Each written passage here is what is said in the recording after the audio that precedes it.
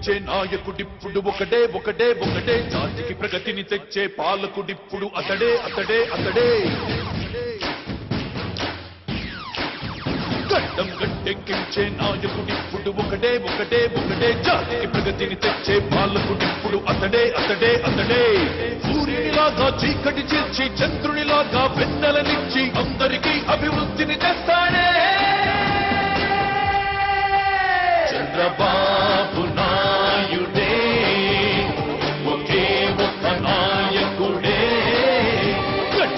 గడ్డం నాయకుడిప్పుడు ఒకడే ఒకడే ఒకడే. జాతికి ప్రగతిని తెచ్చే పాలకుడిప్పుడు అతడే అతడే అతడే.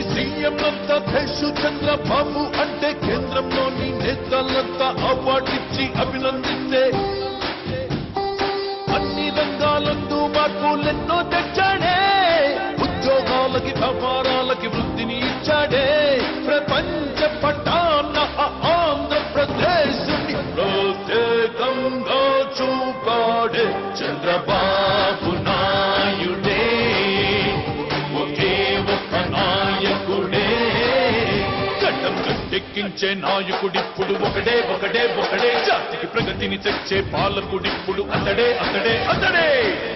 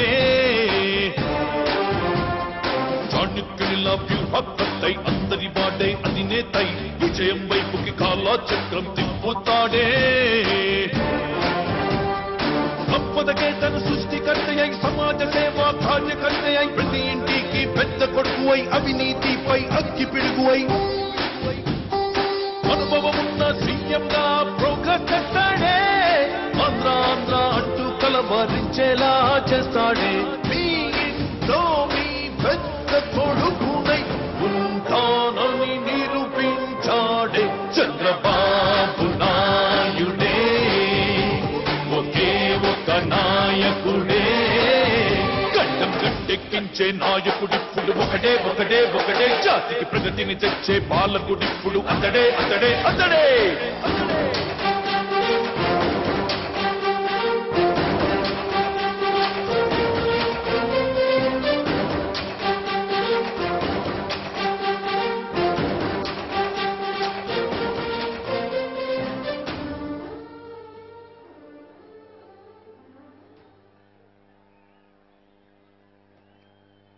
రాష్ట్ర పార్టీ అధ్యక్షులు రాష్ట్ర మంత్రివర్యులు శ్రీ కళా వెంకట్రావు గారిని మాట్లాడాల్సిందిగా ఆహ్వానిస్తున్నాం.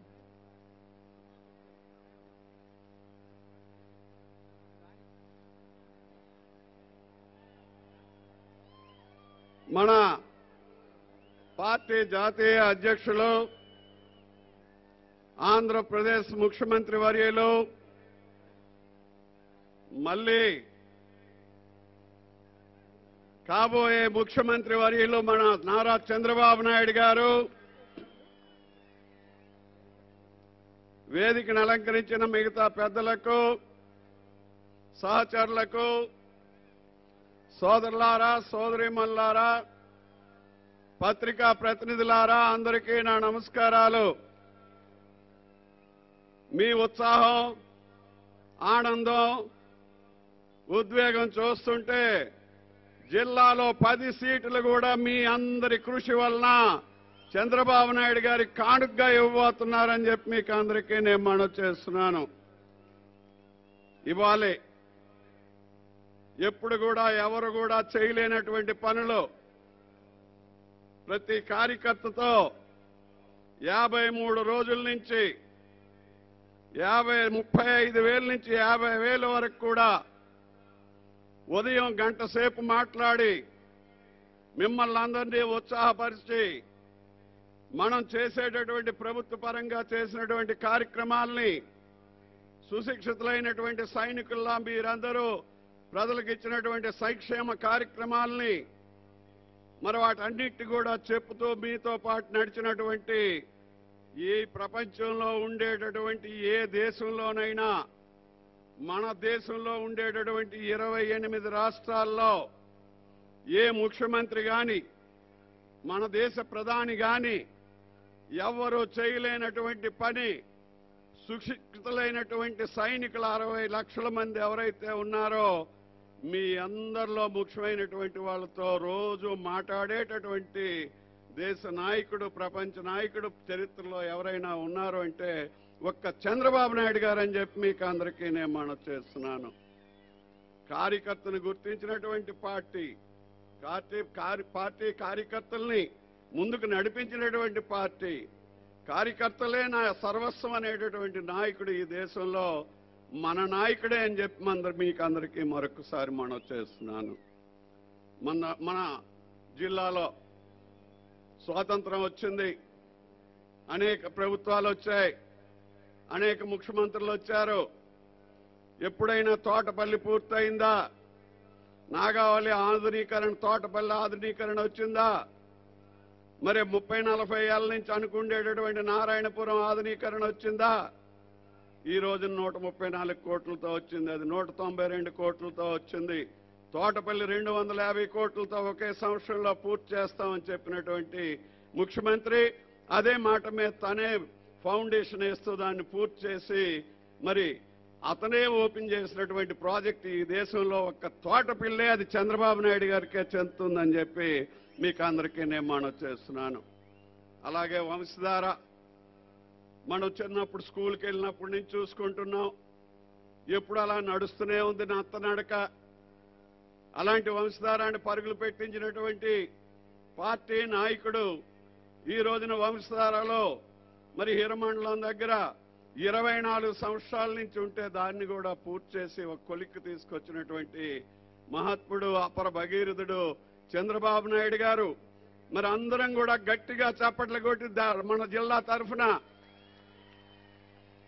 ఆయనకి స్వాగతం పలుకుతూ అదే విధంగా ఈ రాష్ట్ర అభివృద్ధి కోసం ముఖ్యమంత్రిగా ప్రియ మనందరం చేసిన తర్వాత ప్రజలందరూ అవకాశం ఇచ్చిన తర్వాత విజయవాడలో బస్సులో పడుకొని బస్సులోనే కూర్చొని బస్సులోనే సంతకాలు పెట్టి ఈ రోజున మీరందరూ పోలవరం వెళ్తున్నారు.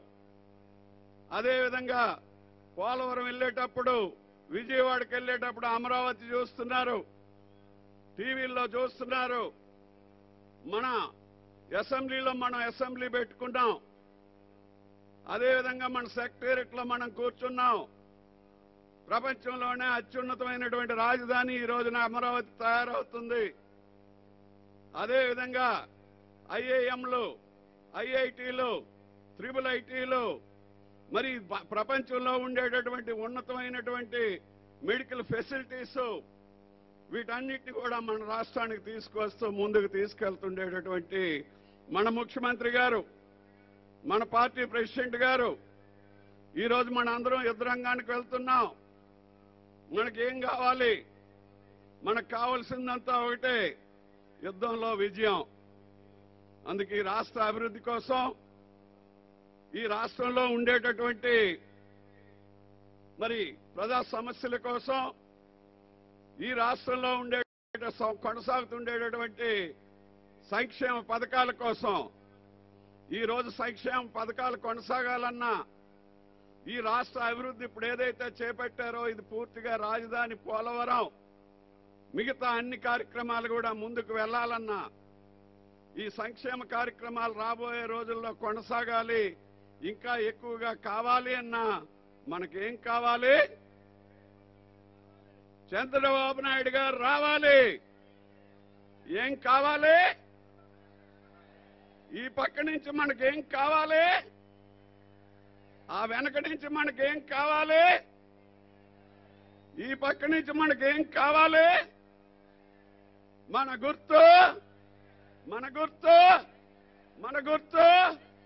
ఎన్టీఆర్ ఎన్టీఆర్. అందరికీ నమస్కారం.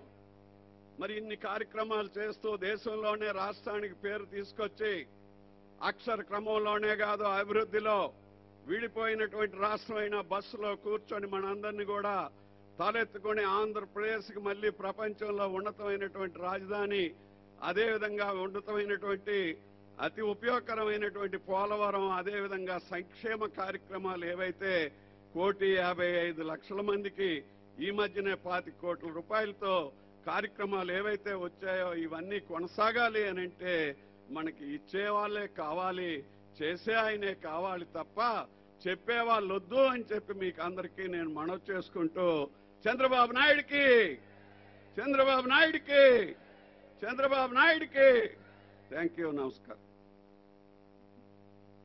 నవ్యాంధ్ర నిర్మాత నిత్య శ్రామికుడు రాష్ట్రం మొట్టమొదటి ఆదాయంలో ఒక అన్నదమ్ముళ్ళ తొంభై నాలుగు లక్షల మంది డ్వాక్రా మహిళలకి తన ఆదాయంలో మొట్టమొదటి ఆదాయాన్ని పంచి ఇచ్చిన చంద్రన్న గారిని మరి ఈనాటి కార్యక్రమాన్ని మాట్లాడవలసిందిగా మనందరి తరపున సహృదంతో ఆహ్వానిస్తున్నాము.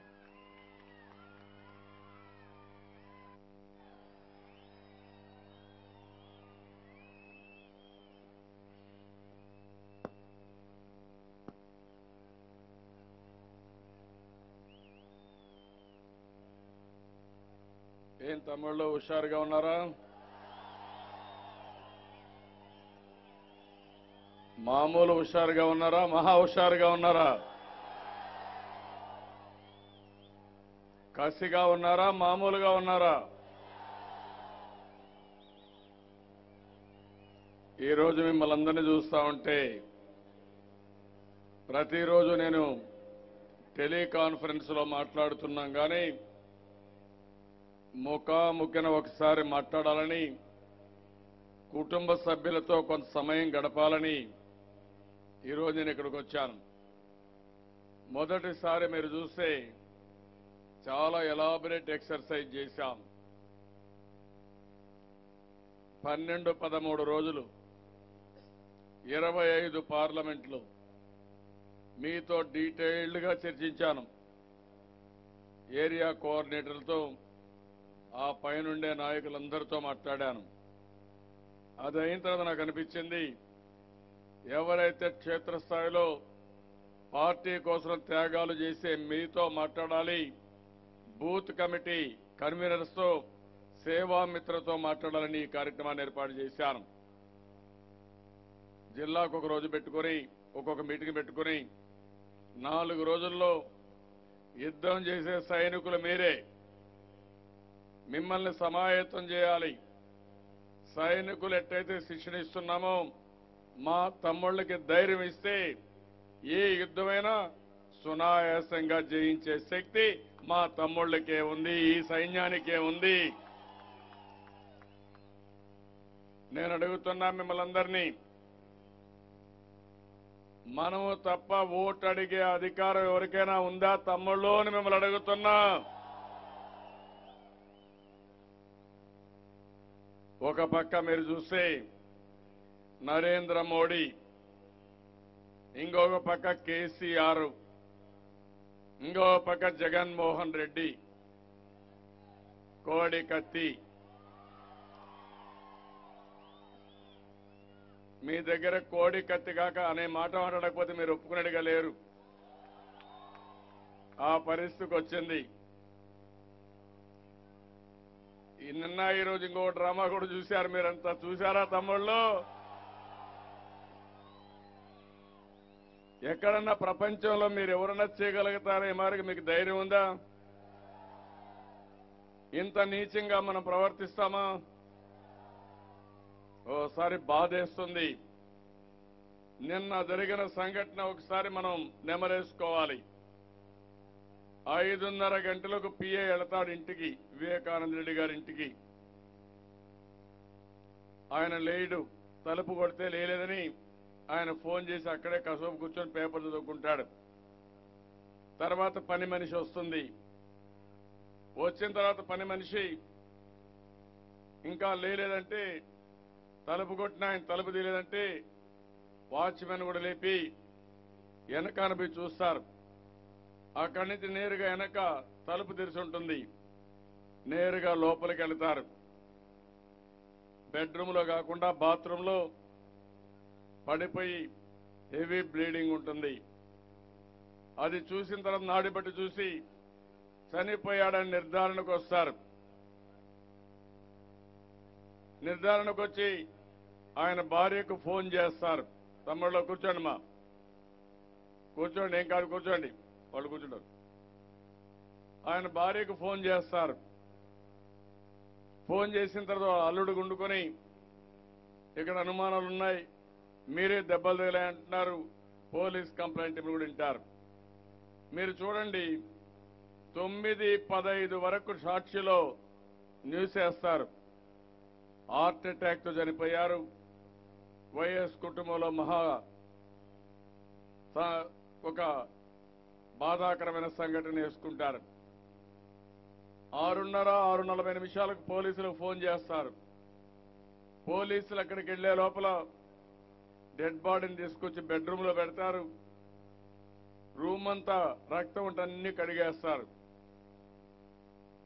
నేను అడుగుతున్న తమ్ముళ్ళు మీరు ఎవరైనా సరే మీ ఇంట్లో మర్డర్ జరిగితే దాన్ని హార్ట్ అటాక్ అని చిత్రీకరించే ధైర్యం మీకుందా అని మిమ్మల్ని అడుగుతున్నా నేను. ఏం తమ్ముడు మీకు ఎవరికైనా ధైర్యం ఉందా? ఏం తమ్ముళ్ళు మీకు ఎవరికైనా ధైర్యం ఉందా? నెత్తిన దెబ్బలు చూశారు. దారుణమైనటువంటి ఆయుధాలు వాడారు. మెదడు కూడా బయట వచ్చింది ఆ పిఏ ఇచ్చిన రిపోర్ట్లోనే రెండు లీటర్ల బ్లడ్ రక్తం ఆ రూమ్లో పడిపోయిందని చెప్తారు. అలాంటి సమయంలో మీరు ఎవరైనా సాక్ష్యాధారాలు లేకుండా చేయడానికి సాహసం చేసే ధైర్యం మీకు ఎవరికైనా ఉందా అని నేను మిమ్మల్ని అడుగుతున్నా. రూమ్ అంతా కడిగేస్తారు బెడ్షీట్లు మార్చేస్తారు. అదే సమయంలో ప్రపంచానికి అంతటికీ హార్ట్ అటాక్తో చనిపోయారని చెప్పి నమ్మబలుకుతారు. సిఏ అక్కడికి వెళ్ళిన తర్వాత ఇమ్మీడియట్గా డెడ్ బాడీని తీసుకుని హాస్పిటల్ తీసుకెళ్తారు. ఎప్పుడు కూడా ఏదైనా ఒక నేరం జరిగితే ఆ సీన్ ఎవరు మార్చడానికి వీలు లేదు. పంచనామా చేయాలి. ఫారెన్సిక్ ఎవిడెన్స్ అంతా పెట్టుకోవాలి. వేలి ముద్రలు కానీ వస్తువులు కానీ ఎక్కడికక్కడ ఉండి ఎవరు దాన్ని టచ్ చేశారు ఎవరు వచ్చారు అన్ని చేస్తారు. అలాంటిది నేరుగా హాస్పిటల్ తీసుకుపోతే హాస్పిటల్లో ఇన్వెస్ట్ ఏదైతే జరిగిందో పోస్ట్ మార్టం జరిగిందో ఆ సమయంలో ఇంత పెద్ద దెబ్బలు తగిలాయి. ఇది హత్య తప్ప ఇంకోటి కాదని చాలా డీటెయిల్గా మర్డర్ కేసు కింద చెప్తారు. అప్పటి వరకు గమ్మున్న వ్యక్తులు మన మీద ఆరోపణ చేస్తారు. మీరు ఒకటి గుర్తుపెట్టుకోవాలి. ఎంత దుర్మార్గులు. వీళ్ళ చిన్నాన్న సొంత చిన్నాన్న చనిపోతే సాక్ష్యాధారాలు కూడా లేకుండా చేసి వ్యక్తుల్ని సమాజంలో ఏమనాల తమ్ముళ్ళో మీరే ఆలోచించాల్సిందిగా మిమ్మల్ని అందరినీ కోరుతున్నా.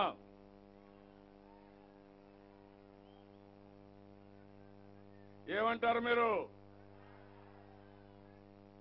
ఇది ఘోరమైన నేరం అవునా కాదా అని మిమ్మల్ని అడుగుతున్నా. ఎప్పుడన్నా మనం విన్నామా అని మిమ్మల్ని అడుగుతున్నా నేను. అంటే సాక్ష్యాధారాలు తారుమారు చేసి మర్డర్ కనీసం బయట వాళ్ళు కూడా కాదు. వీళ్ళ చిన్నాన్నే చనిపోతే కనీసం సాక్ష్యాధారాలు కూడా తారుమారు చేసి ఎక్కడ దొరకకుండా చేసి హార్ట్ అటాక్తో చనిపోతారని చనిపోయాడని బయట ప్రపంచానికి నమ్మించాలని ప్రయత్నం చేశారు. హాస్పిటల్ పైన మొత్తం సాక్ష్యాలతో ఇస్తే అక్కడి నుంచి పోలీసుల పైన ఎదురుదాడి చేస్తారు. మన మీద ఎదురుదాడి చేస్తారు. వాళ్ళ ఇంట్లో మనం పోయి సాక్ష్యాలు తారుమారు చేసినట్టు. నేను అడుగుతున్నా మిమ్మల్ని అందరినీ ఈరోజు ఇంత దారుణం చేసిన వాళ్ళు రేపు ఒక్క సీటు ఓటేస్తే వీళ్ళు మీ మనల్ని బతకనిస్తారా తమ్ముళ్ళు అని మిమ్మల్ని అడుగుతున్నా. సాయంత్రానికి మళ్ళా ఒక లెటర్ ఇస్తారు. ఆ లెటర్ ఏంటి? డ్రైవర్ ఆలస్యంగా వస్తున్నాడు మందలిస్తే ముందు రమ్మంటే ఆయన కోపం వచ్చి చంపబోతున్నాడు. నేను ఆ చంపే సమయంలో ఈ లెటర్ రాశాను మళ్ళీ ఒక లెటర్ రాస్తారు. ఇవన్నీ కూడా ఒక డిటెక్టివ్ నలో నవల్లో ఏం జరిగిందో ఆ వారి కనపడస్తా ఉంది మనకు. చాలా దారుణంగా ఉంది. ఈరోజు మళ్ళా గవర్నర్ దగ్గరికి వెళ్తాడు. సిబిఐ ఎంక్వైరీ కావాలంటాడు. నేను అడుగుతున్నా మిమ్మల్ని అందరినీ మీ ఇంట్లో ఎవరు సాక్ష్యాల్ని తారుమారు చేయాలనుకున్నారు. ఆధారాలు తారుమారు చేయాలనుకున్నారు. బాత్రూంలో చనిపోయిన వ్యక్తిని బెడ్రూమ్లోకి ఎవరు తీసుకొచ్చారు? అందులో రక్తాన్ని మొత్తం ఎవరు కడిగారు? ఎందుకు? హత్యని హార్ట్ ఫెయిల్యూర్ కింద చూపించారో మీరు చెప్పాల్సిన అవసరం ఉంది. ఎనిమిది గంటలకు పిఏ కంప్లైంట్ ఇచ్చాడు. ఏమని ఇచ్చాడు? ఆయన చనిపోయాడు. అది కాకుండా దెబ్బలు తేలాయి అనుమానాస్పదలో ఆయన చనిపోయాడని పిఏ కంప్లైంట్ ఇస్తే తొమ్మిది బావుకు కూడా మీరు ఇది ఆ కుటుంబంలో విషాదం హార్ట్ అటాక్ చనిపోయారని మీరు చెప్పే పరిస్థితికి వచ్చింది. ఆ కుటుంబంలో ఉన్న అందరూ పోలీసులు చెప్పారు. మీరు ఎవరేం పట్టించుకోవాల్సిన పని లేదు. ఆయన చనిపోయింది. హార్ట్ ఫెయిల్యూర్తో చనిపోయాడని అందరికీ చెప్పే పరిస్థితికి వచ్చారు. అంత దాచిపెట్టిన వ్యక్తులు ఈరోజు మళ్ళీ కొత్త డ్రామాలు ఆడుతున్నారంటే సిబిఐ కావాలంటున్నారంటే అక్కడ నరేంద్ర మోడీ ఉన్నాడు సిబిఐసే మిమ్మల్ని రక్షించుకోవాలని తప్పుడు వ్యవహారంతో మీరు ప్రవర్తిస్తున్నారు తప్ప ముందు ఐదు కోట్ల ప్రజలకు చెప్పాల్సిన అవసరం ఉంది. ఏ విధంగా చనిపోయాడు? ఇంట్లో రక్తాన్ని ఎందుకు కడిగారు? ఎందుకు హత్యని? ఆర్ట్ ఫెయిల్యూర్గా చిత్రీకరించారో జగన్మోహన్ రెడ్డి. ఆ కుటుంబం ఈ రాష్ట్రానికి చెప్పాలని మీ అందరి తరఫున డిమాండ్ చేస్తున్నాను తమ్ముళ్ళు మీరు గుర్తుపెట్టుకోవాలి. మీరు ఎవరైనా నమ్మతారా? ఇది ఆర్ట్ ఫెయిల్యూర్ అంటే తల పగిలిపోయి హార్ట్ అటాక్ వస్తే తలలో రక్తం వస్తుందా తమ్ముళ్ళు? హార్ట్ అటాక్ వస్తే ఎక్కడి దగ్గర వచ్చినా కత్తిపోట్లు ఉంటాయా తమ్ముళ్ళు? ఎవరికి చెప్తారు ఇవన్నీ? ఐదున్నర నుంచి తొమ్మిది గంటల వరకు తొమ్మిది పదహైదు వరకు డ్రామాలు ఆడారు. వాళ్ళ ఉద్దేశం పోస్ట్ మార్టం కూడా పోకుండా తప్పుడు సమాచారం ఇచ్చి ఇమ్మీడియట్గా ఈ కేసుని అషప్ చేయాలనుకున్నారు. ఎప్పుడైతే వాళ్ళ అల్లుడు చెప్పిన తర్వాత కంప్లైంట్ వచ్చిన తర్వాత ఆ కంప్లైంట్ ఆధారంగా పోస్ట్ మార్టం చేస్తే వీళ్ళ బండారం మొత్తం బయటపడే పరిస్థితి వచ్చింది. ఇలాంటి దుర్మార్గుల్ని నా జీవితంలో ఎప్పుడూ చూడలేదు. ఇలాంటి వాళ్ళు కానీ ఈ రాష్ట్రంలో రూలింగ్ పార్టీగా తమ్ముళ్ళు ప్రతిపక్షంలో ఉండడం కూడా మనందరి దౌర్భాగ్యం అని మరొకసారి మీ అందరు తెలియజేస్తున్నా. రాష్ట్ర ప్రజానీకం ఆలోచించాలి. ఐదు కోట్ల మంది ఆలోచించాలి. మొన్నే మనం చూశాం. ఫామ్ సెవెన్ పెట్టారు. ఏం తమ్ముళ్ళు మీ ఓట్లన్నీ సరిగా ఉన్నాయా? చెక్ చేసుకున్నారా మీరంతా? తొమ్మిది లక్షల ఓట్లు తీసేయాలనుకున్నారు. ఎవరు పెట్టారు? ఆ బీహార్ నుంచి ఇంకొక ఆయన వచ్చాడు పీకే. చాలా తెలివైన వాడు పెద్ద డెకాయిట్గా కనపడొస్తున్నాడు నాకు ఆయన. తొమ్మిది లక్షల ఓట్లు సైబర్ క్రైమ్ ద్వారా వేరే వాళ్ళ పేర్లు పెట్టి కొంతమంది వాళ్ళ కార్యకర్తలు కలిసి ఓట్లు తీసేయాలనుకున్నారు. సరైన సమయంలో మనం కనుక్కున్నాం పట్టుబడ్డారు. నేను అడుగుతున్నా మిమ్మల్ని అందరినీ వదిలిపెట్టద్దండి. ఎవడైతే తప్పు చేశాడో ఫామ్ సెవెన్ ఉపయోగించాడో వాళ్ళందరూ తప్పకుండా జైలుకు పోయే వరకు వదిలిపెట్టద్దని కార్యకర్తలందరికీ విజ్ఞప్తి చేస్తున్నా. ఇంకొక పక్కన మొన్నే చూశారు. ఈడీ ఏ విధంగా జగన్మోహన్ రెడ్డి పనిచేస్తాడో చూశారు. హిందూజా నుంచి వంద ఎకరాలు భూమి వాళ్ళ నాయన సీఎంగా ఉన్నప్పుడు ఆ భూమి వాళ్ళకి పర్మిషన్ ఇవ్వాలి. దానిపైన పది ఎకరాల భూమి ఈయనకి ఇచ్చినగా రాసుకున్నారు. డబ్బులు కూడా వాళ్ళే ఇచ్చారు. వేరే కంపెనీకి ఇచ్చారు. అక్కడి షెల్ కంపెనీ తీసుకెళ్ళారు. మళ్ళీ ఒరిజినల్ కంపెనీ తీసుకొచ్చారు. అక్కడి నుంచి మళ్ళీ ఇందుజాకి ఇచ్చే పరిస్థితి వచ్చారు. డబ్బులు వాళ్ళది. మళ్ళా ఆ డబ్బులు వాళ్ళకే వెళ్తుంది. భూమి మాత్రం ఈయనకు వస్తుంది. అంత తెలివైన వాడు. ఇలాంటి తప్పుడు లెక్కలు రాయడం మీకు ఎవరికైనా తెలుసా తమ్ముళ్ళు అని మిమ్మల్ని అడుగుతున్నా. మనం చేయలేం. మనం ఒక నీతిగా ఉంటాం. నిజాయితీగా ఉంటాం పద్ధతి ప్రకారం ఉంటాం. ఇలాంటి పనులు చేసే పరిస్థితికి వచ్చాడు. ఆ మధ్య తెలంగాణ ప్రభుత్వం మన డేటా దొంగిలిస్తారు. ఏమనాలో నాకు అర్థం కాలేదు. ఈ కేసీఆర్ మీతో సమానంగా ఇక్కడ కూర్చున్నవాడే నా దగ్గర పని చేసిన వాడు తప్ప ఇంకోటి కాదు. అవునా కాదా? మన మీటింగ్లో ఇక్కడ కూర్చున్న లీడర్స్ సమానంగా. ఇంకా మన వాళ్ళు అశోక్ గారు కానీ వీళ్ళంతా ముందుంటే కళా వెంకట్రావు గారు ఉంటే ఆయన వెనక బెంచుల్లో కూర్చున్న వ్యక్తి. ఇప్పుడు మన మీద పెత్తనం చేస్తానంటున్నాడు కబద్దార్ వదిలిపెట్టే సమస్య లేదు. మా ఆత్మ గౌరవాన్ని మేము కాపాడుకుంటాం తప్ప ఇష్టానుసారంగా ప్రవర్తిస్తే వదిలిపెట్టమని మరొక్కసారి ఈ శ్రీకాకుళంలో మీ అందరి తరపున హెచ్చరిస్తున్నానని చెప్పి కూడా నేను మీకు తెలియజేస్తున్నా. ఈరోజు తిరుపతికి వెళ్ళాను. వెంకటేశ్వర స్వామి దర్శనం చేసుకున్నాను. మనకు ఒక సాంప్రదాయం. ముందు వెంకటేశ్వర స్వామి దర్శనం చేసుకుని అక్కడ మీటింగ్ పెట్టి నేరుగా శ్రీకాకుళం వచ్చాను. శ్రీకాకుళం మన రాష్ట్రానికి మంచి మామూలుగా వాస్తు రూపేణ ఏ పని ప్రారంభించినా శ్రీకాకుళంతో ప్రారంభిస్తే అది డెఫినెట్గా జయప్రదం. మన శ్రీకాకుళం చూసిన తర్వాతనే మన రాష్ట్రం పేరు కూడా సన్ రైజ్ ఆంధ్రప్రదేశ్ అనే పేరు పెట్టుకున్న సూర్యోదయ ఆంధ్రప్రదేశ్. నేను మిమ్మల్ని అందరినీ ఒకటే కోరుతున్నా మా తమ్ముళ్ళ ధైర్యం చూశాను. నేను బాగా ఆలస్యంగా వచ్చాను. మీ పట్టుదల చూస్తా ఉంటే నాకు అనుమానం లేదు. జిల్లాలో పది సీట్లకు పది సీట్లు గెలిపించే స్తోమత ధైర్యం మా కుటుంబ సభ్యులకు ఉంది తెలుగుదేశం పార్టీ గెలవడం ఒక చారిత్రక అవసరం.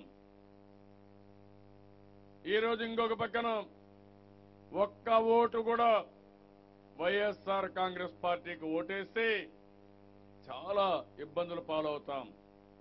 వీళ్ళు ప్రతిపక్షంలో ఉండడానికి కూడా అర్హత లేదు. అధికారాన్ని అడ్డం పెట్టుకుని ప్రజలు ఇచ్చిన ఓట్లను అడ్డం పెట్టుకుని ఈరోజు నేరాలు ఘోరాలు చేసే పరిస్థితికి వచ్చారు. చాలా దుర్మార్గం. ఇక ఉండే కార్యకర్తల్ని కుటుంబ సభ్యులు కోరుతున్నా. మీ వల్ల తెలుగుదేశం పార్టీకి ఎంతో గౌరవం వచ్చింది. నాకు గాని మన నాయకుడు ఎన్టీ రామారావు గారికి ప్రపంచవ్యాప్తంగా గుర్తింపు వచ్చిందంటే అది మీ త్యాగ ఫలితం తప్ప ఇంకోటి కాదని మరొకసారి మీ అందరికీ విజ్ఞప్తి చేస్తున్నాను. ఎనభై రెండు నుంచి తెలుగుదేశం పార్టీ జెండా మోశారు. భుజాలు అరిగిపోయేట్టుగా మోశారు. కష్టపడ్డారు. ఎన్నో త్యాగాలు చేశారు. కొంతమంది కార్యకర్తలైతే ఆస్తులు అమ్ముకుని పార్టీ కోసం పనిచేశారు. కొంతమంది కార్యకర్తలు జీవితాంతం పనిచేశారు. ఒక్కొక్కసారి మీకు గౌరవం ఇవ్వకపోయినా మీరు పార్టీ కోసం పనిచేశారంటే నా జీవితంలో ఎప్పుడూ మరిచిపోలేను.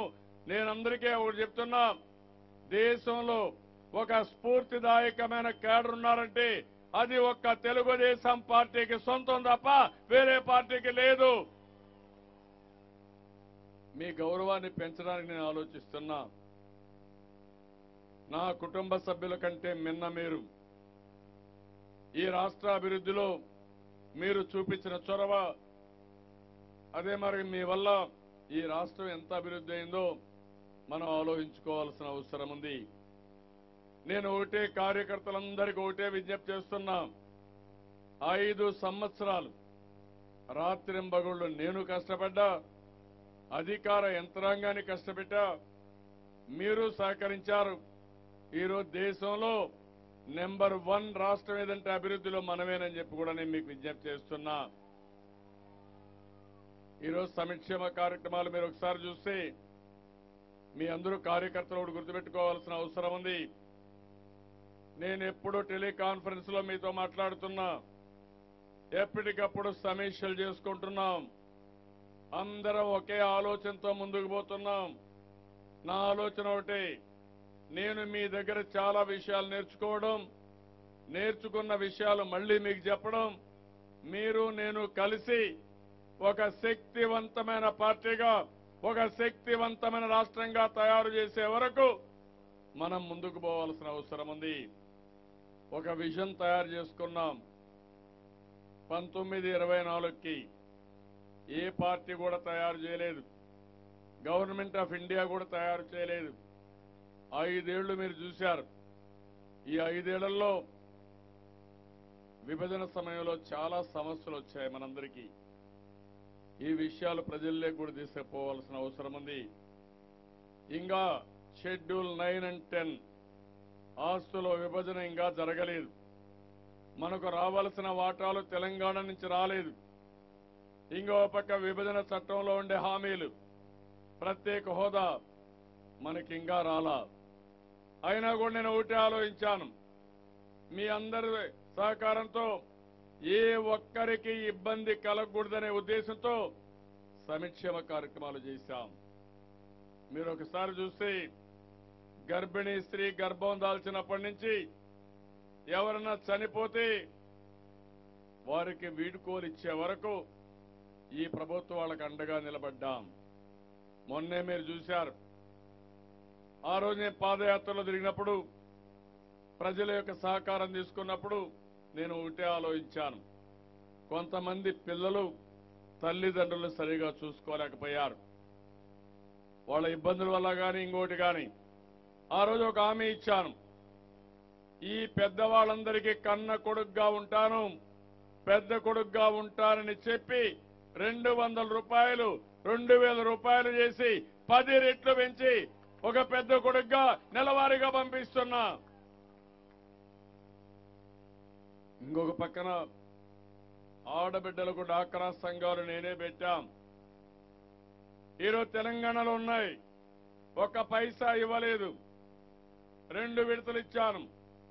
పసుపు కుంకుమ కింద ఇచ్చాను. పదివేల రూపాయలు పదివేల రూపాయలు ఇచ్చాను.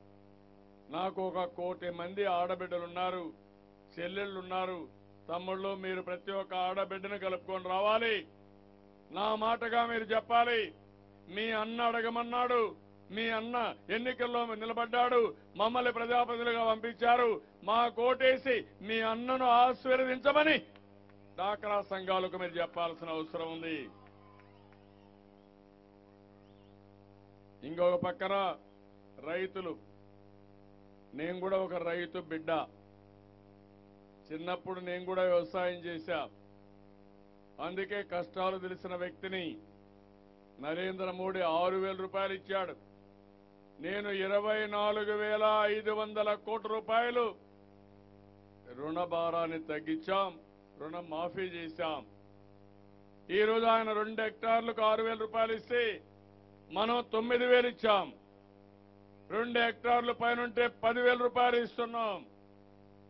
రెండు అంకెల అభివృద్ధి సాధిస్తామని వ్యవసాయంలో చెప్పి ఆదాయాన్ని రెట్టింపు చేస్తామని గవర్నమెంట్ ఆఫ్ ఇండియా ఫెయిల్ అయితే ఈ రోజు నేను గర్వంగా చెప్పగలుగుతున్నా ఐదేళ్ళలో నూట ఇరవై ఎనిమిది శాతం ఆదాయం పెంచిన ఏకైక రాష్ట్రం భారతదేశంలో మన రాష్ట్రం అని చెప్పి కూడా నేను మీకు తెలియజేస్తున్నా.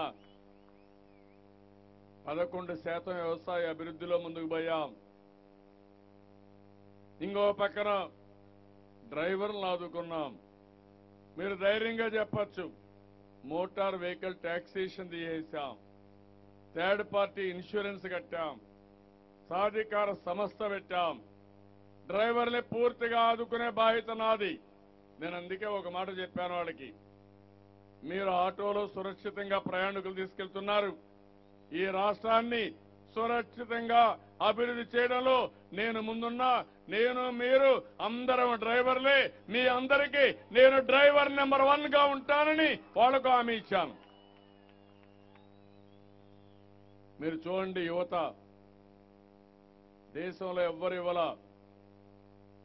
వెయ్యి రూపాయలు నిరుద్యోగ భృతి ఇచ్చాం. ఇప్పుడు రెండు వేల రూపాయలకు పెంచాం. వాళ్ళకి స్కిల్ డెవలప్మెంట్ ఇచ్చాను. ముఖ్యమంత్రి వనేస్తం పెట్టాం. దీనివల్ల తల్లిదండ్రుల పైన ఆధారపడకుండా ఖర్చులకు డబ్బులు కావాలంటే మనం ఇచ్చిన డబ్బులతో ఉద్యోగం వచ్చే వరకు వాళ్ళు గడిపే పరిస్థితి వస్తుంది. అలాంటి కార్యక్రమాల్లో మనం ముందుకు పోయాం. ఇంకో పక్కన చూస్తే ఇండస్ట్రీస్ చూశారు మీరు. పెద్ద ఎత్తున ఇండస్ట్రీస్కి శ్రీకారం చుట్టాం. పదహైదు లక్షల కోట్ల రూపాయలు విలువ చేసే ఎంఓయూలు చేశాం. ఈజ్ ఆఫ్ డూయింగ్ బిజినెస్లో మనం నెంబర్ వన్ ఉన్నాం. ఇవన్నీ పూర్తయితే ముప్పై లక్షల ఉద్యోగాలు వస్తాయి. మనం ఇవన్నీ చేస్తే కోడికత్తి పార్టీ ఎక్కడికక్కడ మనకు సమస్యలు క్రియేట్ చేయడం. విశాఖపట్నంలో పెట్టుబడిదారులకు సదస్సు పెడితే జల్లు కట్టు స్ఫూర్తితో గొడవ చేస్తామని రావడం. ఇంకో పక్క రాజధాని మీరు చూశారు. చాలా ఇబ్బందులు క్రియేట్ చేశారు. నేను ఒకటే ఆలోచించాను. రాజధాని కట్టాలి. ఒకప్పుడు సైబరాబాద్ నగరాన్ని కట్టాం. హైదరాబాద్ నగరాన్ని ప్రపంచ పట్టణంలో పెట్టాం. ఈరోజు దానికంటే మిన్నగా చేయాలని ప్రపంచంలో ఐదు అగ్ర రాజధానిలో మన అమరావతి ఒకటి ఉండాలనేది నా ఆకాంక్ష. దానికోసం ముందుకు పోయాం. మన దగ్గర డబ్బులు లేదు భూములు లేవు మన మీద విశ్వాసం ఉంది. ఆ రోజు ఒకే పిలిపించాను మీరు భూమి ఇవ్వండి మీరు నష్టపోరు నేను రాజధాని కట్టి మీకిచ్చే భూమికి విలువ పెంచుతానని మీ ఆదాయాన్ని పెంచుతాను ఒక్క మాట చెప్తే ముప్పై ఐదు వేల ఎకరాల భూమి ఇచ్చారు. నరేంద్ర మోడీ గారు మట్టి నీళ్ళు మన మొక్కాను కొడితే రైతులు యాభై వేల కోట్ల రూపాయలు చేసే భూమి మన మీద విశ్వాసంతో ఇచ్చారంటే అది మనకుండే వ్యక్తిత్వం అని చెప్పి కూడా నేను మీకు తెలియజేస్తున్నా. ఈరోజు ఆ రాజధానిని బ్రహ్మాండమైన రాజధాని కడతాం. ఈరోజు శ్రీకాకుళం జిల్లా ఉంది. సాగునీరు మీరు చూశారు. వంశధార ఫేజ్ టూ స్టేజ్ టూలో ఎన్ని ఇబ్బందులు కలిగించారో హీరమండలం మ్యారే బ్యారేజ్ రాకుండా ఎన్ని ఇబ్బందులు కలిగించారో నేను ఒకటి ఆలోచించాను. రైతులకు నచ్చ చెప్పాను. వాళ్ళకి ఇవ్వాల్సిన ప్యాకేజ్ ఇచ్చాను. ఈరోజు హీరమండలం బ్యారేజ్ కంప్లీట్ అవుతుంది. అదే మరిగా నారాయణపూర్లో ఆనకట్ట కోసం మళ్ళీ ఇంప్రూవ్మెంట్ కోసం టెండర్ పిలవడం కానీ ఇంకో పక్క తోటపల్లి పూర్తి చేయడం కానీ మహేంద్ర తనయ కానీ మళ్ళీ వంశధార బాహుదా రెండు నదులు అనుసంధానం చేసి ఇక్కడి నుంచి బాహుదా నుంచి పెన్నా వరకు అనుసంధానం చేసే వరకు వదిలిపెట్టనని చెప్పి కూడా నేను మీకు తెలియజేస్తున్నా. శ్రీకాకుళం ముఖ చిత్రమే మారుస్తున్నాం. భవిష్యత్తులో నీటి సమస్య లేకుండా ప్రతి ఒక్క ఎకరాకు నీళ్ళిచ్చే బాధ్యత నాది. గోదావరి నీళ్ళు శ్రీకాకుళానికి తీసుకొచ్చే బాధ్యత కూడా నేను తీసుకుంటున్నానని చెప్పి నేను మీకు తెలియజేస్తున్నా. ఎనిమిది వేల నుంచి తొమ్మిది వేల కోట్ల రూపాయలు ఖర్చు పెడుతున్నాం. ఇంకా ఎక్కువైనా పర్వాలేదు. ఈ పని చేసే వరకు మనం ముందుకు పోతాం. నదుల అనుసంధానం చేసి వాటర్ మేనేజ్మెంట్ ద్వారా ఎక్కడా ఇబ్బంది లేకుండా ముందుకు పోయే పరిస్థితి వస్తుంది. ఈరోజు మీరు సమీక్షేమంలో మీరు ఒకసారి చూసారు అన్ని పనులు చేశాం. అభివృద్ధిలో మీరు చూశారు. ఈరోజు కడాన అన్నా క్యాంటీన్ పెట్టి మిమ్మల్ని అందరినీ ప్రజలను ఆదుకోవడం కోసం మామూలుగా అయితే వేరే దిక్కల్లో రోడ్ల మీద భోజనం పెడుతున్నారు. నేను ఆలోచించాను అన్నా క్యాంటీన్ కేఎఫ్సి స్థాయిలో బ్రహ్మాండమైన వాతావరణంలో చేయాలని బ్రహ్మాండమైన బిల్డింగ్లు కట్టడమే కాకుండా నాణ్యమైన భోజనం గౌరవప్రదంగా ఐదు రూపాయలకి పూటకు భోజనం పెట్టే ఏకైక ప్రభుత్వం ఈ తెలుగుదేశం ప్రభుత్వం. ఇలాంటి చాలా కార్యక్రమాలతో మనం ముందుకు పోతున్నాం. పెళ్ళి కానుక చంద్రన్న బీమా స్కాలర్షిప్లు గాని ఓసారి మా తమ్ముళ్ళకు ఆశ్చర్యం వేస్తుంది. డబ్బులు ఎక్కడి నుంచి వస్తున్నాయని. చాలా మంది అడిగారు డబ్బులు ఎక్కడి నుంచి వస్తున్నాయని. నేను ఒకటే చెప్పా కేంద్రం డబ్బులు ఇవ్వలేదు. తెలంగాణ వాటా ఇవ్వలేదు. కానీ మనకు తెలివితేటలున్నాయి. డబ్బులు సంపాదించే మార్గం తెలుగుదేశానికి ఉంది. ఆ సత్తాతోనే మనం ముందుకు పోతున్నాం. భవిష్యత్తులో ఇంకా పెద్ద ఎత్తున అభివృద్ధి చేస్తాం. ఈ కార్యక్రమాలే కాకుండా గ్రామాల్లో అభివృద్ధి చూశారు. దర్జాగా అందరూ సిమెంట్ రోడ్లో తిరుగుతున్నారు. నేను అడుగుతున్నా రెండు వేల పద్నాలుగు కంటే మీ గ్రామాలు బాగున్నారే తమ్ముళ్ళు మీరే చెప్పండి. బాగున్నాయా? సిమెంట్ రోడ్లు వచ్చాయా? ఎల్ఈడి బల్బులు వచ్చాయా?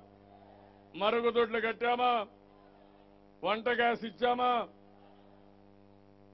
నేను అడుగుతున్నా ఇంకా మనం వేసే రోడ్డు మీదనే తిరుగుతారు. మనం వేసిన వీధి దీపాలే వాడుకుంటారు. మనం కట్టిన మరుగుదొడ్లోనే మరుగుదొడ్డిపోతారు వంట గ్యాస్ ఉపయోగిస్తారు. మనకు తప్పిపోతే ఎవరికి ఓటేస్తారు? తమ్ముళ్ళు మీరే చెప్పమని మిమ్మల్ని అడుగుతున్నా అదే అడగాల్సిన అవసరం ఉంది. నేను అడుగుతున్నా పది అసెంబ్లీ సీట్లకు పది గెలిపిస్తారా లేదా అని మిమ్మల్ని అడుగుతున్నా. నమ్మకమేనా అని మా తమ్ముళ్ళు అడుగుతున్నా. ప్రజల్లో ఒక ఉత్సాహం ఉంది. అవునా? కాదా అని మిమ్మల్ని అడుగుతున్నా. ఇది తెలుగుదేశం పార్టీ కార్యకర్తల ఎన్నిక కాదు. లబ్ధిదారుల ఎన్నిక.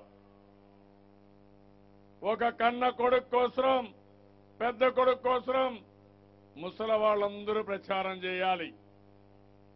ఒక అన్న కోసం డాక్రా సంఘాలు ప్రచారం చేయాలి.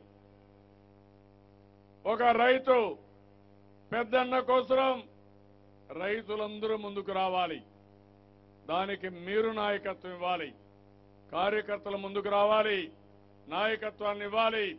ఎక్కడికక్కడ చైతన్యం తీసుకొచ్చి మనం ముందుకు పోయే పరిస్థితి రావాల్సిన అవసరం ఉంది. ఈరోజు మీరు ఒకసారి చూస్తే ఈ రోజు నుంచి నేను ఇంకొక మూడు రోజులు తిరిగి యుద్ధానికి సన్నద్ధం చేస్తున్నా.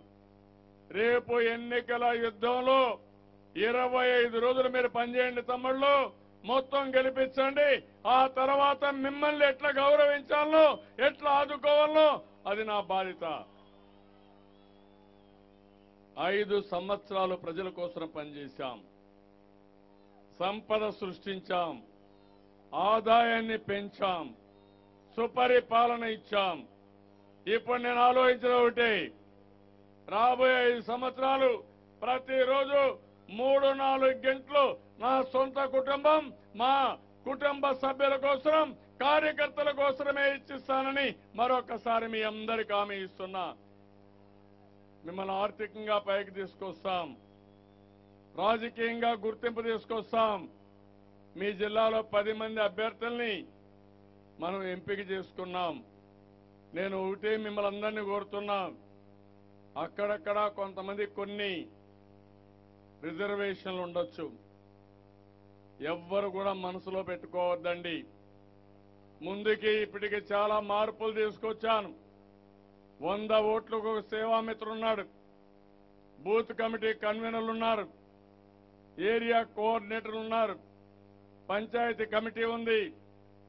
మండల కమిటీ జిల్లా కమిటీలు ఉన్నాయి రేపు రాబోయే రోజుల్లో ఎవరైతే బాగా పనిచేస్తారో తమ్ముళ్ళు వాళ్ళని ఎత్తుక్కుంటూ పదవి మీ ఇంటికి వస్తుంది తప్ప మీకు ఎవ్వరి రికమెండేషన్ అవసరం లేదని మరొకసారి ఆమె ఇస్తున్నా.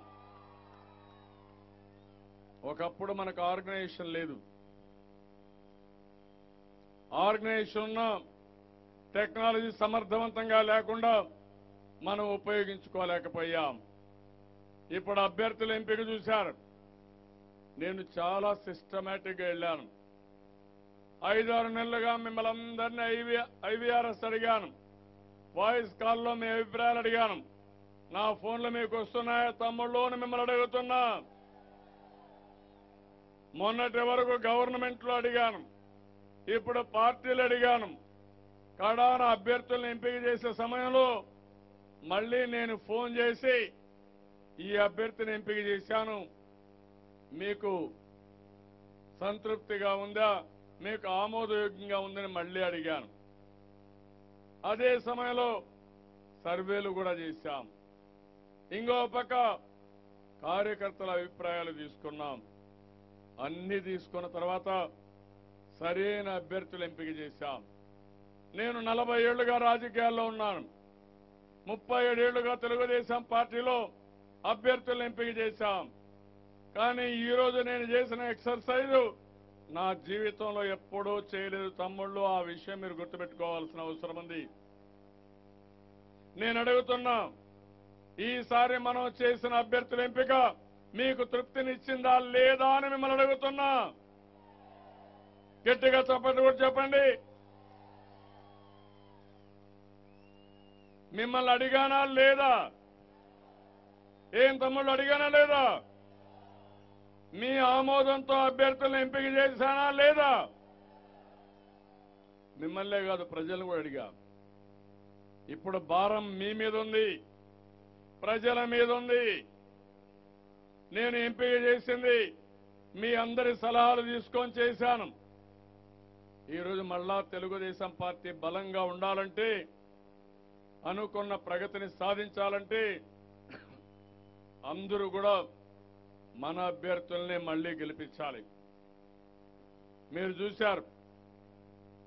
పోయినసారి వైఎస్ఆర్ కాంగ్రెస్ పార్టీ ఓటేస్తే అసెంబ్లీకి వచ్చి గొడవ చేసేవాళ్ళు. రెండున్నర సంవత్సరాలుగా అసెంబ్లీకి రావడం మానేశారు. వచ్చారా అసెంబ్లీకి? జీతాలు తీసుకున్నారా లేదా తమ్ముళ్ళు? మనం అందరం చెప్తాం. పని చేయకపోతే కూలి ఇవ్వం అంతేనా? నో వర్క్ నో పే కానీ వీళ్ళకి మాత్రం పని చేయకపోయినా ప్రజాధనాన్ని శాలరీస్ రూపేణా డిఎల్ రూపేణా తీసుకున్న పార్టీ ఈ వైఎస్ఆర్ కాంగ్రెస్ పార్టీ. పార్లమెంట్లో మీరు చూశారు. ఇక్కడే అశోక్ గారు ఉన్నారు. అదే మరిగా మన రామ్మోహన్ నాయుడు ఉన్నాడు. బ్రహ్మాండంగా పోరాడారు. పోరాడారు లేదు తమ్ముళ్ళు.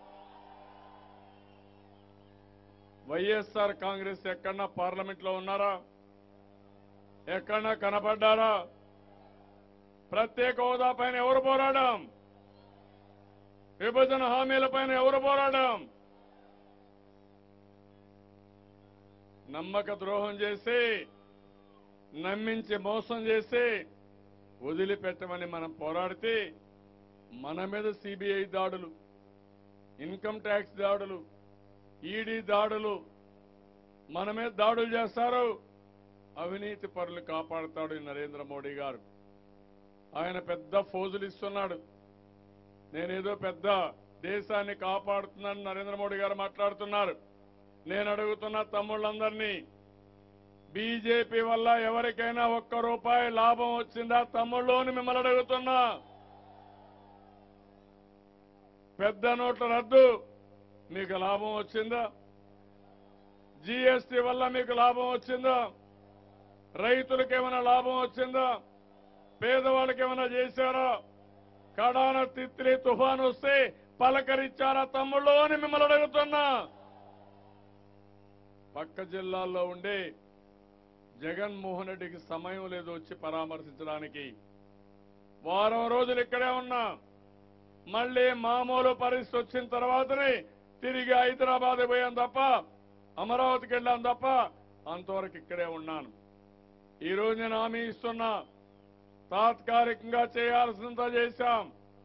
భవిష్యత్తులో ఉద్దానం ఏరియాలో తీర ప్రాంతంలో పూర్తిగా మిమ్మల్ని ఆదుకునే బాధ్యత పెద్ద ఎత్తున అభివృద్ధి చేసి మీ సమస్యలన్నీ పరిష్కారం చేసే బాధ్యత తెలుగుదేశం పార్టీదని చెప్పి కూడా నేను మీకు తెలియజేస్తున్నా.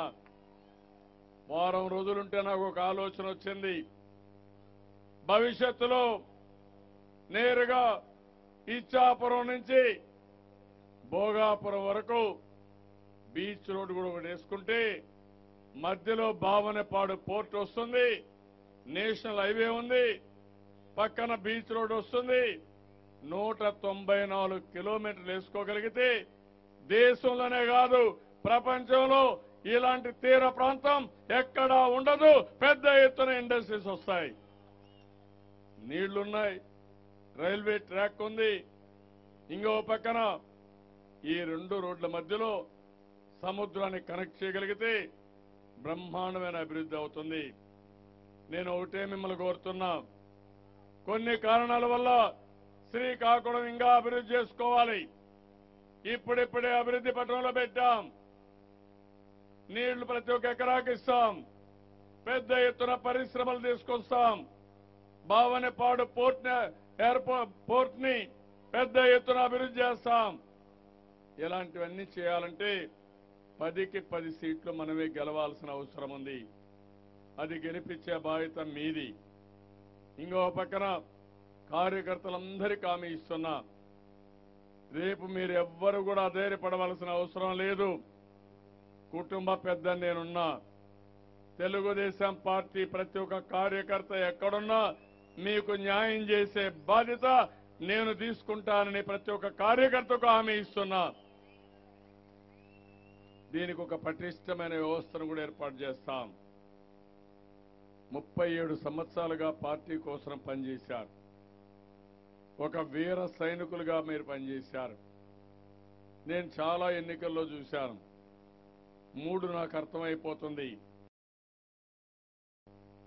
ఎప్పుడైతే తెలుగుదేశం పార్టీ కార్యకర్త ఉత్సాహంగా ఉన్నాడో అప్పుడు ఎన్నికల్లో ఎవ్వరూ మనల్ని ఎదిరించలేరు తట్టుకోలేరు. అది మనకుండే శక్తి. ఈ రోజు మీరందరూ ఉత్సాహంగా ఉన్నారా లేదా అని మిమ్మల్ని అడుగుతున్నా. ఉత్సాహంగా ఉన్నా రెండు చేలు పైకి చెప్పండి. అన్ని సీట్లు గెలిపిస్తారా అని మిమ్మల్ని అడుగుతున్నా. గెలుపు పైన మీకు నమ్మకం ఉందా అని మిమ్మల్ని అడుగుతున్నా. ప్రజల్లో ఆనందం ఉంది కార్యకర్తల్లో ఉత్సాహం ఉంది. ఇప్పుడు కావాల్సింది ఈ పార్టీలు ఏవైతే కోడికత్తి పార్టీ ఉందో వీళ్ళు చేసే రాజకీయాలు తెలంగాణ నుంచి డబ్బులు వస్తాయి తమ్ముళ్ళు. వస్తాయా డబ్బులు? పంపిస్తాడు. ఎందుకంటే ఇక్కడ వైఎస్ఆర్ కాంగ్రెస్ పార్టీ గెలిస్తే ఆ నాలుగైదు సీట్లు పెట్టుకుని ఢిల్లీలో బేరసారాలు చేయాలని మన రాష్ట్రానికి అన్యాయం చేయాలని ఆలోచిస్తున్నారు.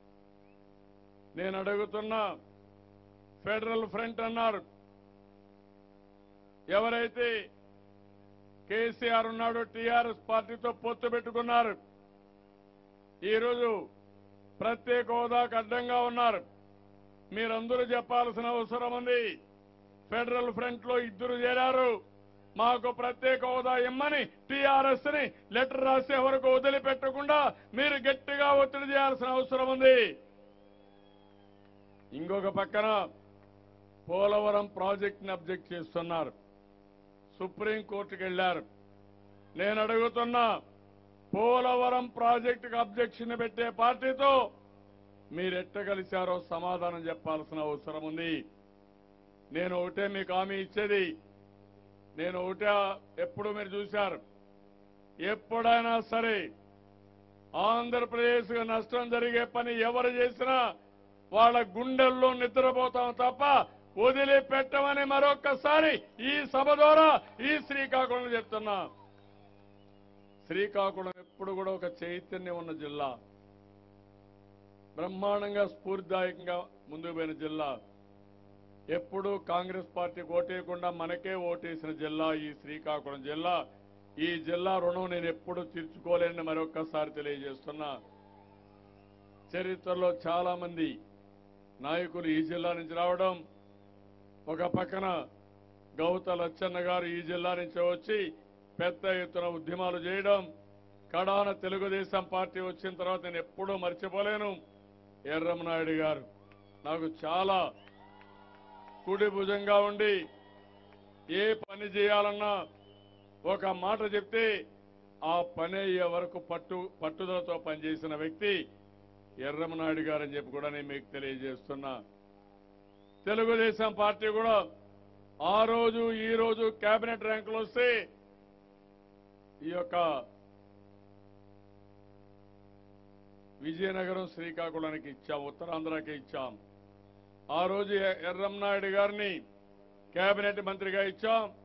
ఈ రోజు మొన్న కూడా మన అశోక్ గజపతిరాజు గారు మన పార్టీ తరఫున కేబినెట్లో ఉన్నారు. అలాంటి నాయకత్వాన్ని ఇచ్చిన జిల్లాలు ఈ ఉత్తరాంధ్ర అని చెప్పి కూడా నేను మీకు తెలియజేస్తున్నా. కాబట్టి మిమ్మల్ని అందరినీ చూసినప్పుడు మళ్ళీ నేను ఒకటే కోరుతున్నా. ఈరోజు సంక్షేమ కార్యక్రమాలు చేశాం. అభివృద్ధి కార్యక్రమాలు చేశాం.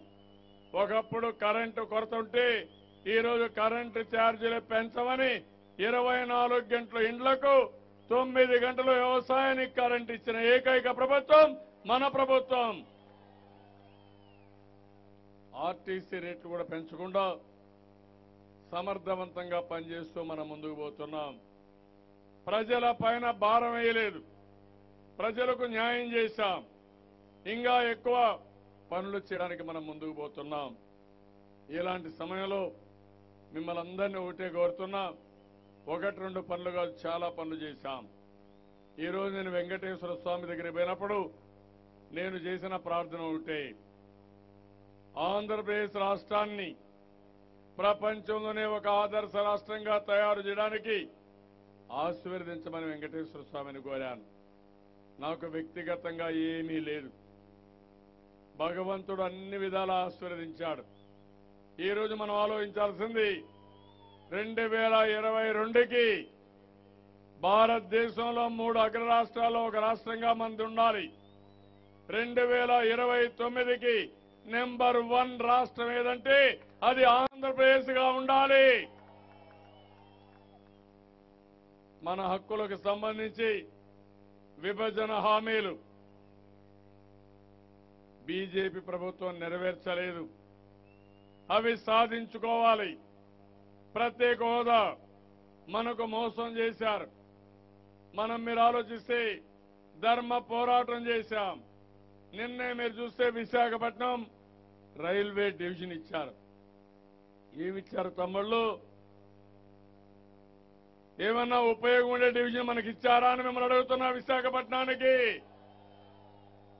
తలలేని మొండాన్ని మనకి ఇచ్చారు డివిజన్ తీసుకుపోయి రాయగడ్డకి ఇచ్చి విశాఖపట్నంలో డివిజన్ కూడా లేకుండా మనకు జోన్ ఇచ్చే పరిస్థితికి వచ్చారంటే ఆదాయం రాయగడ్డకు పేరుకు మాత్రం జోన్ విశాఖపట్నానికి ఇచ్చే పరిస్థితికి వచ్చారు.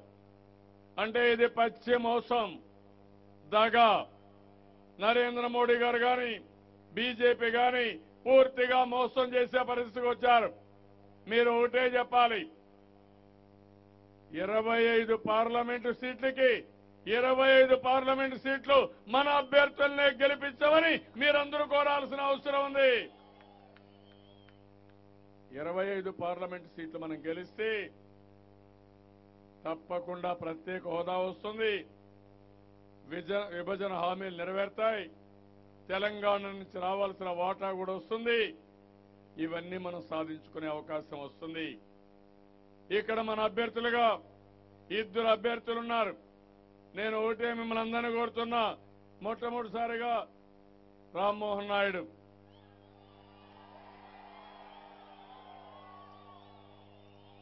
గట్టిగా చప్పట్లు కొట్టి అభినందించాలి ఆశీర్వదించాలి. మొన్నే మీరు చూశారు పార్లమెంట్లో మీకోసం గళమెత్తిన వ్యక్తి రామ్మోహన్ నాయుడు అని చెప్పి కూడా నేను మీకు తెలియజేస్తున్నా. అలాంటి వ్యక్తిని గెలిపించే బాధ్యత మీకుందా లేదా? ఎంత మెజార్టీతో గెలిపిస్తారు? పెద్ద మెజార్టీ రావాలి. నమ్మకమేనా అడుగుతున్నా. రెండో వ్యక్తి అశోక్ గజపతిరాజు గారు. మీరు చూశారు. అశోక్ గారిని చూస్తే మొన్న ఇటీవల కాలంలో మనకు అన్యాయం జరిగిందని రాత్రి నేను ఫోన్ చేస్తే కేబినెట్కి వెళ్ళారు. కేబినెట్ నుంచి వస్తానే ఫోన్ చేశాను. అశోక్ గారు మనకు అన్యాయం జరిగింది. వీళ్ళు నమ్మక ద్రోహం చేస్తున్నారు. మీరు రాజీనామా చేయాల్సి వస్తుందంటే ఒక్క క్షణం కూడా ఆలోచించకుండా ఒకే మాట అన్నారు. మీరు చెప్పారు సార్ రేపే రాజీనామా ఇవ్వాలన్నా ఇప్పుడే ఇవ్వాలని అడిగిన వ్యక్తి మన అశోక్ గారు. రేపు బెంగళూరు ప్రోగ్రాం ఉంది. ఆ ప్రోగ్రాం కూడా క్యాన్సిల్ చేసుకుంటానని చెప్పి ఆ నిమిషంలో ఒక్క సెకండ్ ఆలోచించకుండా పదవికి త్యాగం చేసిన వ్యక్తి మన అశోక్ గారు అని చెప్పి కూడా నేను మీకు తెలియజేస్తున్నా. నేను పార్టీ పెట్టినప్పటి నుంచి చూస్తున్నారు వారి యొక్క సిన్సియారిటీ. ఒక నీతి నిజాయితీగా నిబద్ధతతో పనిచేసే నాయకుడు అశోక్ గారు. అలాంటి అశోక్ గారిని పెద్ద మెజార్టీతో గెలిపిస్తామని గట్టిగా మీరందరూ అభినందించాలి ఆశీర్వదించాలి. ఇకపోతే మనం నిన్నే ఒక మాట అనుకున్నాం. నూట యాభై ప్లస్.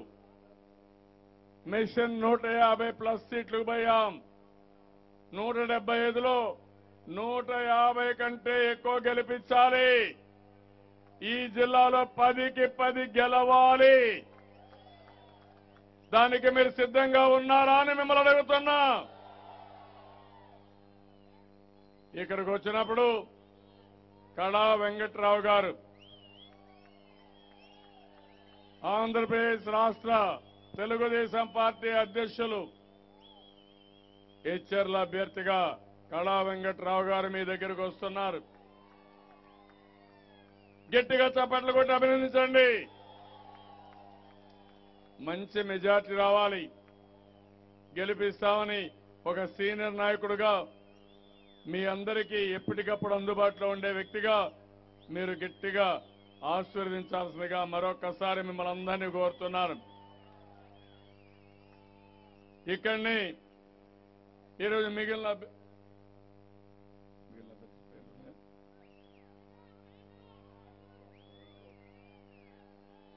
ఇచ్చాపురం నుంచి బెండాల అశోక్ గారు. ముందుకు రా. గట్టిగా చప్పట్లు కొట్టి అభినందించాలి మంచి మెజార్టీ కల్పించాలి.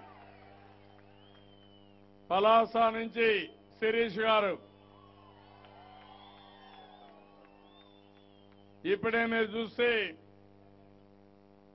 శివాజీ గారు ఆయన ఎమ్మెల్యేగా ఉండి ఒక సీనియర్ నాయకుడిగా ఉండి ఆయన ఒకటి ఆలోచించారు. నా తర్వాత ఇంకొక తరం నాయకులు కూడా రావాలని శిరీష్ గారిని వారే నామినేట్ చేసి వారిని సీట్ ఇమ్మని అడిగిన వ్యక్తి శివాజీ గారని చెప్పి కూడా నేను మీకు తెలియజేస్తున్నా. అదొక రాజకీయ కుటుంబం. గౌత లచ్చన్న గారి గురించి ఎవరూ మర్చిపోలేం. ఆయన కుమారుడిగా శివాజీ గారు తెలుగుదేశం పార్టీలో చాలా సేవలు అందించి ఈరోజు వారి వారు రాజకీయాల్లో ఉత్సాహంగా ఉంటూనే శిరీష్ గారిని మళ్ళీ వారి ప్రపోజ్ చేయడం చాలా సంతోషం. గట్టిగా చేపట్లు కొట్టి మీరందరూ ఆ అమ్మాయిని అభినందించాలి. జిల్లా పార్టీ అధ్యక్షులుగా చాలా బాగా పనిచేసింది. చాలా మంది నాయకులు జిల్లా పార్టీ అధ్యక్షులుగా ఉన్నారు కానీ ఆఫీసు కట్టలేకపోయారు సొంత ఇల్లు కట్టలేకపోయారు. ఒక ఆడబిడ్డగా ఉండి శ్రీకాకుళం జిల్లా ఆఫీసు కట్టే వరకు నిద్రపోకుండా ఆఫీసు కట్టారు. చాలా అభినందగ్గ విషయం. ఆ తర్వాత మీరు చూస్తే మన అచ్చెమనాయుడు గారు తెక్కలి.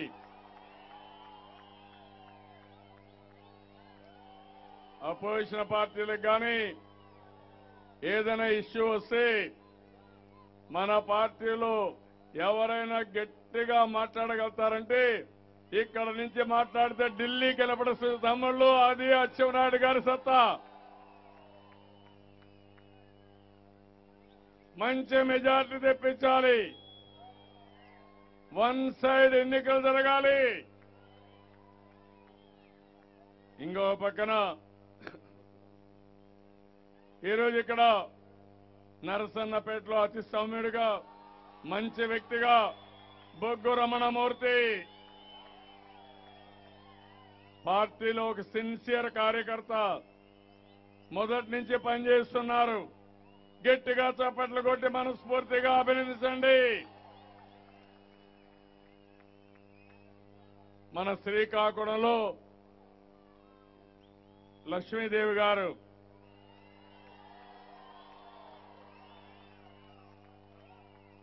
అప్పల సూర్యనారాయణ గారు ఈ శ్రీకాకుళంలో చాలా సేవలు అందించి వారి తర్వాత లక్ష్మీదేవి గారు సేవలు అందిస్తున్నారంటే గట్టిగా చప్పట్లు కొట్టి మీరు అందరూ అభినందించాలి అతిపెద్ద మెజార్టీ కల్పించాలి. ఆముదాల వలస కోనార్ రవికుమార్. ఇంకా మెల్లిగా కొడుతున్నారు పక్కనే ఉన్నారు మీరు. గట్టిగా అభినందించాలి. మనిషి గట్టి మనిషి ఉక్కు మనిషి. అదే మరిగా మనకు. రాజాము నుంచి కొండ్రు మురళి. కొండ్ర మురళి వచ్చిన తర్వాత రాజాం తిరుగులేని నియోజకవర్గంగా ఎమర్జ్ అయింది. వన్ సైడ్ గెలుస్తున్నాం. అదే ప- అదే సమయంలో పాతపట్నం పాతపట్నంలో కలమటి మోహన్ రావు గారు. సారీ కలమటి మోహన్ రావు గారి అబ్బాయి కలమటి వెంకటరమణ. గట్టిగా.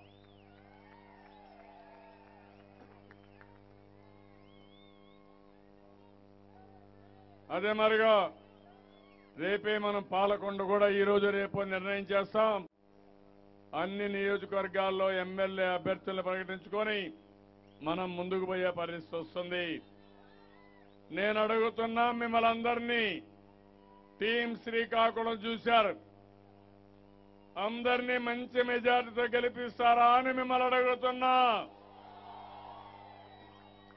నమ్మకమేనా అని మిమ్మల్ని అడుగుతున్నా.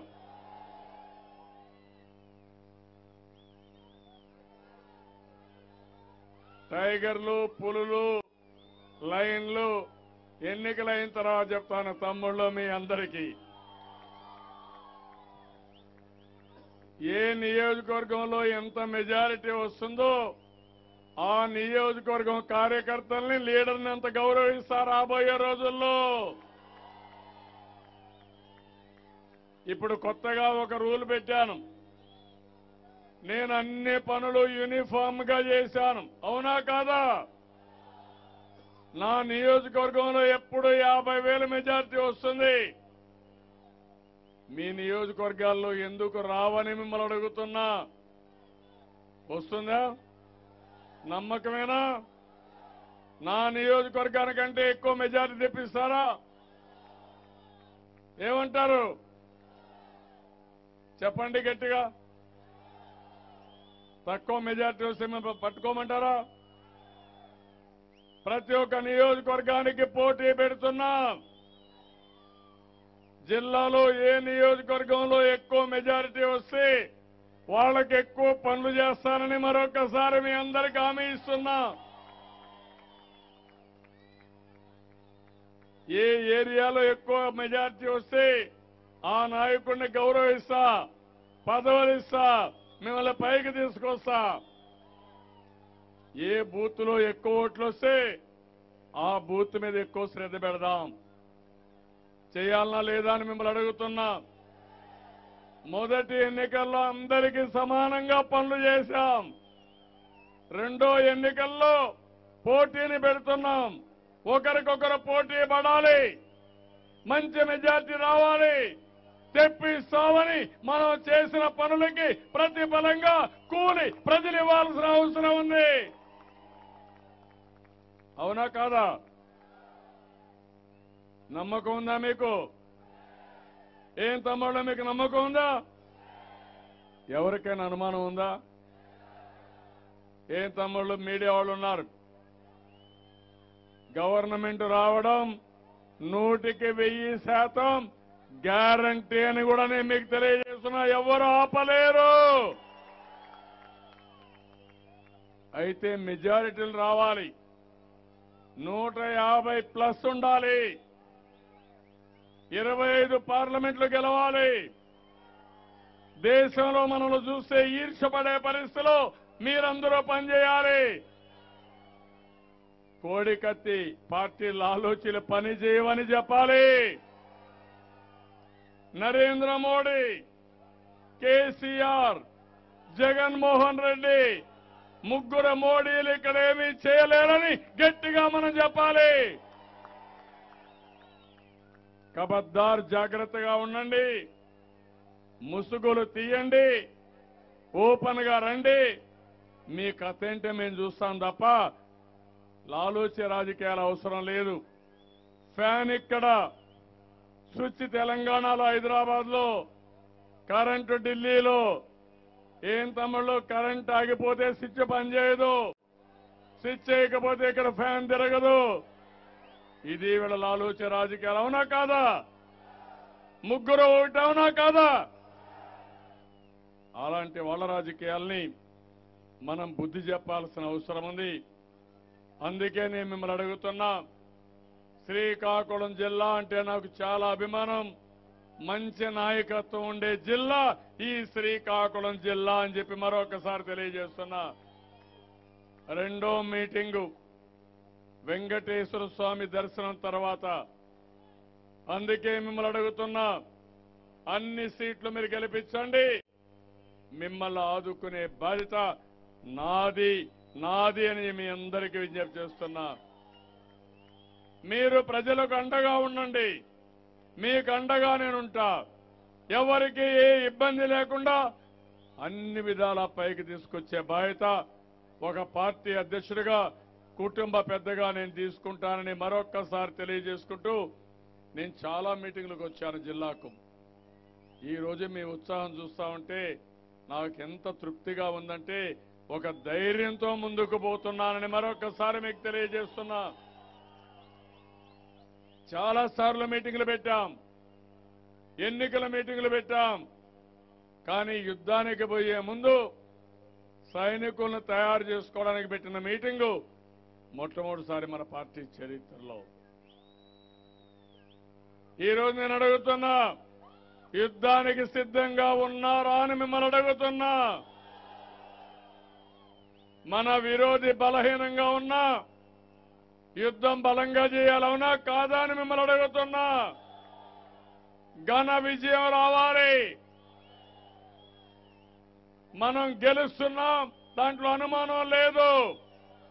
అదే సమయంలో అతి మెజ్జ పెద్ద మెజార్టీతో కలిసి విజయ డంకా మోగించాల్సిన అవసరం మనందరిపైన ఉంది.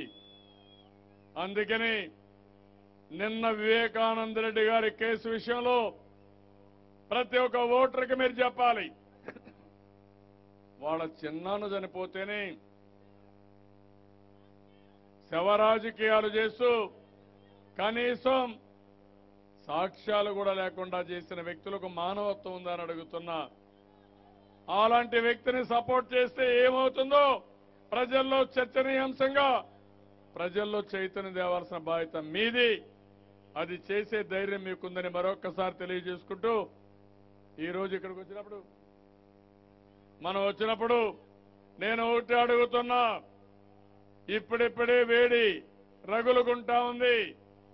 నేను ఇప్పుడు మిమ్మల్ని అందరినీ తెలుగుదేశం అంటే వర్దిల్లాలని చాలా గట్టిగా చెప్పాలి.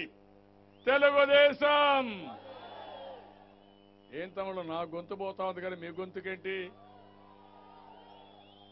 తెలుగుదేశం! తెలుగుదేశం! తమ్ముళ్ళు మీ ఓటంటే మొత్తం జిల్లా అంతా వినపడాలి. రీసౌండింగ్ రావాలి. తమ్ముళ్ళు మీ ఓటు! తమ్ముళ్ళు మీ ఓటు! మనందరి ఓట్లు! ఇంకో పక్క ఎన్టీఆర్ అమర్హై. ఎన్టీఆర్! ఎన్టీఆర్! ఎన్టీఆర్! చాలా సంతోషం. పది గంటలు అవుతా ఉన్నా ఒక్కర కదలలేదంటే మీ పట్టుదల చూస్తా ఉంటే నాకు చాలా ముచ్చటేస్తా ఉంది. మరొకసారి అందరికీ మనస్ఫూర్తిగా అభినందన తెలియజేస్తూ అందరికీ నమస్కారాలు. జై హింద్ జై తెలుగుదేశం.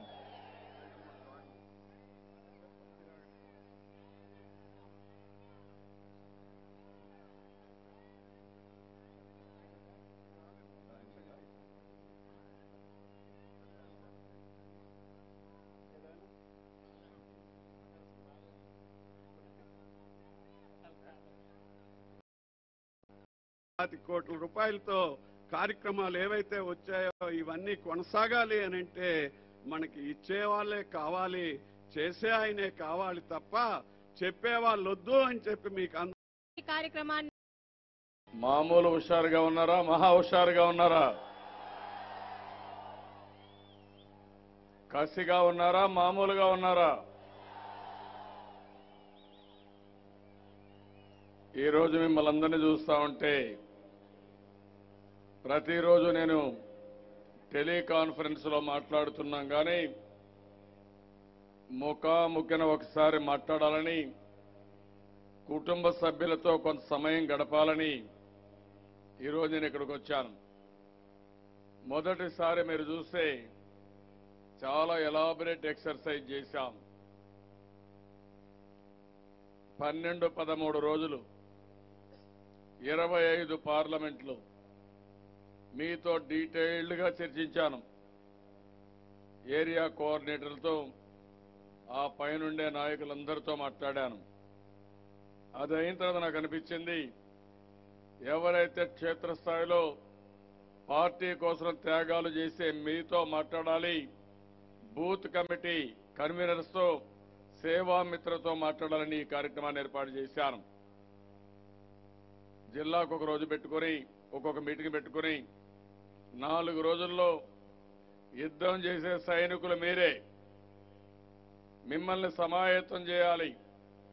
సైనికులు ఎట్టయితే శిక్షణ ఇస్తున్నామో మా తమ్ముళ్ళకి ధైర్యం ఇస్తే ఏ యుద్ధమైనా సునాయాసంగా జయించే శక్తి మా తమ్ముళ్ళకే ఉంది ఈ సైన్యానికే ఉంది. నేను అడుగుతున్నా మిమ్మల్ని అందరినీ మనము తప్ప ఓటు అడిగే అధికారం ఎవరికైనా ఉందా తమ్ముళ్ళు అని మిమ్మల్ని అడుగుతున్నా. ఒక పక్క మీరు చూస్తే నరేంద్ర మోడీ ఇంకొక పక్క కేసీఆర్ ఇంకొక పక్క జగన్మోహన్ రెడ్డి కోడి కత్తి. మీ దగ్గర కోడి కత్తి కాక అనే మాట మాట్లాడకపోతే మీరు ఒప్పుకునేట్టుగా లేరు. ఆ పరిస్థితికి వచ్చింది. నిన్న ఈ రోజు ఇంకో డ్రామా కూడా చూశారు మీరంతా. చూశారా తమ్ముళ్ళు? ఎక్కడన్నా ప్రపంచంలో మీరు ఎవరన్నా చేయగలుగుతారే మరి మారికి మీకు ధైర్యం ఉందా? ఇంత నీచంగా మనం ప్రవర్తిస్తామా? ఓసారి బాధేస్తుంది. నిన్న జరిగిన సంఘటన ఒకసారి మనం నెమరేసుకోవాలి. ఐదున్నర గంటలకు పిఏ వెళతాడు ఇంటికి వివేకానంద రెడ్డి గారి ఇంటికి. ఆయన లేడు తలుపు కొడితే లేలేదని ఆయన ఫోన్ చేసి అక్కడే కసోపు కూర్చొని పేపర్ చదువుకుంటాడు. తర్వాత పని మనిషి వస్తుంది. వచ్చిన తర్వాత పని మనిషి ఇంకా లేలేదంటే తలుపు కొట్టిన ఆయన తలుపు తీయలేదంటే వాచ్మెన్ కూడా లేపి వెనక అనిపి చూస్తారు. అక్కడి నుంచి నేరుగా వెనక తలుపు తెరిచి ఉంటుంది. నేరుగా లోపలికి వెళతారు. బెడ్రూమ్లో కాకుండా బాత్రూమ్లో పడిపోయి హెవీ బ్లీడింగ్ ఉంటుంది. అది చూసిన తర్వాత నాడి బట్టి చూసి చనిపోయాడని నిర్ధారణకు వస్తారు. నిర్ధారణకు వచ్చి ఆయన భార్యకు ఫోన్ చేస్తారు. తమ్ముళ్ళు కూర్చోండి మా. కూర్చోండి ఏం కాదు కూర్చోండి. వాళ్ళు కూర్చుంటారు. ఆయన భార్యకు ఫోన్ చేస్తారు. ఫోన్ చేసిన తర్వాత అల్లుడు గుండుకొని ఇక్కడ అనుమానాలు ఉన్నాయి. మీరే దెబ్బలు తగిలాయంటున్నారు పోలీస్ కంప్లైంట్ మీరు కూడా వింటారు. మీరు చూడండి తొమ్మిది పదైదు వరకు సాక్షిలో న్యూస్ వేస్తారు. హార్ట్ అటాక్తో చనిపోయారు. వైఎస్ కుటుంబంలో మహా స- ఒక బాధాకరమైన సంఘటన వేసుకుంటారు. ఆరున్నర ఆరు నలభై నిమిషాలకు పోలీసులకు ఫోన్ చేస్తారు. పోలీసులు అక్కడికి వెళ్ళే లోపల డెడ్ బాడీని తీసుకొచ్చి బెడ్రూమ్లో పెడతారు. రూమ్ అంతా రక్తం ఉంటే అన్ని కడిగేస్తారు. నేను అడుగుతున్న తమ్ముళ్ళు మీరు ఎవరైనా సరే మీ ఇంట్లో మర్డర్ జరిగితే దాన్ని హార్ట్ అటాక్ అని చిత్రీకరించే ధైర్యం మీకుందా అని మిమ్మల్ని అడుగుతున్నా నేను. ఏం తమ్ముడు మీకు ఎవరికైనా ధైర్యం ఉందా? ఏం తమ్ముళ్ళు మీకు ఎవరికైనా ధైర్యం ఉందా? నెత్తిన దెబ్బలు చూశారు. దారుణమైనటువంటి ఆయుధాలు వాడారు. మెదడు కూడా బయట వచ్చింది ఆ పిఏ ఇచ్చిన రిపోర్ట్లోనే రెండు లీటర్ల బ్లడ్ రక్తం ఆ రూమ్లో పడిపోయిందని చెప్తారు. అలాంటి సమయంలో మీరు ఎవరైనా సాక్ష్యాధారాలు లేకుండా చేయడానికి సాహసం చేసే ధైర్యం మీకు ఎవరికైనా ఉందా అని నేను మిమ్మల్ని అడుగుతున్నా. రూమ్ అంతా కడిగేస్తారు. బెడ్షీట్లు మార్చేస్తారు. అదే సమయంలో ప్రపంచానికి అంతటికీ హార్ట్ అటాక్తో చనిపోయారని చెప్పి నమ్మబలుకుతారు. సిఐ అక్కడికి వెళ్ళిన తర్వాత ఇమ్మీడియట్గా డెడ్ బాడీని తీసుకుని హాస్పిటల్ తీసుకెళ్తారు. ఎప్పుడు కూడా ఏదైనా ఒక నేరం జరిగితే ఆ సీన్ ఎవరు మార్చడానికి వీలు లేదు. పంచనామా చేయాలి.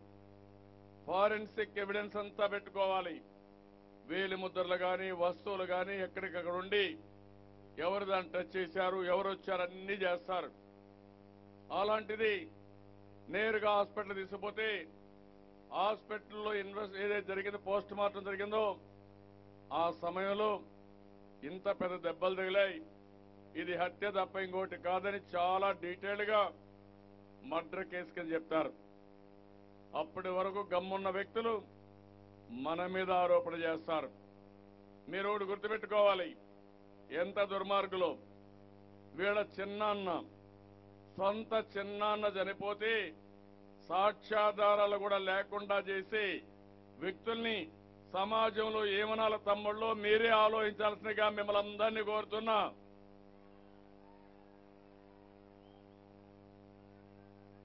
ఏమంటారు మీరు? ఇది ఘోరమైన నేరం అవునా కాదా అని మిమ్మల్ని అడుగుతున్నా. ఎప్పుడన్నా మనం విన్నామా అని మిమ్మల్ని అడుగుతున్నా నేను. అంటే సాక్ష్యాధారాలు తారుమారు చేసి మర్డర్ కనీసం బయట వాళ్ళు కూడా కాదు వీళ్ళ చిన్నాన్నే చనిపోతే కనీసం సాక్ష్యాధారాలు కూడా తారుమారు చేసి ఎక్కడ దొరకకుండా చేసి హార్ట్ అటాక్తో చనిపోతారని చనిపోయాడని బయట ప్రపంచానికి నమ్మించాలని ప్రయత్నం చేశారు. హాస్పిటల్ పైన మొత్తం సాక్ష్యాలతో ఇస్తే అక్కడి నుంచి పోలీసుల పైన ఎదురుదాడి చేస్తారు. మన మీద ఎదురుదాడి చేస్తారు. వాళ్ళ ఇంట్లో మనం పోయి సాక్ష్యాలు తారుమారు చేసినట్టు. నేను అడుగుతున్నా మిమ్మల్ని అందరినీ ఈరోజు ఇంత దారుణం చేసిన వాళ్ళు రేపు ఒక్క సీటు ఓటేస్తే వీళ్ళు మీ మనల్ని బతకనిస్తారా తమ్ముళ్ళు అని మిమ్మల్ని అడుగుతున్నా. సాయంత్రానికి మళ్ళా ఒక లెటర్ ఇస్తారు. ఆ లెటర్ ఏంటి? డ్రైవర్ ఆలస్యంగా వస్తున్నాడు మందలిస్తే ముందు రమ్మంటే ఆయన కోపం వచ్చి చంపబోతున్నాడు. నేను ఆ చంపే సమయంలో ఈ లెటర్ రాశాను మళ్ళా ఒక లెటర్ రాస్తారు. ఇవన్నీ కూడా ఒక డిటెక్టివ్ నలో నవల్లో ఏం జరిగిందో ఆ వారికి కనపడుస్తా ఉంది మనకు. చాలా దారుణంగా ఉంది. ఈ రోజు మళ్ళా గవర్నర్ దగ్గరికి వెళ్తాడు. సిబిఐ ఎంక్వైరీ కావాలంటాడు. నేను అడుగుతున్నా మిమ్మల్ని అందరినీ మీ ఇంట్లో ఎవరు సాక్ష్యాల్ని తారుమారు చేయాలనుకున్నారు. ఆధారాలు తారుమారు చేయాలనుకున్నారు. బాత్రూంలో చనిపోయిన వ్యక్తిని బెడ్రూమ్లోకి ఎవరు తీసుకొచ్చారు? అందులో రక్తాన్ని మొత్తం ఎవరు కడిగారు? ఎందుకు? హత్యని. హార్ట్ ఫెయిల్యూర్ కింద చూపించారో మీరు చెప్పాల్సిన అవసరం ఉంది. ఎనిమిది గంటలకు పిఏ కంప్లైంట్ ఇచ్చాడు.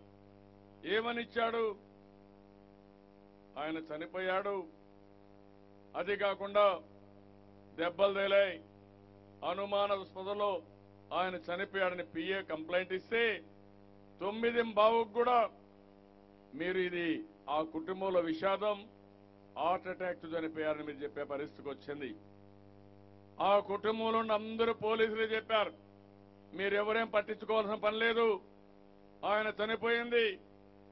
హార్ట్ ఫెయిల్యూర్తో చనిపోయాడని అందరికీ చెప్పే పరిస్థితికి వచ్చారు. అంత దాచిపెట్టిన వ్యక్తులు ఈరోజు మళ్ళీ కొత్త డ్రామాలు ఆడుతున్నారంటే సిబిఐ కావాలంటున్నారంటే అక్కడ నరేంద్ర మోడీ ఉన్నాడు సిబిఐసే మిమ్మల్ని రక్షించుకోవాలని తప్పుడు వ్యవహారంతో మీరు ప్రవర్తిస్తున్నారు తప్ప ముందు ఐదు కోట్ల ప్రజలకు చెప్పాల్సిన అవసరం ఉంది. ఏ విధంగా చనిపోయాడు? ఇంట్లో రక్తాన్ని ఎందుకు కడిగారు? ఎందుకు హత్యని హార్ట్ ఫెయిల్యూర్గా చిత్రీకరించారో జగన్మోహన్ రెడ్డి ఆ కుటుంబం ఈ రాష్ట్రానికి చెప్పాలని మీ అందరి తరపున డిమాండ్ చేస్తున్నాను తమ్ముళ్ళు మీరు గుర్తుపెట్టుకోవాలి. మీరు ఎవరైనా నమ్మతారా? ఇది ఆర్ట్ ఫెయిల్యూర్ అంటే తల పగిలిపోయి హార్ట్ అటాక్ వస్తే తలలో రక్తం వస్తుందా తమ్ముళ్ళు?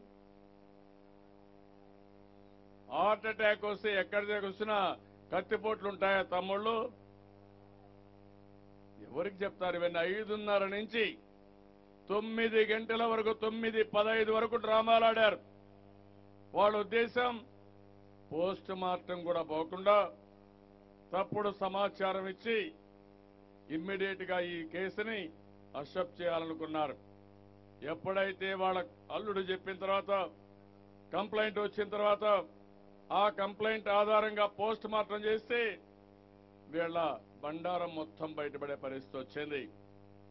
ఇలాంటి దుర్మార్గుల్ని నా జీవితంలో ఎప్పుడూ చూడలేదు. ఇలాంటి వాళ్ళు కానీ ఈ రాష్ట్రంలో రూలింగ్ పార్టీగా తమ్ముళ్ళు ప్రతిపక్షంలో ఉండడం కూడా మనందరి దౌర్భాగ్యం అని మరొకసారి మీ అందరు తెలియజేస్తున్నా. రాష్ట్ర ప్రజానీకం ఆలోచించాలి. ఐదు కోట్ల మంది ఆలోచించాలి. మొన్నే మనం చూశాం ఫామ్ సెవెన్ పెట్టారు. ఏం తమ్ముళ్ళు మీ ఓట్లన్నీ సరిగా ఉన్నాయా? చెక్ చేసుకున్నారా మీరంతా? తొమ్మిది లక్షల ఓట్లు తీసేయాలనుకున్నారు. ఎవరు పెట్టారు? ఆ బీహార్ నుంచి ఇంకొక ఆయన వచ్చాడు పీకే. చాలా తెలివైన వాడు పెద్ద డెకాయిట్గా కనపడొస్తున్నాడు నాకు ఆయన. తొమ్మిది లక్షల ఓట్లు సైబర్ క్రైమ్ ద్వారా వేరే వాళ్ళ పేర్లు పెట్టి కొంతమంది వాళ్ళ కార్యకర్తలు కలిసి ఓట్లు తీసేయాలనుకున్నారు. సరైన సమయంలో మనం కనుక్కున్నాం పట్టుబడ్డారు. నేను అడుగుతున్నా మిమ్మల్ని అందరినీ వదిలిపెట్టద్దండి. ఎవడైతే తప్పు చేశాడో ఫామ్ సెవెన్ ఉపయోగించాడో వాళ్ళందరూ తప్పకుండా జైలుకు పోయే వరకు వదిలిపెట్టద్దని కార్యకర్తలందరికీ విజ్ఞప్తి చేస్తున్నా. ఇంకొక పక్కన మొన్నే చూశారు ఈడీ ఏ విధంగా జగన్మోహన్ రెడ్డి పనిచేస్తాడో చూశారు. హిందూజా నుంచి వంద ఎకరాల భూమి వాళ్ళ నాయన సీఎంగా ఉన్నప్పుడు ఆ భూమి వాళ్ళకి పర్మిషన్ ఇవ్వాలి. దానిపైన పది ఎకరాల భూమి ఈయనకి ఇచ్చినగా రాసుకున్నారు. డబ్బులు కూడా వాళ్ళే ఇచ్చారు. వేరే కంపెనీకి ఇచ్చారు. అక్కడి షెల్ కంపెనీ తీసుకెళ్ళారు. మళ్ళీ ఒరిజినల్ కంపెనీ తీసుకొచ్చారు. అక్కడి నుంచి మళ్ళీ ఇందుజాకి ఇచ్చే పరిస్థితి వచ్చారు. డబ్బులు వాళ్ళది. మళ్ళా ఆ డబ్బులు వాళ్ళకే వెళ్తుంది. భూమి మాత్రం ఈయనకు వస్తుంది. అంత తెలివైన వాడు. ఇలాంటి తప్పుడు లెక్కలు రాయడం మీకు ఎవరికైనా తెలుసా తమ్ముళ్ళు అని మిమ్మల్ని అడుగుతున్నా. మనం చేయలేం. మనం ఒక నీతిగా ఉంటాం. నిజాయితీగా ఉంటాం. పద్ధతి ప్రకారం ఉంటాం. ఇలాంటి పనులు చేసే పరిస్థితికి వచ్చాడు. ఆ మధ్య తెలంగాణ ప్రభుత్వం మన డేటా దొంగిలిస్తారు. ఏమనాలో నాకు అర్థం కాలేదు. ఈ కేసీఆర్ మీతో సమానంగా ఇక్కడ కూర్చున్నవాడే నా దగ్గర పని చేసిన వాడు తప్ప ఇంకోటి కాదు. అవునా కాదా? మన మీటింగ్లో ఇక్కడ కూర్చున్న లీడర్స్ సమానంగా. ఇంకా మన వాళ్ళు అశోక్ గారు కానీ వీళ్ళంతా ముందుంటే కళా వెంకట్రావు గారు ఉంటే ఆయన వెనక బెంచుల్లో కూర్చున్న వ్యక్తి.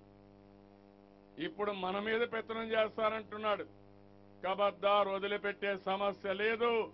మా ఆత్మ గౌరవాన్ని మేము కాపాడుకుంటాం తప్ప ఇష్టానుసారంగా ప్రవర్తిస్తే వదిలిపెట్టమని మరొక్కసారి ఈ శ్రీకాకుళంలో మీ అందరి తరపున హెచ్చరిస్తున్నానని చెప్పి కూడా నేను మీకు తెలియజేస్తున్నా. ఈరోజు తిరుపతికి వెళ్ళాను. వెంకటేశ్వర స్వామి దర్శనం చేసుకున్నాను. మనకు ఒక సాంప్రదాయం. ముందు వెంకటేశ్వర స్వామి దర్శనం చేసుకుని అక్కడ మీటింగ్ పెట్టి నేరుగా శ్రీకాకుళం వచ్చాను. శ్రీకాకుళం మన రాష్ట్రానికి మంచి మామూలుగా వాస్తు రూపేణ ఏ పని ప్రారంభించినా శ్రీకాకుళంతో ప్రారంభిస్తే అది డెఫినెట్గా జయప్రదం. మన శ్రీకాకుళం చూసిన తర్వాతనే మన రాష్ట్రం పేరు కూడా సన్ రైజ్ ఆంధ్రప్రదేశ్ అని పేరు పెట్టుకున్న సూర్యోదయ ఆంధ్రప్రదేశ్. నేను మిమ్మల్ని అందరినీ ఒకటే కోరుతున్నా మా తమ్ముళ్ళ ధైర్యం చూశాను. నేను బాగా ఆలస్యంగా వచ్చాను. మీ పట్టుదల చూస్తా ఉంటే నాకు అనుమానం లేదు. జిల్లాలో పది సీట్లకు పది సీట్లు గెలిపించే స్తోమత ధైర్యం మా కుటుంబ సభ్యులకు ఉంది తెలుగుదేశం పార్టీ గెలవడం ఒక చారిత్రక అవసరం. ఈ రోజు ఇంకొక పక్కన ఒక్క ఓటు కూడా వైఎస్ఆర్ కాంగ్రెస్ పార్టీకి ఓటేస్తే చాలా ఇబ్బందులు పాలవుతాం. వీళ్ళు ప్రతిపక్షంలో ఉండడానికి కూడా అర్హత లేదు. అధికారాన్ని అడ్డం పెట్టుకుని ప్రజలు ఇచ్చిన ఓట్లను అడ్డం పెట్టుకుని ఈరోజు నేరాలు ఘోరాలు చేసే పరిస్థితికి వచ్చారు. చాలా దుర్మార్గం. ఇక ఉండే కార్యకర్తల్ని కుటుంబ సభ్యులు కోరుతున్నా. మీ వల్ల తెలుగుదేశం పార్టీకి ఎంతో గౌరవం వచ్చింది. నాకు గాని మన నాయకుడు ఎన్టీ రామారావు గారికి ప్రపంచవ్యాప్తంగా గుర్తింపు వచ్చిందంటే అది మీ త్యాగ ఫలితం తప్ప ఇంకోటి కాదని మరొకసారి మీ అందరికీ విజ్ఞప్తి చేస్తున్నాను.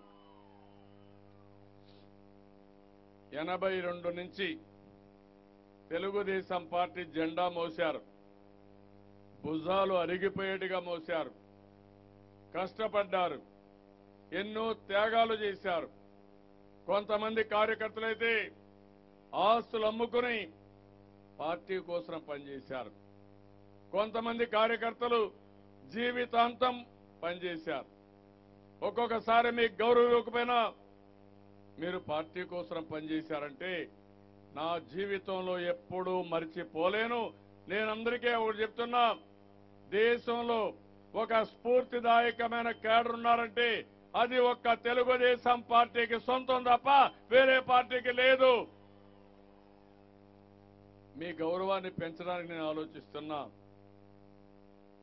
నా కుటుంబ సభ్యుల కంటే మిన్న మీరు. ఈ రాష్ట్ర అభివృద్ధిలో మీరు చూపించిన చొరవ అదే మరి మీ వల్ల ఈ రాష్ట్రం ఎంత అభివృద్ధి అయిందో మనం ఆలోచించుకోవాల్సిన అవసరం ఉంది. నేను ఒకటే కార్యకర్తలందరికీ ఒకటే విజ్ఞప్తి చేస్తున్నా. ఐదు సంవత్సరాలు రాత్రింబగుళ్ళు నేను కష్టపడ్డా అధికార యంత్రాంగాన్ని కష్టపెట్టా మీరు సహకరించారు. ఈరోజు దేశంలో నెంబర్ వన్ రాష్ట్రం ఏదంటే అభివృద్ధిలో మనమేనని చెప్పి కూడా నేను మీకు విజ్ఞప్తి చేస్తున్నా. ఈరోజు సంక్షేమ కార్యక్రమాలు మీరు ఒకసారి చూస్తే మీ అందరూ కార్యకర్తలు గుర్తుపెట్టుకోవాల్సిన అవసరం ఉంది. నేను ఎప్పుడూ టెలికాన్ఫరెన్స్లో మీతో మాట్లాడుతున్నా. ఎప్పటికప్పుడు సమీక్షలు చేసుకుంటున్నాం. అందరం ఒకే ఆలోచనతో ముందుకు పోతున్నాం. నా ఆలోచన ఒకటే నేను మీ దగ్గర చాలా విషయాలు నేర్చుకోవడం నేర్చుకున్న విషయాలు మళ్ళీ మీకు చెప్పడం మీరు నేను కలిసి ఒక శక్తివంతమైన పార్టీగా ఒక శక్తివంతమైన రాష్ట్రంగా తయారు చేసే వరకు మనం ముందుకు పోవాల్సిన అవసరం ఉంది. ఒక విజన్ తయారు చేసుకున్నాం. పంతొమ్మిది ఇరవై నాలుగుకి ఏ పార్టీ కూడా తయారు చేయలేదు. గవర్నమెంట్ ఆఫ్ ఇండియా కూడా తయారు చేయలేదు. ఐదేళ్ళు మీరు చూశారు. ఈ ఐదేళ్ళలో విభజన సమయంలో చాలా సమస్యలు వచ్చాయి మనందరికీ. ఈ విషయాలు ప్రజల్లో కూడా తీసుకుపోవాల్సిన అవసరం ఉంది. ఇంకా షెడ్యూల్ నైన్ అండ్ టెన్ ఆస్తుల విభజన ఇంకా జరగలేదు. మనకు రావాల్సిన వాటాలు తెలంగాణ నుంచి రాలేదు. ఇంకో పక్క విభజన చట్టంలో ఉండే హామీలు ప్రత్యేక హోదా మనకి ఇంకా రాలా. అయినా కూడా నేను ఒకటి ఆలోచించాను. మీ అందరి సహకారంతో ఏ ఒక్కరికి ఇబ్బంది కలగకూడదనే ఉద్దేశంతో సంక్షేమ కార్యక్రమాలు చేశాం. మీరు ఒకసారి చూస్తే గర్భిణీ స్త్రీ గర్భం దాల్చినప్పటి నుంచి ఎవరన్నా చనిపోతే వారికి వీడుకోలిచ్చే వరకు ఈ ప్రభుత్వం వాళ్ళకు అండగా నిలబడ్డాం. మొన్నే మీరు చూశారు ఆ రోజు నేను పాదయాత్రలో తిరిగినప్పుడు ప్రజల యొక్క సహకారం తీసుకున్నప్పుడు నేను ఒకటే ఆలోచించాను. కొంతమంది పిల్లలు తల్లిదండ్రులు సరిగా చూసుకోలేకపోయారు. వాళ్ళ ఇబ్బందుల వల్ల కానీ ఇంకోటి కానీ ఆ రోజు ఒక హామీ ఇచ్చాను.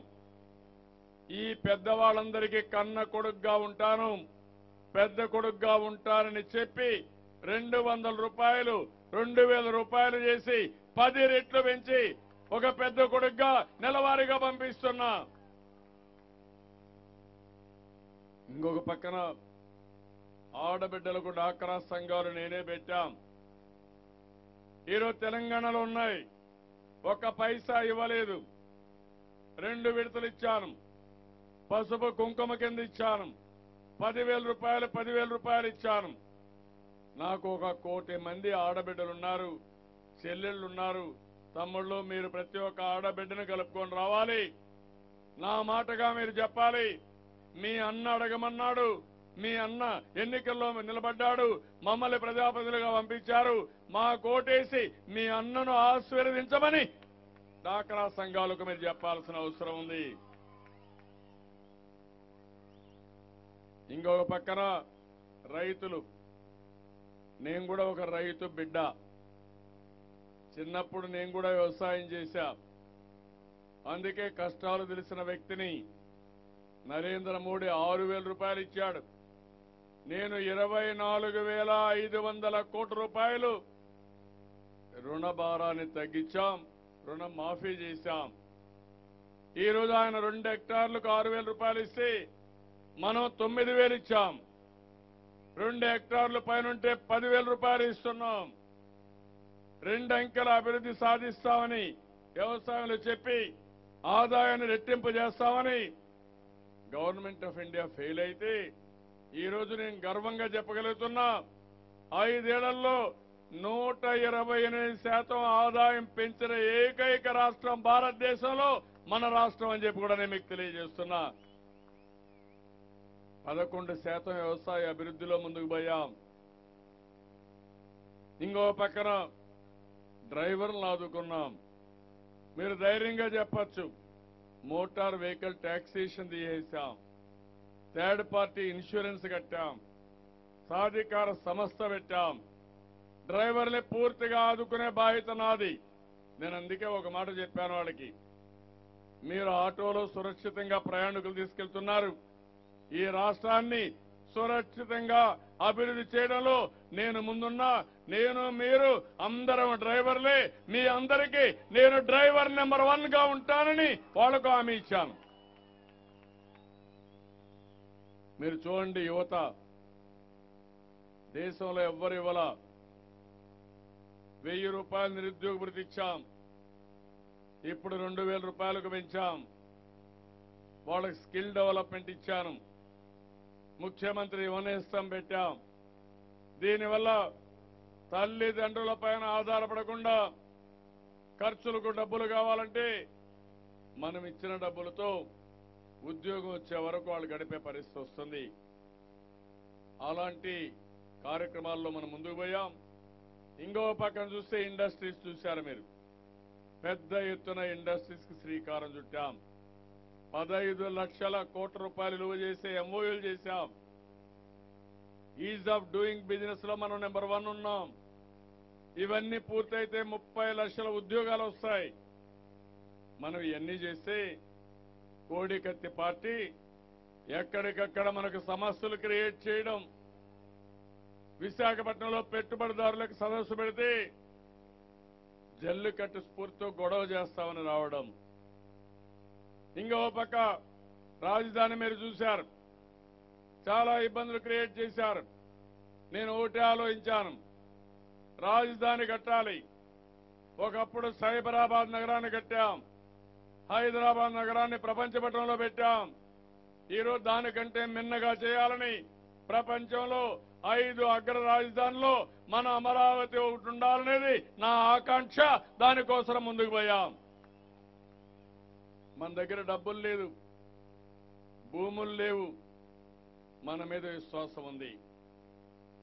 ఆ రోజు ఒకే పిలిపించారు మీరు భూమి ఇవ్వండి మీరు నష్టపోరు నేను రాజధాని కట్టి మీకిచ్చే భూమికి విలువ పెంచుతానని మీ ఆదాయాన్ని పెంచుతాను ఒక్క మాట చెప్తే ముప్పై ఐదు వేల ఎకరాల భూమి ఇచ్చారు.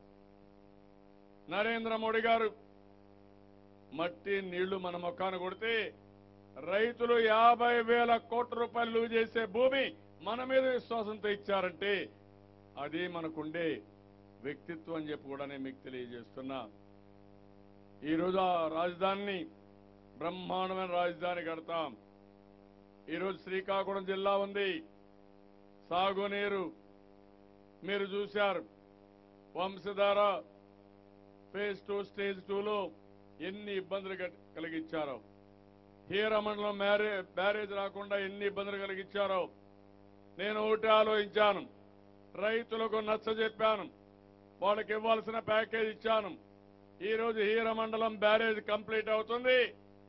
అదే మరిగా నారాయణపూర్లో ఆనకట్ట కోసం మళ్ళీ ఇంప్రూవ్మెంట్ కోసం టెండర్ పిలవడం కానీ ఇంకో పక్క తోటపల్లి పూర్తి చేయడం కానీ మహేంద్ర తనయ కానీ మళ్ళీ వంశధార బాహుదా రెండు నదులు అనుసంధానం చేసి ఇక్కడి నుంచి బాహుదా నుంచి పెన్నా వరకు అనుసంధానం చేసే వరకు వదిలిపెట్టనని చెప్పి కూడా నేను మీకు తెలియజేస్తున్నా.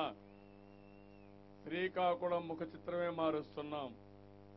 భవిష్యత్తులో నీటి సమస్య లేకుండా ప్రతి ఒక్క ఎకరాకు నీళ్ళిచ్చే బాధ్యత నాది.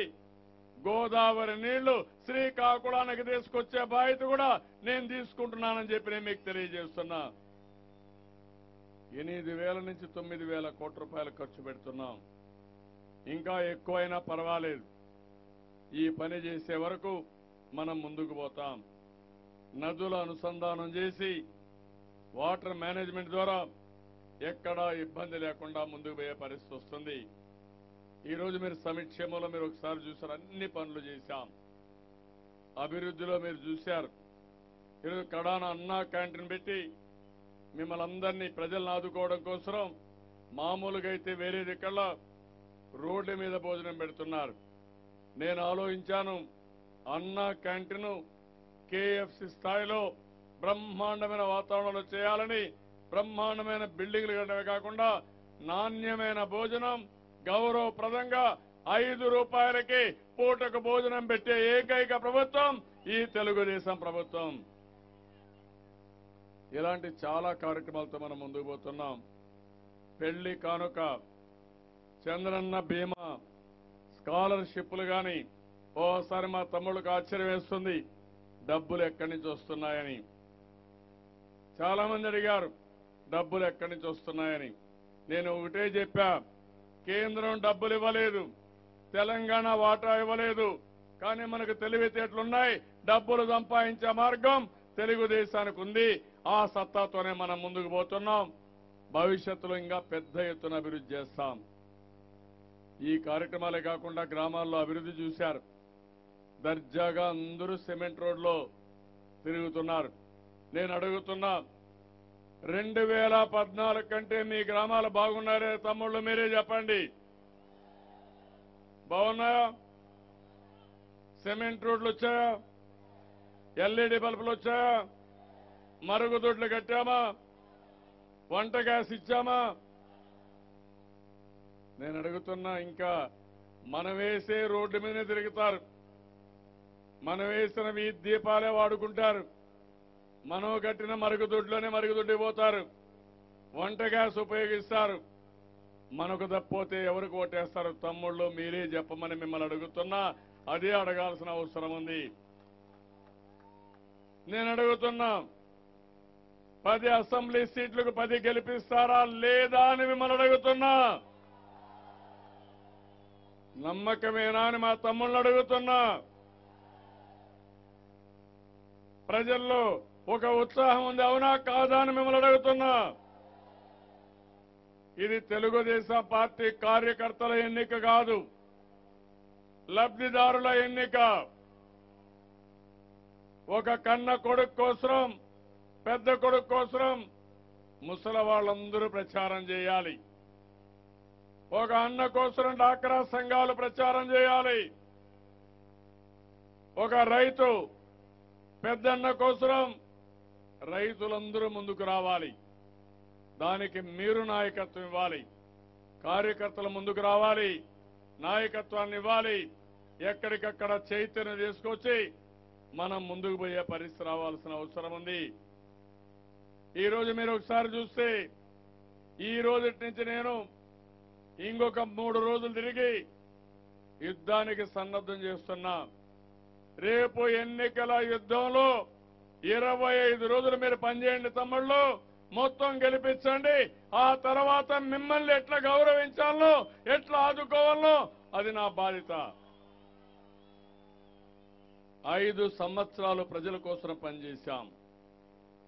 సంపద సృష్టించాం. ఆదాయాన్ని పెంచాం. సుపరిపాలన ఇచ్చాం. ఇప్పుడు నేను ఆలోచించిన ఒకటి. రాబోయే ఐదు సంవత్సరాలు ప్రతిరోజు మూడు నాలుగు గంటలు నా సొంత కుటుంబం మా కుటుంబ సభ్యుల కోసం కార్యకర్తల కోసమే ఇచ్చిస్తానని మరొకసారి మీ అందరికి హామీ ఇస్తున్నా. మిమ్మల్ని ఆర్థికంగా పైకి తీసుకొస్తాం. రాజకీయంగా గుర్తింపు తీసుకొస్తాం. మీ జిల్లాలో పది మంది అభ్యర్థుల్ని మనం ఎంపిక చేసుకున్నాం. నేను ఒకటే మిమ్మల్ని అందరినీ కోరుతున్నాం. అక్కడక్కడ కొంతమంది కొన్ని రిజర్వేషన్లు ఉండొచ్చు. ఎవ్వరు కూడా మనసులో పెట్టుకోవద్దండి. ముందుకి ఇప్పటికి చాలా మార్పులు తీసుకొచ్చాను. వంద ఓట్లకు ఒక సేవామిత్రున్నాడు. బూత్ కమిటీ కన్వీనర్లు ఉన్నారు ఏరియా కోఆర్డినేటర్లు ఉన్నారు పంచాయతీ కమిటీ ఉంది. మండల కమిటీ జిల్లా కమిటీలు ఉన్నాయి రేపు రాబోయే రోజుల్లో ఎవరైతే బాగా పనిచేస్తారో తమ్ముళ్ళు వాళ్ళని ఎత్తుక్కుంటూ పదవి మీ ఇంటికి వస్తుంది తప్ప మీకు ఎవ్వరి రికమెండేషన్ అవసరం లేదని మరొకసారి ఆమె ఇస్తున్నా. ఒకప్పుడు మనకు ఆర్గనైజేషన్ లేదు. ఆర్గనైజేషన్ ఉన్న టెక్నాలజీ సమర్థవంతంగా లేకుండా మనం ఉపయోగించుకోలేకపోయాం. ఇప్పుడు అభ్యర్థుల ఎంపిక చూశారు. నేను చాలా సిస్టమేటిక్గా వెళ్ళాను. ఐదారు నెలలుగా మిమ్మల్ని అందరినీ ఐవి ఐవీఆర్ఎస్ అడిగాను. వాయిస్ కాల్లో మీ అభిప్రాయాలు అడిగాను. నా ఫోన్లు మీకు వస్తున్నాయా? తమ్ముళ్ళు మిమ్మల్ని అడుగుతున్నా. మొన్నటి వరకు గవర్నమెంట్లో అడిగాను. ఇప్పుడు పార్టీలు అడిగాను. కడాన అభ్యర్థులను ఎంపిక చేసే సమయంలో మళ్ళీ నేను ఫోన్ చేసి ఈ అభ్యర్థిని ఎంపిక చేశాను. మీకు సంతృప్తిగా ఉందా? మీకు ఆమోదయోగ్యంగా ఉందని మళ్ళీ అడిగాను. అదే సమయంలో సర్వేలు కూడా చేశాం. ఇంకో పక్క కార్యకర్తల అభిప్రాయాలు తీసుకున్నాం. అన్ని తీసుకున్న తర్వాత సరైన అభ్యర్థులు ఎంపిక చేశాం. నేను నలభై ఏళ్ళుగా రాజకీయాల్లో ఉన్నాను. ముప్పై ఏడేళ్ళుగా తెలుగుదేశం పార్టీలో అభ్యర్థులను ఎంపిక చేశాం. కానీ ఈరోజు నేను చేసిన ఎక్సర్సైజ్ నా జీవితంలో ఎప్పుడూ చేయలేదు తమ్ముళ్ళు ఆ విషయం మీరు గుర్తుపెట్టుకోవాల్సిన అవసరం ఉంది. నేను అడుగుతున్నా ఈసారి మనం చేసిన అభ్యర్థుల ఎంపిక మీకు తృప్తినిచ్చిందా లేదా అని మిమ్మల్ని అడుగుతున్నా. గట్టిగా చెప్పండి కూడా చెప్పండి. మిమ్మల్ని అడిగానా లేదా? ఏం తమ్ముళ్ళు అడిగానా లేదా? మీ ఆమోదంతో అభ్యర్థులను ఎంపిక చేశానా లేదా? మిమ్మల్నే కాదు ప్రజలు కూడా అడిగా. ఇప్పుడు భారం మీ మీద ఉంది ప్రజల మీద ఉంది. నేను ఎంపిక చేసింది మీ అందరి సలహాలు తీసుకొని చేశాను.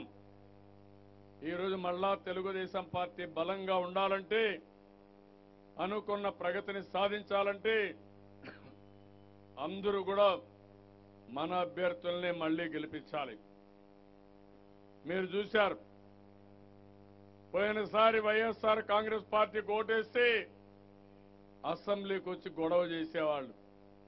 రెండున్నర సంవత్సరాలుగా అసెంబ్లీకి రావడం మానేశారు. వచ్చారా అసెంబ్లీకి? జీతాలు తీసుకున్నారా లేదా తమ్ముళ్ళు?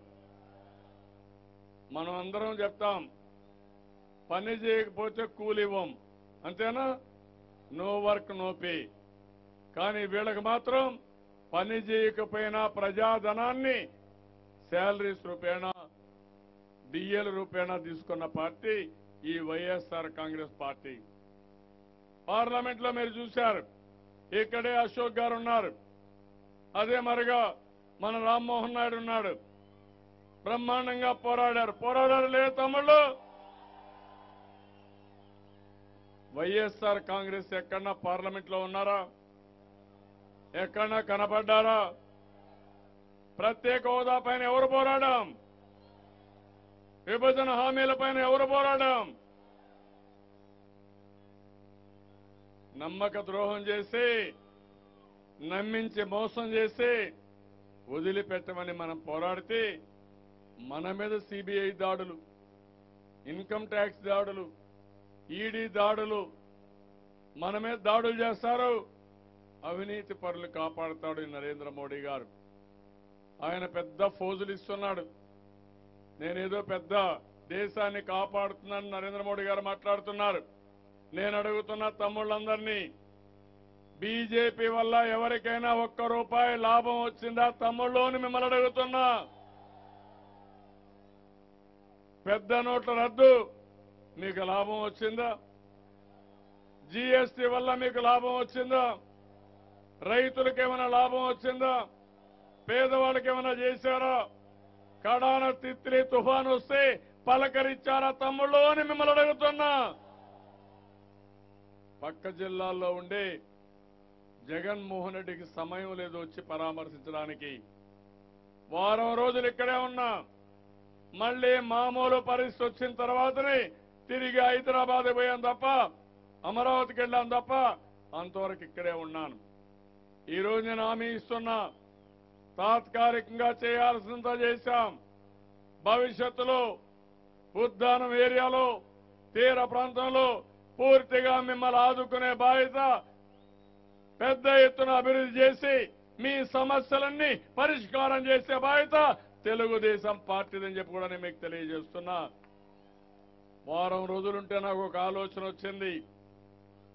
భవిష్యత్తులో నేరుగా ఇచ్చాపురం నుంచి భోగాపురం వరకు బీచ్ రోడ్ కూడా ఒకటి వేసుకుంటే మధ్యలో భావనపాడు పోర్ట్ వస్తుంది. నేషనల్ హైవే ఉంది. పక్కన బీచ్ రోడ్ వస్తుంది. నూట తొంభై నాలుగు కిలోమీటర్లు వేసుకోగలిగితే దేశంలోనే కాదు ప్రపంచంలో ఇలాంటి తీర ప్రాంతం ఎక్కడా ఉండదు. పెద్ద ఎత్తున ఇండస్ట్రీస్ వస్తాయి. నీళ్ళున్నాయి. రైల్వే ట్రాక్ ఉంది. ఇంకో పక్కన ఈ రెండు రోడ్ల మధ్యలో సముద్రాన్ని కనెక్ట్ చేయగలిగితే బ్రహ్మాండమైన అభివృద్ధి అవుతుంది. నేను ఒకటే మిమ్మల్ని కోరుతున్నా. కొన్ని కారణాల వల్ల శ్రీకాకుళం ఇంకా అభివృద్ధి చేసుకోవాలి. ఇప్పుడిప్పుడే అభివృద్ధి పట్టణంలో పెట్టాం. నీళ్ళు ప్రతి ఒక్క ఎకరాకి ఇస్తాం. పెద్ద ఎత్తున పరిశ్రమలు తీసుకొస్తాం. భావనపాడు పోర్ట్ ఎయిర్పోర్ట్ పోర్ట్ని పెద్ద ఎత్తున అభివృద్ధి చేస్తాం. ఇలాంటివన్నీ చేయాలంటే పదికి పది సీట్లు మనమే గెలవాల్సిన అవసరం ఉంది. అది గెలిపించే బాధ్యత మీది. ఇంకో పక్కన కార్యకర్తలందరికీ హామీ ఇస్తున్నా.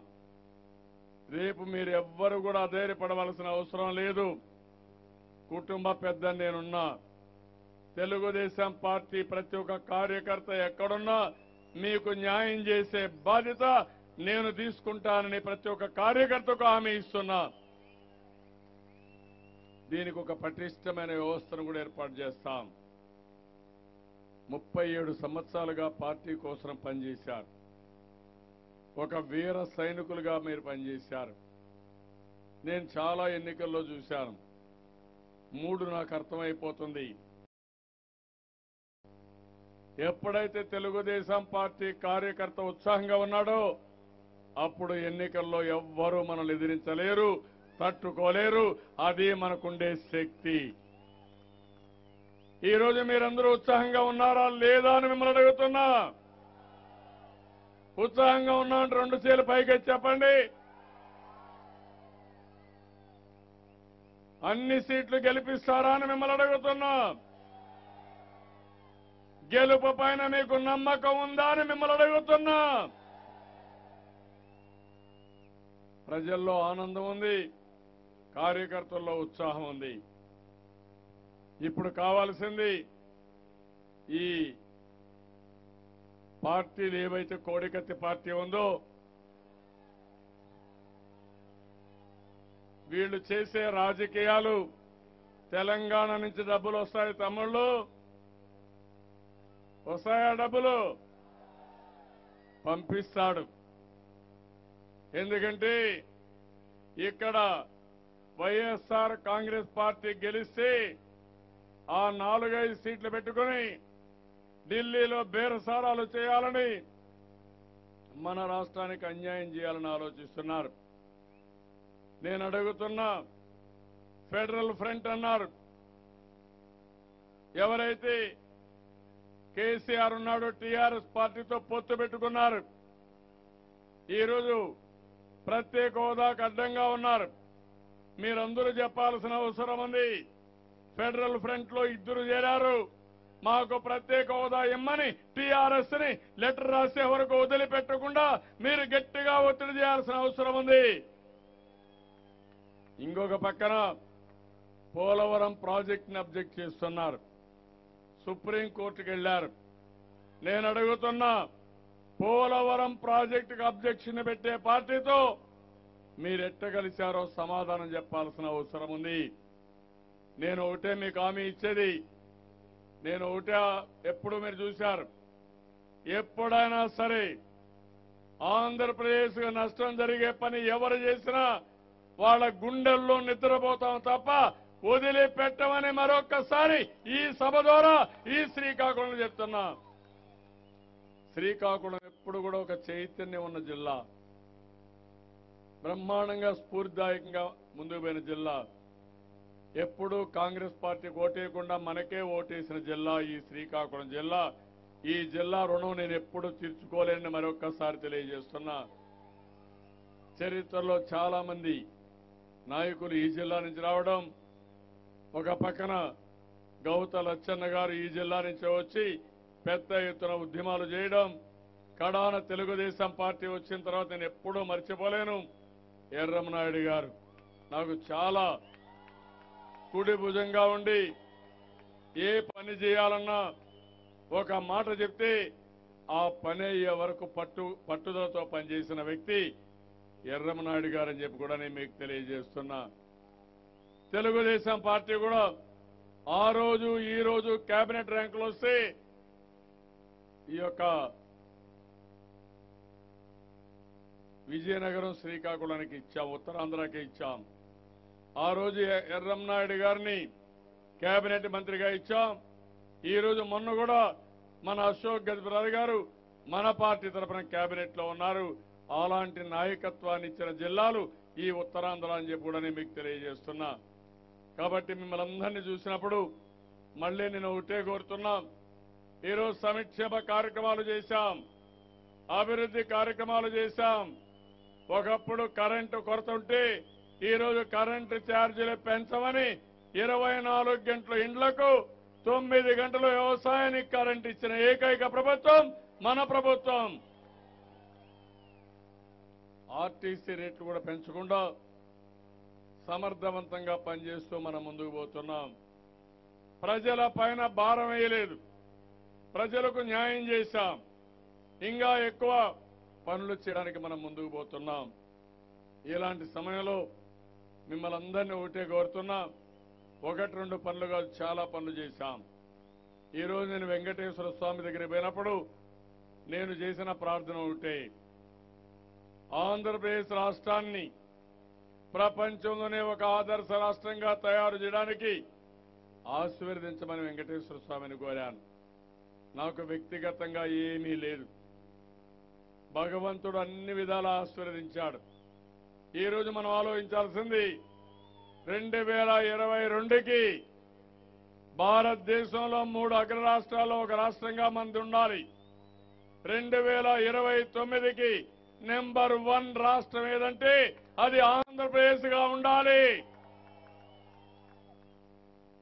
మన హక్కులకు సంబంధించి విభజన హామీలు బీజేపీ ప్రభుత్వం నెరవేర్చలేదు. అవి సాధించుకోవాలి. ప్రత్యేక హోదా మనకు మోసం చేశారు. మనం మీరు ఆలోచిస్తే ధర్మ పోరాటం చేశాం. నిన్నే మీరు చూస్తే విశాఖపట్నం రైల్వే డివిజన్ ఇచ్చారు. ఏమిచ్చారు తమ్ముళ్ళు? ఏమన్నా ఉపయోగం ఉండే డివిజన్ మనకి ఇచ్చారా అని మిమ్మల్ని అడుగుతున్నా విశాఖపట్నానికి? తలలేని మొండాన్ని మనకి ఇచ్చారు డివిజన్ తీసుకుపోయి రాయగడ్డకి ఇచ్చి విశాఖపట్నంలో డివిజన్ కూడా లేకుండా మనకు జోన్ ఇచ్చే పరిస్థితికి వచ్చారంటే ఆదాయం రాయగడ్డకు పేరుకు మాత్రం జోన్ విశాఖపట్నానికి ఇచ్చే పరిస్థితికి వచ్చారు. అంటే ఇది పచ్చి మోసం దగా. నరేంద్ర మోడీ గారు గాని బీజేపీ గాని పూర్తిగా మోసం చేసే పరిస్థితికి వచ్చారు. మీరు ఒకటే చెప్పాలి. ఇరవై ఐదు పార్లమెంటు సీట్లకి ఇరవై ఐదు పార్లమెంటు సీట్లు మన అభ్యర్థుల్నే గెలిపించమని మీరందరూ కోరాల్సిన అవసరం ఉంది. ఇరవై ఐదు పార్లమెంట్ సీట్లు మనం గెలిస్తే తప్పకుండా ప్రత్యేక హోదా వస్తుంది. విభజన హామీలు నెరవేరుతాయి. తెలంగాణ నుంచి రావాల్సిన వాటా కూడా వస్తుంది. ఇవన్నీ మనం సాధించుకునే అవకాశం వస్తుంది. ఇక్కడ మన అభ్యర్థులుగా ఇద్దరు అభ్యర్థులు ఉన్నారు. నేను ఒకటే మిమ్మల్ని అందరినీ కోరుతున్నా. మొట్టమొదటిసారిగా రామ్మోహన్ నాయుడు.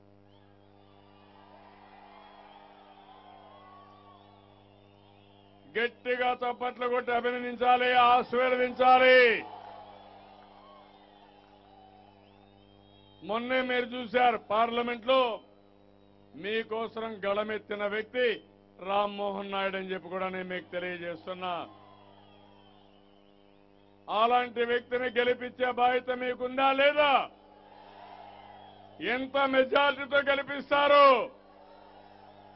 పెద్ద మెజార్టీ రావాలి. నమ్మకమేనా అడుగుతున్నా. రెండో వ్యక్తి అశోక్ గజపతిరాజు గారు. మీరు చూశారు. అశోక్ గారిని చూస్తే మొన్న ఇటీవల కాలంలో మనకు అన్యాయం జరిగిందని రాత్రి నేను ఫోన్ చేస్తే కేబినెట్కి వెళ్ళారు. కేబినెట్ నుంచి వస్తానే ఫోన్ చేశాను. అశోక్ గారు మనకు అన్యాయం జరిగింది. వీళ్ళు నమ్మక ద్రోహం చేస్తున్నారు. మీరు రాజీనామా చేయాల్సి వస్తుందంటే ఒక్క క్షణం కూడా ఆలోచించకుండా ఒకే మాట అన్నారు. మీరు చెప్పారు సార్ రేపే రాజీనామా ఇవ్వాలన్నా ఇప్పుడే ఇవ్వాలని అడిగిన వ్యక్తి మన అశోక్ గారు. రేపు బెంగళూరు ప్రోగ్రాం ఉంది. ఆ ప్రోగ్రాం కూడా క్యాన్సిల్ చేసుకుంటానని చెప్పి ఆ నిమిషంలో ఒక్క సెకండ్ ఆలోచించకుండా పదవికి త్యాగం చేసిన వ్యక్తి మన అశోక్ గారు అని చెప్పి కూడా నేను మీకు తెలియజేస్తున్నా. నేను పార్టీ పెట్టినప్పటి నుంచి చూస్తున్నారు వారి యొక్క సిన్సియారిటీ. ఒక నీతి నిజాయితీగా నిబద్ధతతో పనిచేసే నాయకుడు అశోక్ గారు. అలాంటి అశోక్ గారిని పెద్ద మెజార్టీతో గెలిపిస్తామని గట్టిగా మీరందరూ అభినందించాలి ఆశీర్వదించాలి. ఇకపోతే మనం నిన్నే ఒక మాట అనుకున్నాం. నూట యాభై ప్లస్. మిషన్ నూట యాభై ప్లస్ సీట్లు పోయాం. నూట డెబ్బై ఐదులో నూట యాభై కంటే ఎక్కువ గెలిపించాలి. ఈ జిల్లాలో పదికి పది గెలవాలి. దానికి మీరు సిద్ధంగా ఉన్నారా అని మిమ్మల్ని అడుగుతున్నా. ఇక్కడికి వచ్చినప్పుడు కళా వెంకట్రావు గారు. ఆంధ్రప్రదేశ్ రాష్ట్ర తెలుగుదేశం పార్టీ అధ్యక్షులు హెచ్చర్ల అభ్యర్థిగా కళా వెంకట్రావు గారు మీ దగ్గరకు వస్తున్నారు. గట్టిగా చప్పట్లు కొట్టి అభినందించండి. మంచి మెజార్టీ రావాలి. గెలిపిస్తామని ఒక సీనియర్ నాయకుడుగా మీ అందరికీ ఎప్పటికప్పుడు అందుబాటులో ఉండే వ్యక్తిగా మీరు గట్టిగా ఆశీర్వదించాల్సిందిగా మరొకసారి మిమ్మల్ని అందరినీ కోరుతున్నాను. ఇక్కడిని ఈరోజు మిగిలిన మిగిలిన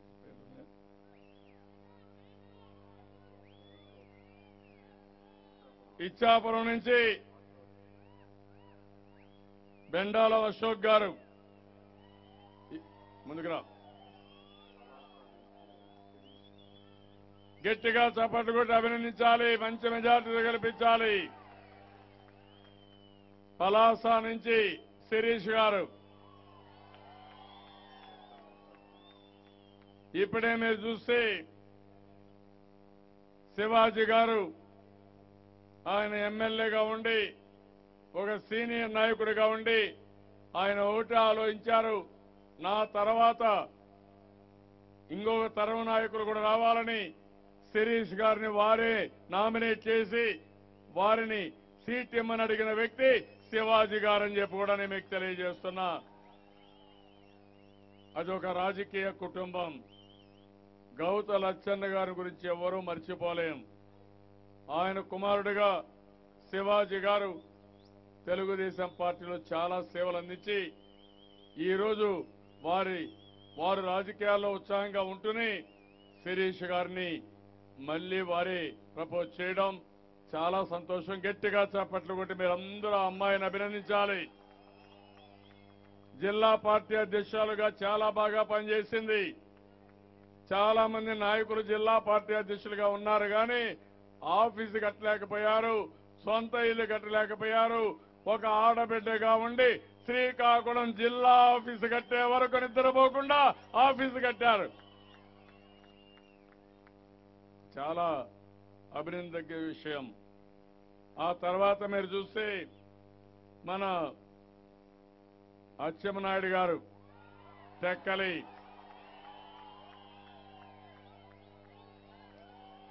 అపోజిషన్ పార్టీలకు కానీ ఏదైనా ఇష్యూ వస్తే మన పార్టీలో ఎవరైనా గట్టిగా మాట్లాడగలుగుతారంటే ఇక్కడ నుంచి మాట్లాడితే ఢిల్లీ వెళ్ళబడుతుంది తమ్ముళ్ళు అది అచ్చెన్నాయుడు గారి సత్తా.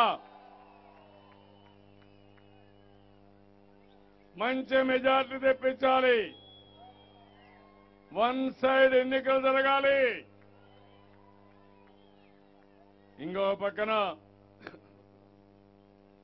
ఈరోజు ఇక్కడ నరసన్నపేటలో అతి సౌమ్యుడిగా మంచి వ్యక్తిగా బొగ్గు రమణమూర్తి పార్టీలో ఒక సిన్సియర్ కార్యకర్త మొదటి నుంచి పనిచేస్తున్నారు. గట్టిగా చప్పట్లు కొట్టి మనస్ఫూర్తిగా అభినందించండి. మన శ్రీకాకుళంలో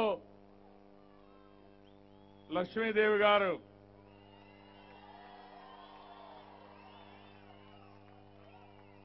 అప్పల సూర్యనారాయణ గారు ఈ శ్రీకాకుళంలో చాలా సేవలు అందించి వారి తర్వాత లక్ష్మీదేవి గారు సేవలు అందిస్తున్నారంటే గట్టిగా చప్పట్లు కొట్టి మీరు అందరూ అభినందించాలి అతిపెద్ద మెజార్టీ కల్పించాలి. ఆముదాల వలస కోనార్ రవికుమార్. ఇంకా మెల్లిగా కొడుతున్నారు పక్కనే ఉన్నారు మీరు. గట్టిగా అభినందించాలి. మనిషి గట్టి మనిషి ఉక్కు మనిషి. అదే మరిగా మనకు. రాజాము నుంచి కొండ్ర మురళి. కొండ్ర మురళి వచ్చిన తర్వాత రాజాం తిరుగులేని నియోజకవర్గంగా ఎమర్జ్ అయింది. వన్ సైడ్ గెలుస్తున్నాం. అదే ప- అదే సమయంలో పాతపట్నం. పాతపట్నంలో కలమటి మోహన్ రావు గారు. సారీ కలమటి మోహన్ రావు గారి అబ్బాయి కలమటి వెంకటరమణ. గట్టిగా.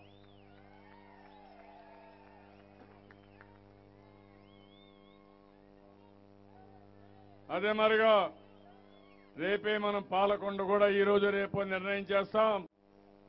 అన్ని నియోజకవర్గాల్లో ఎమ్మెల్యే అభ్యర్థులను ప్రకటించుకొని మనం ముందుకు పోయే పరిస్థితి వస్తుంది. నేను అడుగుతున్నా మిమ్మల్ని అందరినీ. టీం శ్రీకాకుళం చూశారు. అందరినీ మంచి మెజార్టీతో గెలిపిస్తారా అని మిమ్మల్ని అడుగుతున్నా. నమ్మకమేనా అని మిమ్మల్ని అడుగుతున్నా.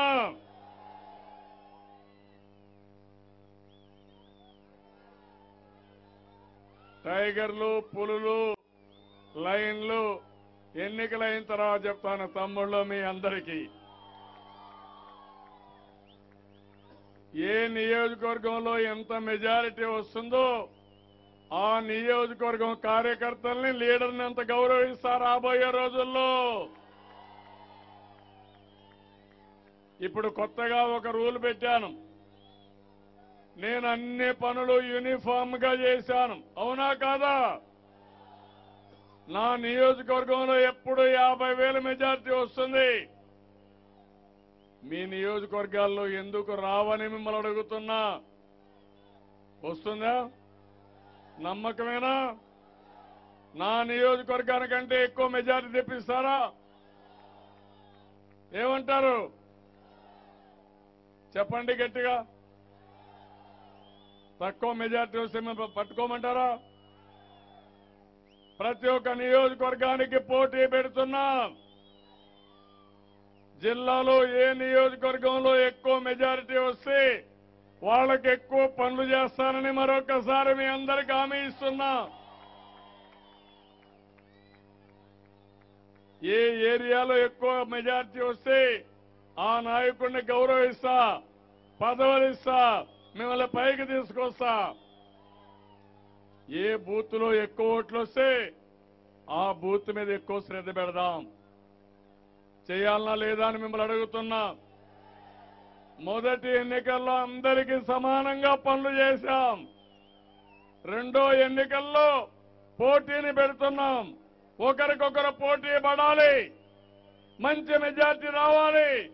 తెప్పిస్తామని మనం చేసిన పనులకి ప్రతిఫలంగా కూలి ప్రజలు ఇవ్వాల్సిన అవసరం ఉంది. అవునా కాదా? నమ్మకం ఉందా మీకు? ఏం తమ్ముళ్ళ మీకు నమ్మకం ఉందా? ఎవరికైనా అనుమానం ఉందా? ఏం తమ్ముళ్ళు మీడియా వాళ్ళు ఉన్నారు. గవర్నమెంట్ రావడం నూటికి వెయ్యి శాతం గ్యారంటీ అని కూడా నేను మీకు తెలియజేస్తున్నా ఎవరు ఆపలేరు. అయితే మెజారిటీలు రావాలి. నూట యాభై ప్లస్ ఉండాలి. ఇరవై ఐదు పార్లమెంట్లు గెలవాలి. దేశంలో మనల్ని చూస్తే ఈర్షపడే పరిస్థితిలో మీరందరూ పనిచేయాలి. కోడికత్తి పార్టీల ఆలోచనలు పని చేయవని చెప్పాలి. నరేంద్ర మోడీ కేసీఆర్ జగన్మోహన్ రెడ్డి ముగ్గురు మోడీలు ఇక్కడ ఏమీ చేయలేరని గట్టిగా మనం చెప్పాలి. కబద్దార్ జాగ్రత్తగా ఉండండి. ముసుగులు తీయండి. ఓపెన్గా రండి. మీ కథ ఏంటో మేము చూస్తాం తప్ప లాలూచి రాజకీయాలు అవసరం లేదు. ఫ్యాన్ ఇక్కడ స్విచ్ తెలంగాణలో హైదరాబాద్లో కరెంటు ఢిల్లీలో. ఏం తమ్ముళ్ళు కరెంట్ ఆగిపోతే స్విచ్ పనిచేయదు స్విచ్ చేయకపోతే ఇక్కడ ఫ్యాన్ తిరగదు. ఇది వీళ్ళ లాలూచి రాజకీయాలు అవునా కాదా? ముగ్గురు ఒకటి అవునా కాదా? అలాంటి వాళ్ళ రాజకీయాల్ని మనం బుద్ధి చెప్పాల్సిన అవసరం ఉంది. అందుకే నేను మిమ్మల్ని అడుగుతున్నా శ్రీకాకుళం జిల్లా అంటే నాకు చాలా అభిమానం.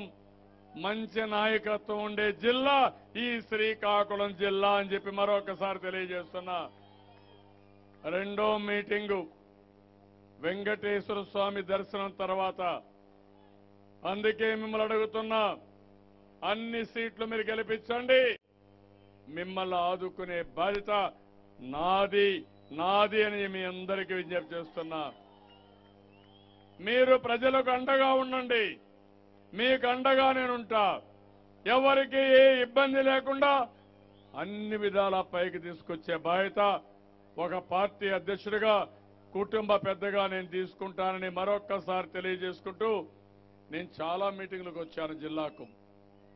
ఈరోజు మీ ఉత్సాహం చూస్తా ఉంటే నాకు ఎంత తృప్తిగా ఉందంటే ఒక ధైర్యంతో ముందుకు పోతున్నానని మరొకసారి మీకు తెలియజేస్తున్నా. చాలా సార్లు మీటింగులు పెట్టాం. ఎన్నికల మీటింగులు పెట్టాం. కానీ యుద్ధానికి పోయే ముందు సైనికులను తయారు చేసుకోవడానికి పెట్టిన మీటింగు మొట్టమొదటిసారి మన పార్టీ చరిత్రలో. ఈ రోజు నేను అడుగుతున్నా యుద్ధానికి సిద్ధంగా ఉన్నారా అని మిమ్మల్ని అడుగుతున్నా. మన విరోధి బలహీనంగా ఉన్నా యుద్ధం బలంగా చేయాలవునా? కాదా అని మిమ్మల్ని అడుగుతున్నా. ఘన విజయం రావాలి. మనం గెలుస్తున్నాం. దాంట్లో అనుమానం లేదు. అదే సమయంలో అతి మెజ పెద్ద మెజార్టీతో కలిసి విజయ డంకా మోగించాల్సిన అవసరం మనందరిపైన ఉంది. అందుకని నిన్న వివేకానంద రెడ్డి గారి కేసు విషయంలో ప్రతి ఒక్క ఓటర్కి మీరు చెప్పాలి. వాళ్ళ చిన్నాను చనిపోతేనే శవరాజకీయాలు చేస్తూ కనీసం సాక్ష్యాలు కూడా లేకుండా చేసిన వ్యక్తులకు మానవత్వం ఉందని అడుగుతున్నా. అలాంటి వ్యక్తిని సపోర్ట్ చేస్తే ఏమవుతుందో ప్రజల్లో చర్చనీయాంశంగా ప్రజల్లో చైతన్యం తేవాల్సిన బాధ్యత మీది. అది చేసే ధైర్యం మీకుందని మరొక్కసారి తెలియజేసుకుంటూ ఈ రోజు ఇక్కడికి వచ్చినప్పుడు? మనం వచ్చినప్పుడు నేను ఒకటి అడుగుతున్నా ఇప్పుడిప్పుడే వేడి రగులుకుంటా ఉంది. నేను ఇప్పుడు మిమ్మల్ని అందరినీ తెలుగుదేశం అంటే వర్దిల్లాలని చాలా గట్టిగా చెప్పాలి. తెలుగుదేశం!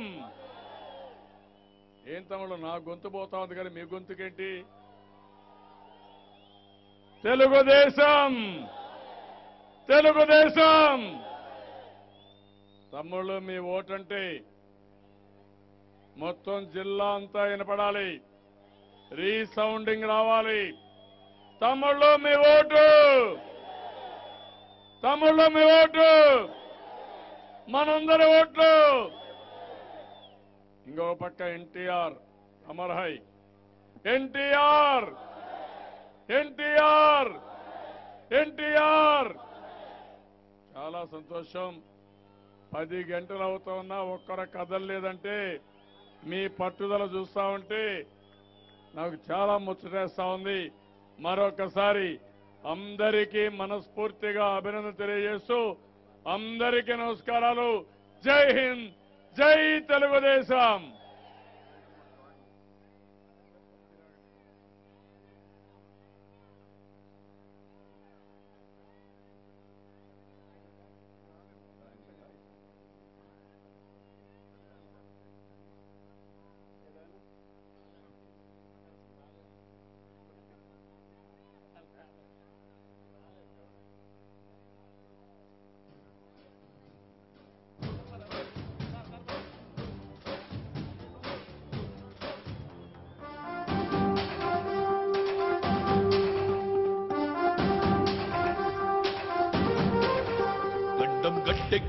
నాయకుడిప్పుడు ఒకటే ఒకటే ఒకటే. జాతికి ప్రగతిని తెచ్చే పాలకుడిప్పుడు అతడే అతడే అతడే.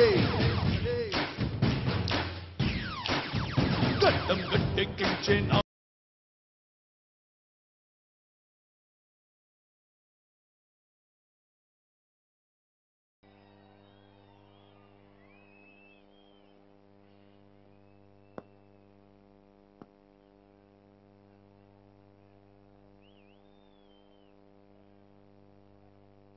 తమ్ముళ్ళు హుషారుగా ఉన్నారా?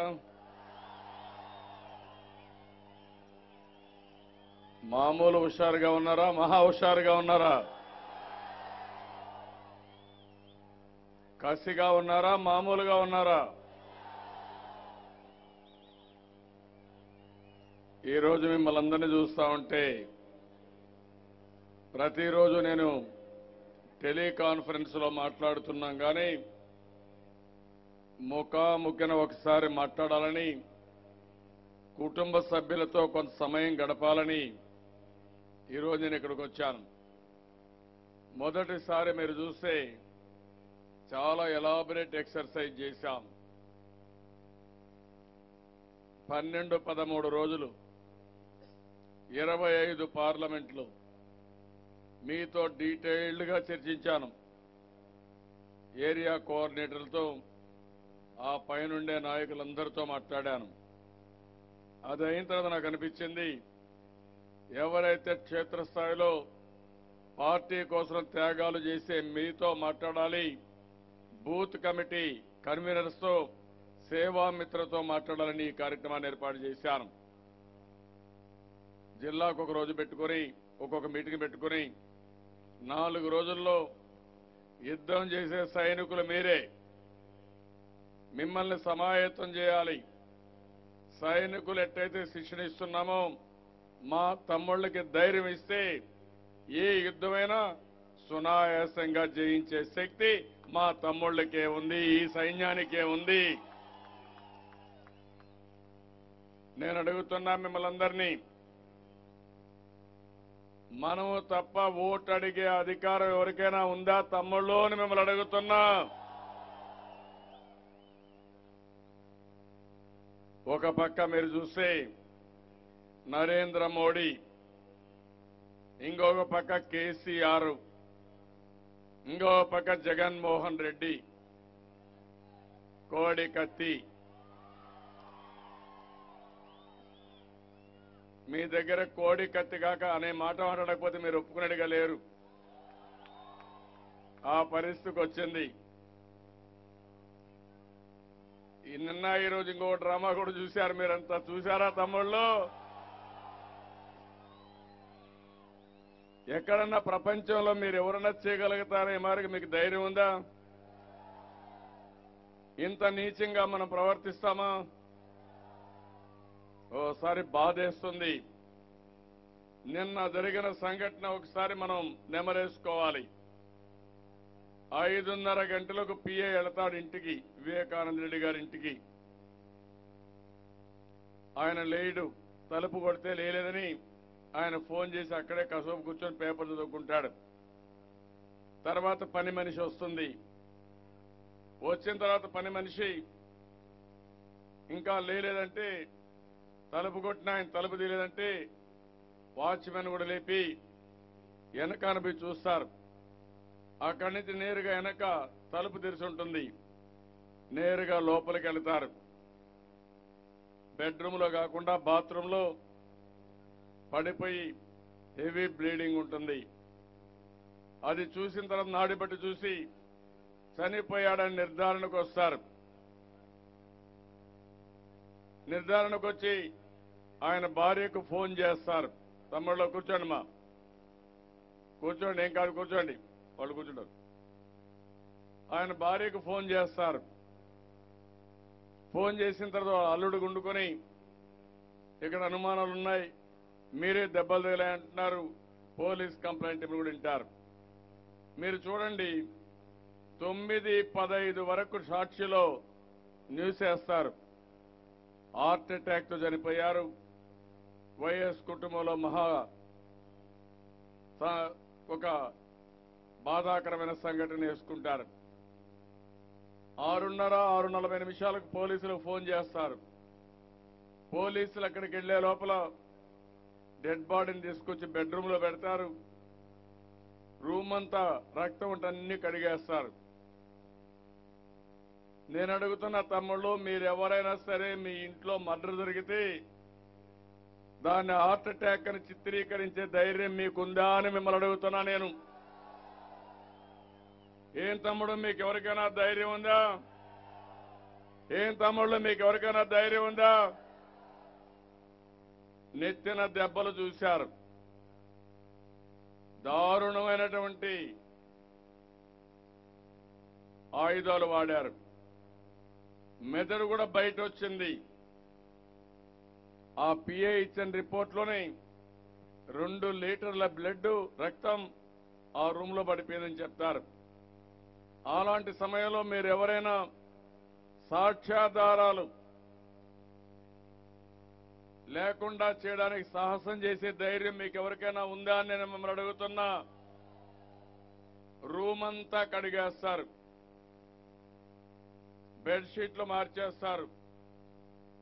అదే సమయంలో ప్రపంచానికి అంతటికీ హార్ట్ అటాక్తో చనిపోయారని చెప్పి నమ్మబలుకుతారు. సిఐ అక్కడికి వెళ్ళిన తర్వాత ఇమ్మీడియట్గా డెడ్ బాడీని తీసుకుని హాస్పిటల్ తీసుకెళ్తారు. ఎప్పుడు కూడా ఏదైనా ఒక నేరం జరిగితే ఆ సీన్ ఎవరు మార్చడానికి వీలు లేదు. పంచనామా చేయాలి. ఫారెన్సిక్ ఎవిడెన్స్ అంతా పెట్టుకోవాలి. వేలి ముద్రలు కానీ వస్తువులు కానీ ఎక్కడికక్కడ ఉండి ఎవరు దాన్ని టచ్ చేశారు ఎవరు వచ్చారు అన్ని చేస్తారు. అలాంటిది నేరుగా హాస్పిటల్ తీసుకుపోతే హాస్పిటల్లో ఇన్వెస్ట్ ఏదైతే జరిగిందో పోస్ట్ మార్టం జరిగిందో ఆ సమయంలో ఇంత పెద్ద దెబ్బలు తగిలాయి. ఇది హత్య తప్ప ఇంకోటి కాదని చాలా డీటెయిల్గా మర్డర్ కేసు కింద చెప్తారు. అప్పటి వరకు గమ్మున్న వ్యక్తులు మన మీద ఆరోపణ చేస్తారు. మీరు ఒకటి గుర్తుపెట్టుకోవాలి. ఎంత దుర్మార్గులు. వీళ్ళ చిన్నాన్న సొంత చిన్నాన్న చనిపోతే సాక్ష్యాధారాలు కూడా లేకుండా చేసి వ్యక్తుల్ని సమాజంలో ఏమనాల తమ్ముళ్ళో మీరే ఆలోచించాల్సిందిగా మిమ్మల్ని అందరినీ కోరుతున్నా.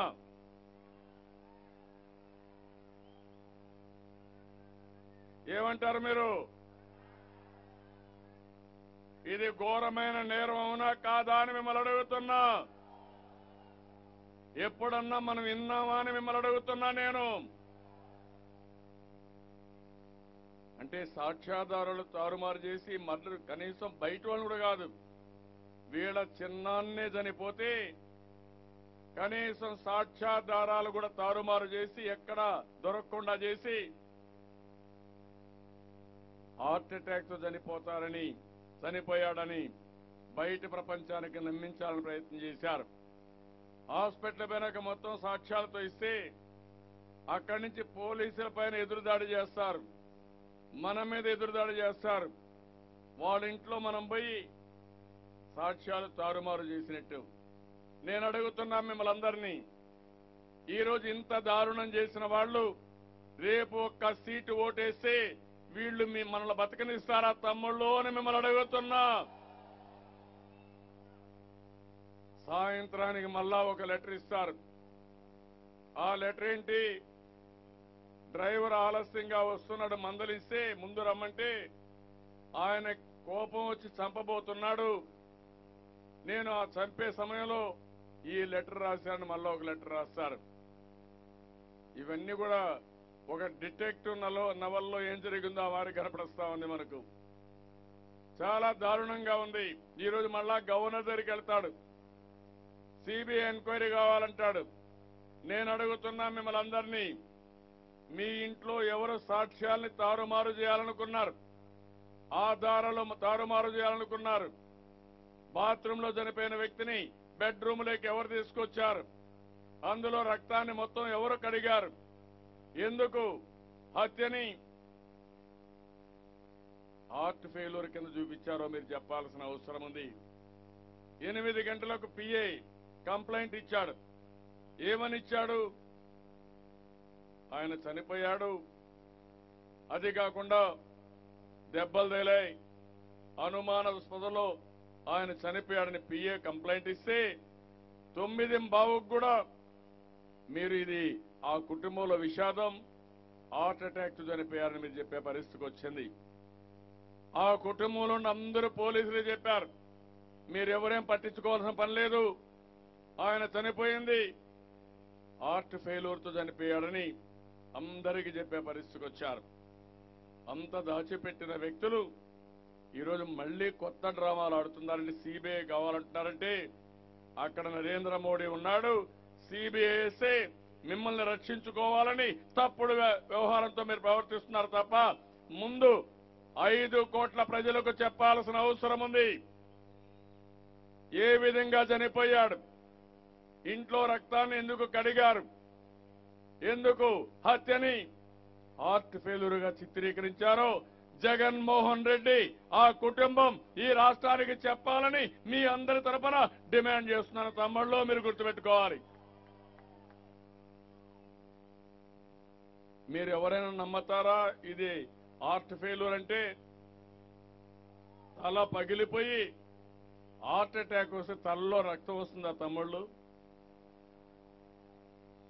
హార్ట్ అటాక్ వస్తే ఎక్కడి దగ్గర వచ్చినా కత్తిపోట్లు ఉంటాయా తమ్ముళ్ళు? ఎవరికి చెప్తారు ఇవన్నీ? ఐదున్నర నుంచి తొమ్మిది గంటల వరకు తొమ్మిది పదహైదు వరకు డ్రామాలు ఆడారు. వాళ్ళ ఉద్దేశం పోస్ట్ మార్టం కూడా పోకుండా తప్పుడు సమాచారం ఇచ్చి ఇమ్మీడియట్గా ఈ కేసుని అషప్ చేయాలనుకున్నారు. ఎప్పుడైతే వాళ్ళ అల్లుడు చెప్పిన తర్వాత కంప్లైంట్ వచ్చిన తర్వాత ఆ కంప్లైంట్ ఆధారంగా పోస్ట్ మార్టం చేస్తే వీళ్ళ బండారం మొత్తం బయటపడే పరిస్థితి వచ్చింది. ఇలాంటి దుర్మార్గులు నా జీవితంలో ఎప్పుడూ చూడలేదు. ఇలాంటి వాళ్ళు కానీ ఈ రాష్ట్రంలో రూలింగ్ పార్టీగా తమ్ముళ్ళు ప్రతిపక్షంలో ఉండడం కూడా మనందరి దౌర్భాగ్యం అని మరొకసారి మీ అందరూ తెలియజేస్తున్నా. రాష్ట్ర ప్రజానీకం ఆలోచించాలి. ఐదు కోట్ల మంది ఆలోచించాలి. మొన్నే మనం చూశాం. ఫామ్ సెవెన్ పెట్టారు. ఏం తమ్ముళ్ళు మీ ఓట్లన్నీ సరిగా ఉన్నాయా? చెక్ చేసుకున్నారా మీరంతా? తొమ్మిది లక్షల ఓట్లు తీసేయాలనుకున్నారు. ఎవరు పెట్టారు? ఆ బీహార్ నుంచి ఇంకొక ఆయన వచ్చాడు పీకే. చాలా తెలివైన వాడు పెద్ద డెకాయిట్గా కనపడొస్తున్నాడు నాకు ఆయన. తొమ్మిది లక్షల ఓట్లు సైబర్ క్రైమ్ ద్వారా వేరే వాళ్ళ పేర్లు పెట్టి కొంతమంది వాళ్ళ కార్యకర్తలు కలిసి ఓట్లు తీసేయాలనుకున్నారు. సరైన సమయంలో మనం కనుక్కున్నాం పట్టుబడ్డారు. నేను అడుగుతున్నా మిమ్మల్ని అందరినీ వదిలిపెట్టద్దండి. ఎవడైతే తప్పు చేశాడో ఫామ్ సెవెన్ ఉపయోగించాడో వాళ్ళందరూ తప్పకుండా జైలుకు పోయే వరకు వదిలిపెట్టద్దని కార్యకర్తలందరికీ విజ్ఞప్తి చేస్తున్నా. ఇంకొక పక్కన మొన్నే చూశారు. ఈడీ ఏ విధంగా జగన్మోహన్ రెడ్డి పనిచేస్తాడో చూశారు. ఇందుజా నుంచి వంద ఎకరాలు భూమి వాళ్ళ నాయన సీఎంగా ఉన్నప్పుడు ఆ భూమి వాళ్ళకి పర్మిషన్ ఇవ్వాలి. దానిపైన పది ఎకరాల భూమి ఈయనకి రాసుకున్నారు. డబ్బులు కూడా వాళ్ళే ఇచ్చారు. వేరే కంపెనీకి ఇచ్చారు. అక్కడి నుంచి షెల్ కంపెనీ తీసుకెళ్ళారు. మళ్ళీ ఒరిజినల్ కంపెనీ తీసుకొచ్చారు. అక్కడి నుంచి మళ్ళీ ఇందుజాకి ఇచ్చే పరిస్థితి వచ్చారు. డబ్బులు వాళ్ళది. మళ్ళా ఆ డబ్బులు వాళ్ళకే వెళ్తుంది. భూమి మాత్రం ఈయనకు వస్తుంది. అంత తెలివైన వాడు. ఇలాంటి తప్పుడు లెక్కలు రాయడం మీకు ఎవరికైనా తెలుసా? తమ్ముళ్ళు అని మిమ్మల్ని అడుగుతున్నా. మనం చేయలేం. మనం ఒక నీతిగా ఉంటాం. నిజాయితీగా ఉంటాం పద్ధతి ప్రకారం ఉంటాం. ఇలాంటి పనులు చేసే పరిస్థితికి వచ్చాడు.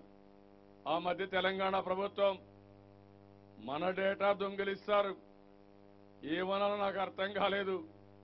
ఈ కేసీఆర్ మీతో సమానంగా ఇక్కడ కూర్చున్నవాడే నా దగ్గర పని చేసిన వాడు తప్ప ఇంకోటి కాదు. అవునా కాదా? మన మీటింగ్లో ఇక్కడ కూర్చున్న లీడర్స్ సమానంగా. ఇంకా మన వాళ్ళు అశోక్ గారు కానీ వీళ్ళంతా ముందుంటే కళా వెంకట్రావు గారు ఉంటే ఆయన వెనక బెంచుల్లో కూర్చున్న వ్యక్తి. ఇప్పుడు మన మీద పెత్తనం చేస్తానంటున్నాడు. కబద్దార్ వదిలిపెట్టే సమస్య లేదు.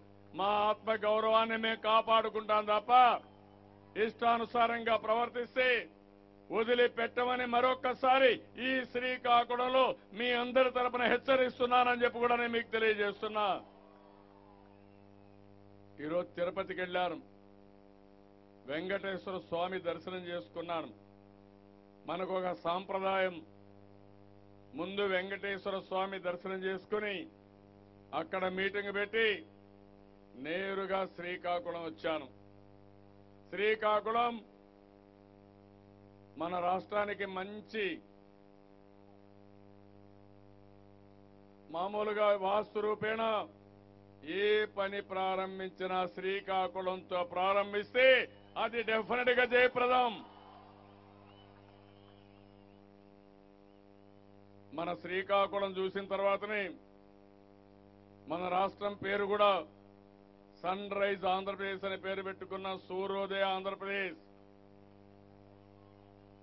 నేను మిమ్మల్ని అందరినీ ఒకటే కోరుతున్నా మా తమ్ముళ్ళ ధైర్యం చూశాను. నేను బాగా ఆలస్యంగా వచ్చాను. మీ పట్టుదల చూస్తా ఉంటే నాకు అనుమానం లేదు. జిల్లాలో పది సీట్లకు పది సీట్లు గెలిపించే స్తోమత ధైర్యం మా కుటుంబ సభ్యులకు ఉంది. తెలుగుదేశం పార్టీ గెలవడం ఒక చారిత్రక అవసరం. ఈరోజు ఇంకొక పక్కన ఒక్క ఓటు కూడా వైఎస్ఆర్ కాంగ్రెస్ పార్టీకి ఓటేస్తే చాలా ఇబ్బందులు పాలవుతాం. వీళ్ళు ప్రతిపక్షంలో ఉండడానికి కూడా అర్హత లేదు. అధికారాన్ని అడ్డం పెట్టుకుని ప్రజలు ఇచ్చిన ఓట్లను అడ్డం పెట్టుకుని ఈరోజు నేరాలు ఘోరాలు చేసే పరిస్థితికి వచ్చారు. చాలా దుర్మార్గం. ఇక ఉండే కార్యకర్తల్ని కుటుంబ సభ్యులు కోరుతున్నా. మీ వల్ల తెలుగుదేశం పార్టీకి ఎంతో గౌరవం వచ్చింది. నాకు గాని మన నాయకుడు ఎన్టీ రామారావు గారికి ప్రపంచవ్యాప్తంగా గుర్తింపు వచ్చిందంటే అది మీ త్యాగ ఫలితం తప్ప ఇంకోటి కాదని మరొకసారి మీ అందరికీ విజ్ఞప్తి చేస్తున్నాను. ఎనభై రెండు నుంచి తెలుగుదేశం పార్టీ జెండా మోశారు. భుజాలు అరిగిపోయేట్టుగా మోశారు. కష్టపడ్డారు. ఎన్నో త్యాగాలు చేశారు. కొంతమంది కార్యకర్తలైతే ఆస్తులు అమ్ముకుని పార్టీ కోసం పనిచేశారు. కొంతమంది కార్యకర్తలు జీవితాంతం పనిచేశారు. ఒక్కొక్కసారి మీకు గౌరవం ఇవ్వకపోయినా మీరు పార్టీ కోసం పనిచేశారంటే నా జీవితంలో ఎప్పుడూ మర్చిపోలేను. నేనందరికీ ఒకటి చెప్తున్నా దేశంలో ఒక స్ఫూర్తిదాయకమైన కేడర్ ఉన్నారంటే అది ఒక్క తెలుగుదేశం పార్టీకి సొంతం తప్ప వేరే పార్టీకి లేదు. మీ గౌరవాన్ని పెంచడానికి నేను ఆలోచిస్తున్నా. నా కుటుంబ సభ్యుల కంటే మిన్న మీరు. ఈ రాష్ట్ర అభివృద్ధిలో మీరు చూపించిన చొరవ. అదే మరి మీ వల్ల ఈ రాష్ట్రం ఎంత అభివృద్ధి అయిందో మనం ఆలోచించుకోవాల్సిన అవసరం ఉంది. నేను ఒకటే కార్యకర్తలందరికీ ఒకటే విజ్ఞప్తి చేస్తున్నా. ఐదు సంవత్సరాలు రాత్రింబగుళ్ళు నేను కష్టపడ్డా అధికార యంత్రాంగాన్ని కష్టపెట్టా. మీరు సహకరించారు. ఈరోజు దేశంలో నెంబర్ వన్ రాష్ట్రం ఏదంటే అభివృద్ధిలో మనమేనని చెప్పి కూడా నేను మీకు విజ్ఞప్తి చేస్తున్నా. ఈరోజు సంక్షేమ కార్యక్రమాలు మీరు ఒకసారి చూస్తే మీ అందరూ కార్యకర్తలు ఒకటి గుర్తుపెట్టుకోవాల్సిన అవసరం ఉంది. నేను ఎప్పుడూ టెలికాన్ఫరెన్స్లో మీతో మాట్లాడుతున్నా. ఎప్పటికప్పుడు సమీక్షలు చేసుకుంటున్నాం. అందరం ఒకే ఆలోచనతో ముందుకు పోతున్నాం. నా ఆలోచన ఒకటే నేను మీ దగ్గర చాలా విషయాలు నేర్చుకోవడం నేర్చుకున్న విషయాలు మళ్ళీ మీకు చెప్పడం మీరు నేను కలిసి ఒక శక్తివంతమైన పార్టీగా ఒక శక్తివంతమైన రాష్ట్రంగా తయారు చేసే వరకు మనం ముందుకు పోవాల్సిన అవసరం ఉంది. ఒక విజన్ తయారు చేసుకున్నాం. పంతొమ్మిది ఇరవై నాలుగుకి ఏ పార్టీ కూడా తయారు చేయలేదు. గవర్నమెంట్ ఆఫ్ ఇండియా కూడా తయారు చేయలేదు. ఐదేళ్ళు మీరు చూశారు. ఈ ఐదేళ్ళలో విభజన సమయంలో చాలా సమస్యలు వచ్చాయి మనందరికీ. ఈ విషయాలు ప్రజల్లో కూడా తీసుకుపోవాల్సిన అవసరం ఉంది. ఇంకా షెడ్యూల్ నైన్ అండ్ టెన్ ఆస్తుల విభజన ఇంకా జరగలేదు. మనకు రావాల్సిన వాటాలు తెలంగాణ నుంచి రాలేదు. ఇంకో పక్క విభజన చట్టంలో ఉండే హామీలు. ప్రత్యేక హోదా మనకి ఇంకా రాలా. అయినా కూడా నేను ఒకటి ఆలోచించాను. మీ అందరి సహకారంతో ఏ ఒక్కరికి ఇబ్బంది కలగకూడదనే ఉద్దేశంతో సంక్షేమ కార్యక్రమాలు చేశాం. మీరు ఒకసారి చూస్తే గర్భిణీ స్త్రీ గర్భం దాల్చినప్పటి నుంచి ఎవరన్నా చనిపోతే వారికి వీడుకోలు ఇచ్చే వరకు ఈ ప్రభుత్వం వాళ్ళకు అండగా నిలబడ్డాం. మొన్నే మీరు చూశారు. ఆ రోజు నేను పాదయాత్రలో తిరిగినప్పుడు ప్రజల యొక్క సహకారం తీసుకున్నప్పుడు నేను ఒకటే ఆలోచించాను. కొంతమంది పిల్లలు తల్లిదండ్రులు సరిగా చూసుకోలేకపోయారు. వాళ్ళ ఇబ్బందుల వల్ల కానీ ఇంకోటి కానీ ఆ రోజు ఒక హామీ ఇచ్చాను. ఈ పెద్దవాళ్ళందరికీ కన్న కొడుగ్గా ఉంటాను పెద్ద కొడుగ్గా ఉంటానని చెప్పి రెండు వందల రూపాయలు రెండు వేల రూపాయలు చేసి పది రెట్లు పెంచి ఒక పెద్ద కొడుగ్గా నెలవారీగా పంపిస్తున్నా. ఇంకొక పక్కన ఆడబిడ్డలకు డాక్రా సంఘాలు నేనే పెట్టాం. ఈరోజు తెలంగాణలో ఉన్నాయి. ఒక్క పైసా ఇవ్వలేదు. రెండు విడతలు ఇచ్చాను. పసుపు కుంకుమ కింద ఇచ్చాను. పదివేల రూపాయలు పదివేల రూపాయలు ఇచ్చాను. నాకు ఒక కోటి మంది ఆడబిడ్డలున్నారు చెల్లెళ్ళున్నారు. తమ్ముళ్ళు మీరు ప్రతి ఒక్క ఆడబిడ్డను కలుపుకొని రావాలి. నా మాటగా మీరు చెప్పాలి. మీ అన్న అడగమన్నాడు. మీ అన్న ఎన్నికల్లో నిలబడ్డాడు. మమ్మల్ని ప్రజాప్రతినిధులుగా పంపించారు. మా కోటేసి మీ అన్నను ఆశీర్వదించమని డాక్రా సంఘాలకు మీరు చెప్పాల్సిన అవసరం ఉంది. ఇంకొక పక్కన రైతులు నేను కూడా ఒక రైతు బిడ్డ. చిన్నప్పుడు నేను కూడా వ్యవసాయం చేశా. అందుకే కష్టాలు తెలిసిన వ్యక్తిని నరేంద్ర మోడీ ఆరు వేల రూపాయలు ఇచ్చాడు. నేను ఇరవై నాలుగు వేల ఐదు వందల కోట్ల రూపాయలు రుణ భారాన్ని తగ్గించాం రుణం మాఫీ చేశాం. ఈ రోజు ఆయన రెండు హెక్టార్లకు ఆరు వేల రూపాయలు ఇస్తే మనం తొమ్మిది వేలు ఇచ్చాం. రెండు హెక్టార్లు పైనుంటే పదివేల రూపాయలు ఇస్తున్నాం. రెండు అంకెల అభివృద్ధి సాధిస్తామని వ్యవసాయంలో చెప్పి ఆదాయాన్ని రెట్టింపు చేస్తామని గవర్నమెంట్ ఆఫ్ ఇండియా ఫెయిల్ అయితే ఈ రోజు నేను గర్వంగా చెప్పగలుగుతున్నా ఐదేళ్ళలో నూట ఇరవై ఎనిమిది శాతం ఆదాయం పెంచిన ఏకైక రాష్ట్రం భారతదేశంలో మన రాష్ట్రం అని చెప్పి కూడా నేను మీకు తెలియజేస్తున్నా. పదకొండు శాతం వ్యవసాయ అభివృద్ధిలో ముందుకు పోయాం. ఇంకో పక్కన డ్రైవర్లను ఆదుకున్నాం. మీరు ధైర్యంగా చెప్పచ్చు మోటార్ వెహికల్ ట్యాక్సేషన్ తీసేశాం. థర్డ్ పార్టీ ఇన్సూరెన్స్ కట్టాం. సాధికార సంస్థ పెట్టాం. డ్రైవర్ని పూర్తిగా ఆదుకునే బాధ్యత నాది. నేను అందుకే ఒక మాట చెప్పాను వాళ్ళకి. మీరు ఆటోలో సురక్షితంగా ప్రయాణికులు తీసుకెళ్తున్నారు. ఈ రాష్ట్రాన్ని సురక్షితంగా అభివృద్ధి చేయడంలో నేను ముందున్నా. నేను మీరు అందరం డ్రైవర్లే. మీ అందరికీ నేను డ్రైవర్ నెంబర్ వన్గా ఉంటానని వాళ్ళకు హామీ ఇచ్చాను. మీరు చూడండి యువత. దేశంలో ఎవ్వరు ఇవ్వాల. వెయ్యి రూపాయలు నిరుద్యోగ భృతి ఇచ్చాం. ఇప్పుడు రెండు వేల రూపాయలకు పెంచాం. వాళ్ళకి స్కిల్ డెవలప్మెంట్ ఇచ్చాను. ముఖ్యమంత్రి వనేస్తం పెట్టాం. దీనివల్ల తల్లిదండ్రుల పైన ఆధారపడకుండా ఖర్చులకు డబ్బులు కావాలంటే మనం ఇచ్చిన డబ్బులతో ఉద్యోగం వచ్చే వరకు వాళ్ళు గడిపే పరిస్థితి వస్తుంది. అలాంటి కార్యక్రమాల్లో మనం ముందుకు పోయాం. ఇంకో పక్కన చూస్తే ఇండస్ట్రీస్ చూశారు మీరు. పెద్ద ఎత్తున ఇండస్ట్రీస్కి శ్రీకారం చుట్టాం. పదహైదు లక్షల కోట్ల రూపాయలు విలువ చేసే ఎంఓయూలు చేశాం. ఈజ్ ఆఫ్ డూయింగ్ బిజినెస్లో మనం నెంబర్ వన్ ఉన్నాం. ఇవన్నీ పూర్తయితే ముప్పై లక్షల ఉద్యోగాలు వస్తాయి. మనం ఇవన్నీ చేస్తే కోడికత్తి పార్టీ ఎక్కడికక్కడ మనకు సమస్యలు క్రియేట్ చేయడం. విశాఖపట్నంలో పెట్టుబడిదారులకు సదస్సు పెడితే జల్లుకట్టు స్ఫూర్తితో గొడవ చేస్తామని రావడం. ఇంకో పక్క రాజధాని మీరు చూశారు. చాలా ఇబ్బందులు క్రియేట్ చేశారు. నేను ఒకటి ఆలోచించాను. రాజధాని కట్టాలి.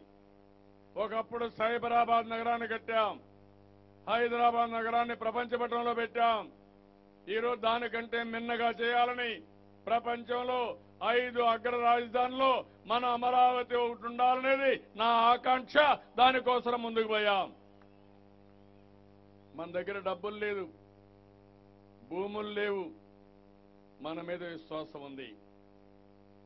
ఆ రోజు ఒకే పిలిపించారు మీరు భూమి ఇవ్వండి మీరు నష్టపోరు నేను రాజధాని కట్టి మీకిచ్చే భూమికి విలువ పెంచుతానని మీ ఆదాయాన్ని పెంచుతాను. ఒక్క మాట చెప్తే ముప్పై ఐదు వేల ఎకరాల భూమి ఇచ్చారు. నరేంద్ర మోడీ గారు మట్టి నీళ్ళు మన మొక్కాను కొడితే రైతులు యాభై వేల కోట్ల రూపాయలు చేసే భూమి మన మీద విశ్వాసంతో ఇచ్చారంటే అది మనకుండే వ్యక్తిత్వం అని చెప్పి కూడా నేను మీకు తెలియజేస్తున్నా. ఈరోజు ఆ రాజధానిని బ్రహ్మాండమైన రాజధాని కడతాం. ఈరోజు శ్రీకాకుళం జిల్లా ఉంది. సాగునీరు మీరు చూశారు. వంశధార ఫేజ్ టూ స్టేజ్ టూలో ఎన్ని ఇబ్బందులు కలిగించారో హీర మండలం మ్యారే బ్యారేజ్ రాకుండా ఎన్ని ఇబ్బందులు కలిగించారో నేను ఒకటి ఆలోచించాను. రైతులకు నచ్చ చెప్పాను. వాళ్ళకి ఇవ్వాల్సిన ప్యాకేజ్ ఇచ్చాను. ఈరోజు హీరమండలం హీర మండలం బ్యారేజ్ కంప్లీట్ అవుతుంది. అదే మరిగా నారాయణపూర్లో ఆనకట్ట కోసం మళ్ళీ ఇంప్రూవ్మెంట్ కోసం టెండర్ పిలవడం కానీ ఇంకో పక్క తోటపల్లి పూర్తి చేయడం కానీ మహేంద్ర తనయ కానీ మళ్ళీ వంశధార బాహుదా రెండు నదులు అనుసంధానం చేసి ఇక్కడి నుంచి బాహుదా నుంచి పెన్నా వరకు అనుసంధానం చేసే వరకు వదిలిపెట్టనని చెప్పి కూడా నేను మీకు తెలియజేస్తున్నా. శ్రీకాకుళం ముఖ చిత్రమే మారుస్తున్నాం. భవిష్యత్తులో నీటి సమస్య లేకుండా ప్రతి ఒక్క ఎకరాకు నీళ్ళిచ్చే బాధ్యత నాది. గోదావరి నీళ్ళు శ్రీకాకుళానికి తీసుకొచ్చే బాధ్యత కూడా నేను తీసుకుంటున్నానని చెప్పి నేను మీకు తెలియజేస్తున్నా. ఎనిమిది వేల నుంచి తొమ్మిది వేల కోట్ల రూపాయలు ఖర్చు పెడుతున్నాం. ఇంకా ఎక్కువైనా పర్వాలేదు. ఈ పని చేసే వరకు మనం ముందుకు పోతాం.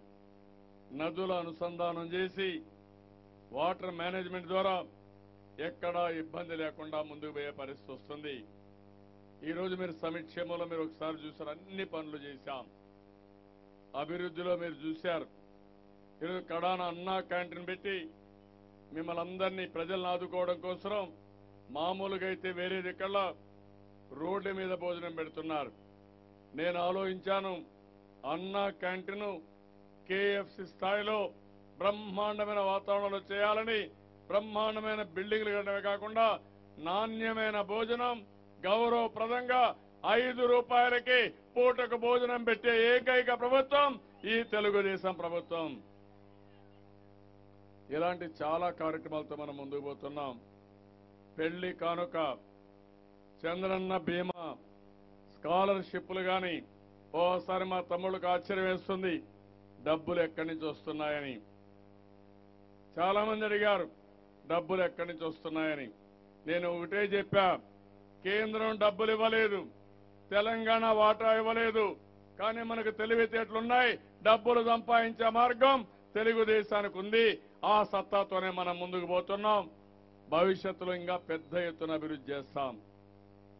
ఈ కార్యక్రమాలే కాకుండా గ్రామాల్లో అభివృద్ధి చూశారు. దర్జాగా అందరూ సిమెంట్ రోడ్లో తిరుగుతున్నారు. నేను అడుగుతున్నా రెండు వేల పద్నాలుగు కంటే మీ గ్రామాలు బాగున్నారే తమ్ముళ్ళు మీరే చెప్పండి. బాగున్నాయా? సిమెంట్ రోడ్లు వచ్చాయా? ఎల్ఈడి బల్బులు వచ్చాయా? మరుగుదొడ్లు కట్టామా? వంట గ్యాస్ ఇచ్చామా?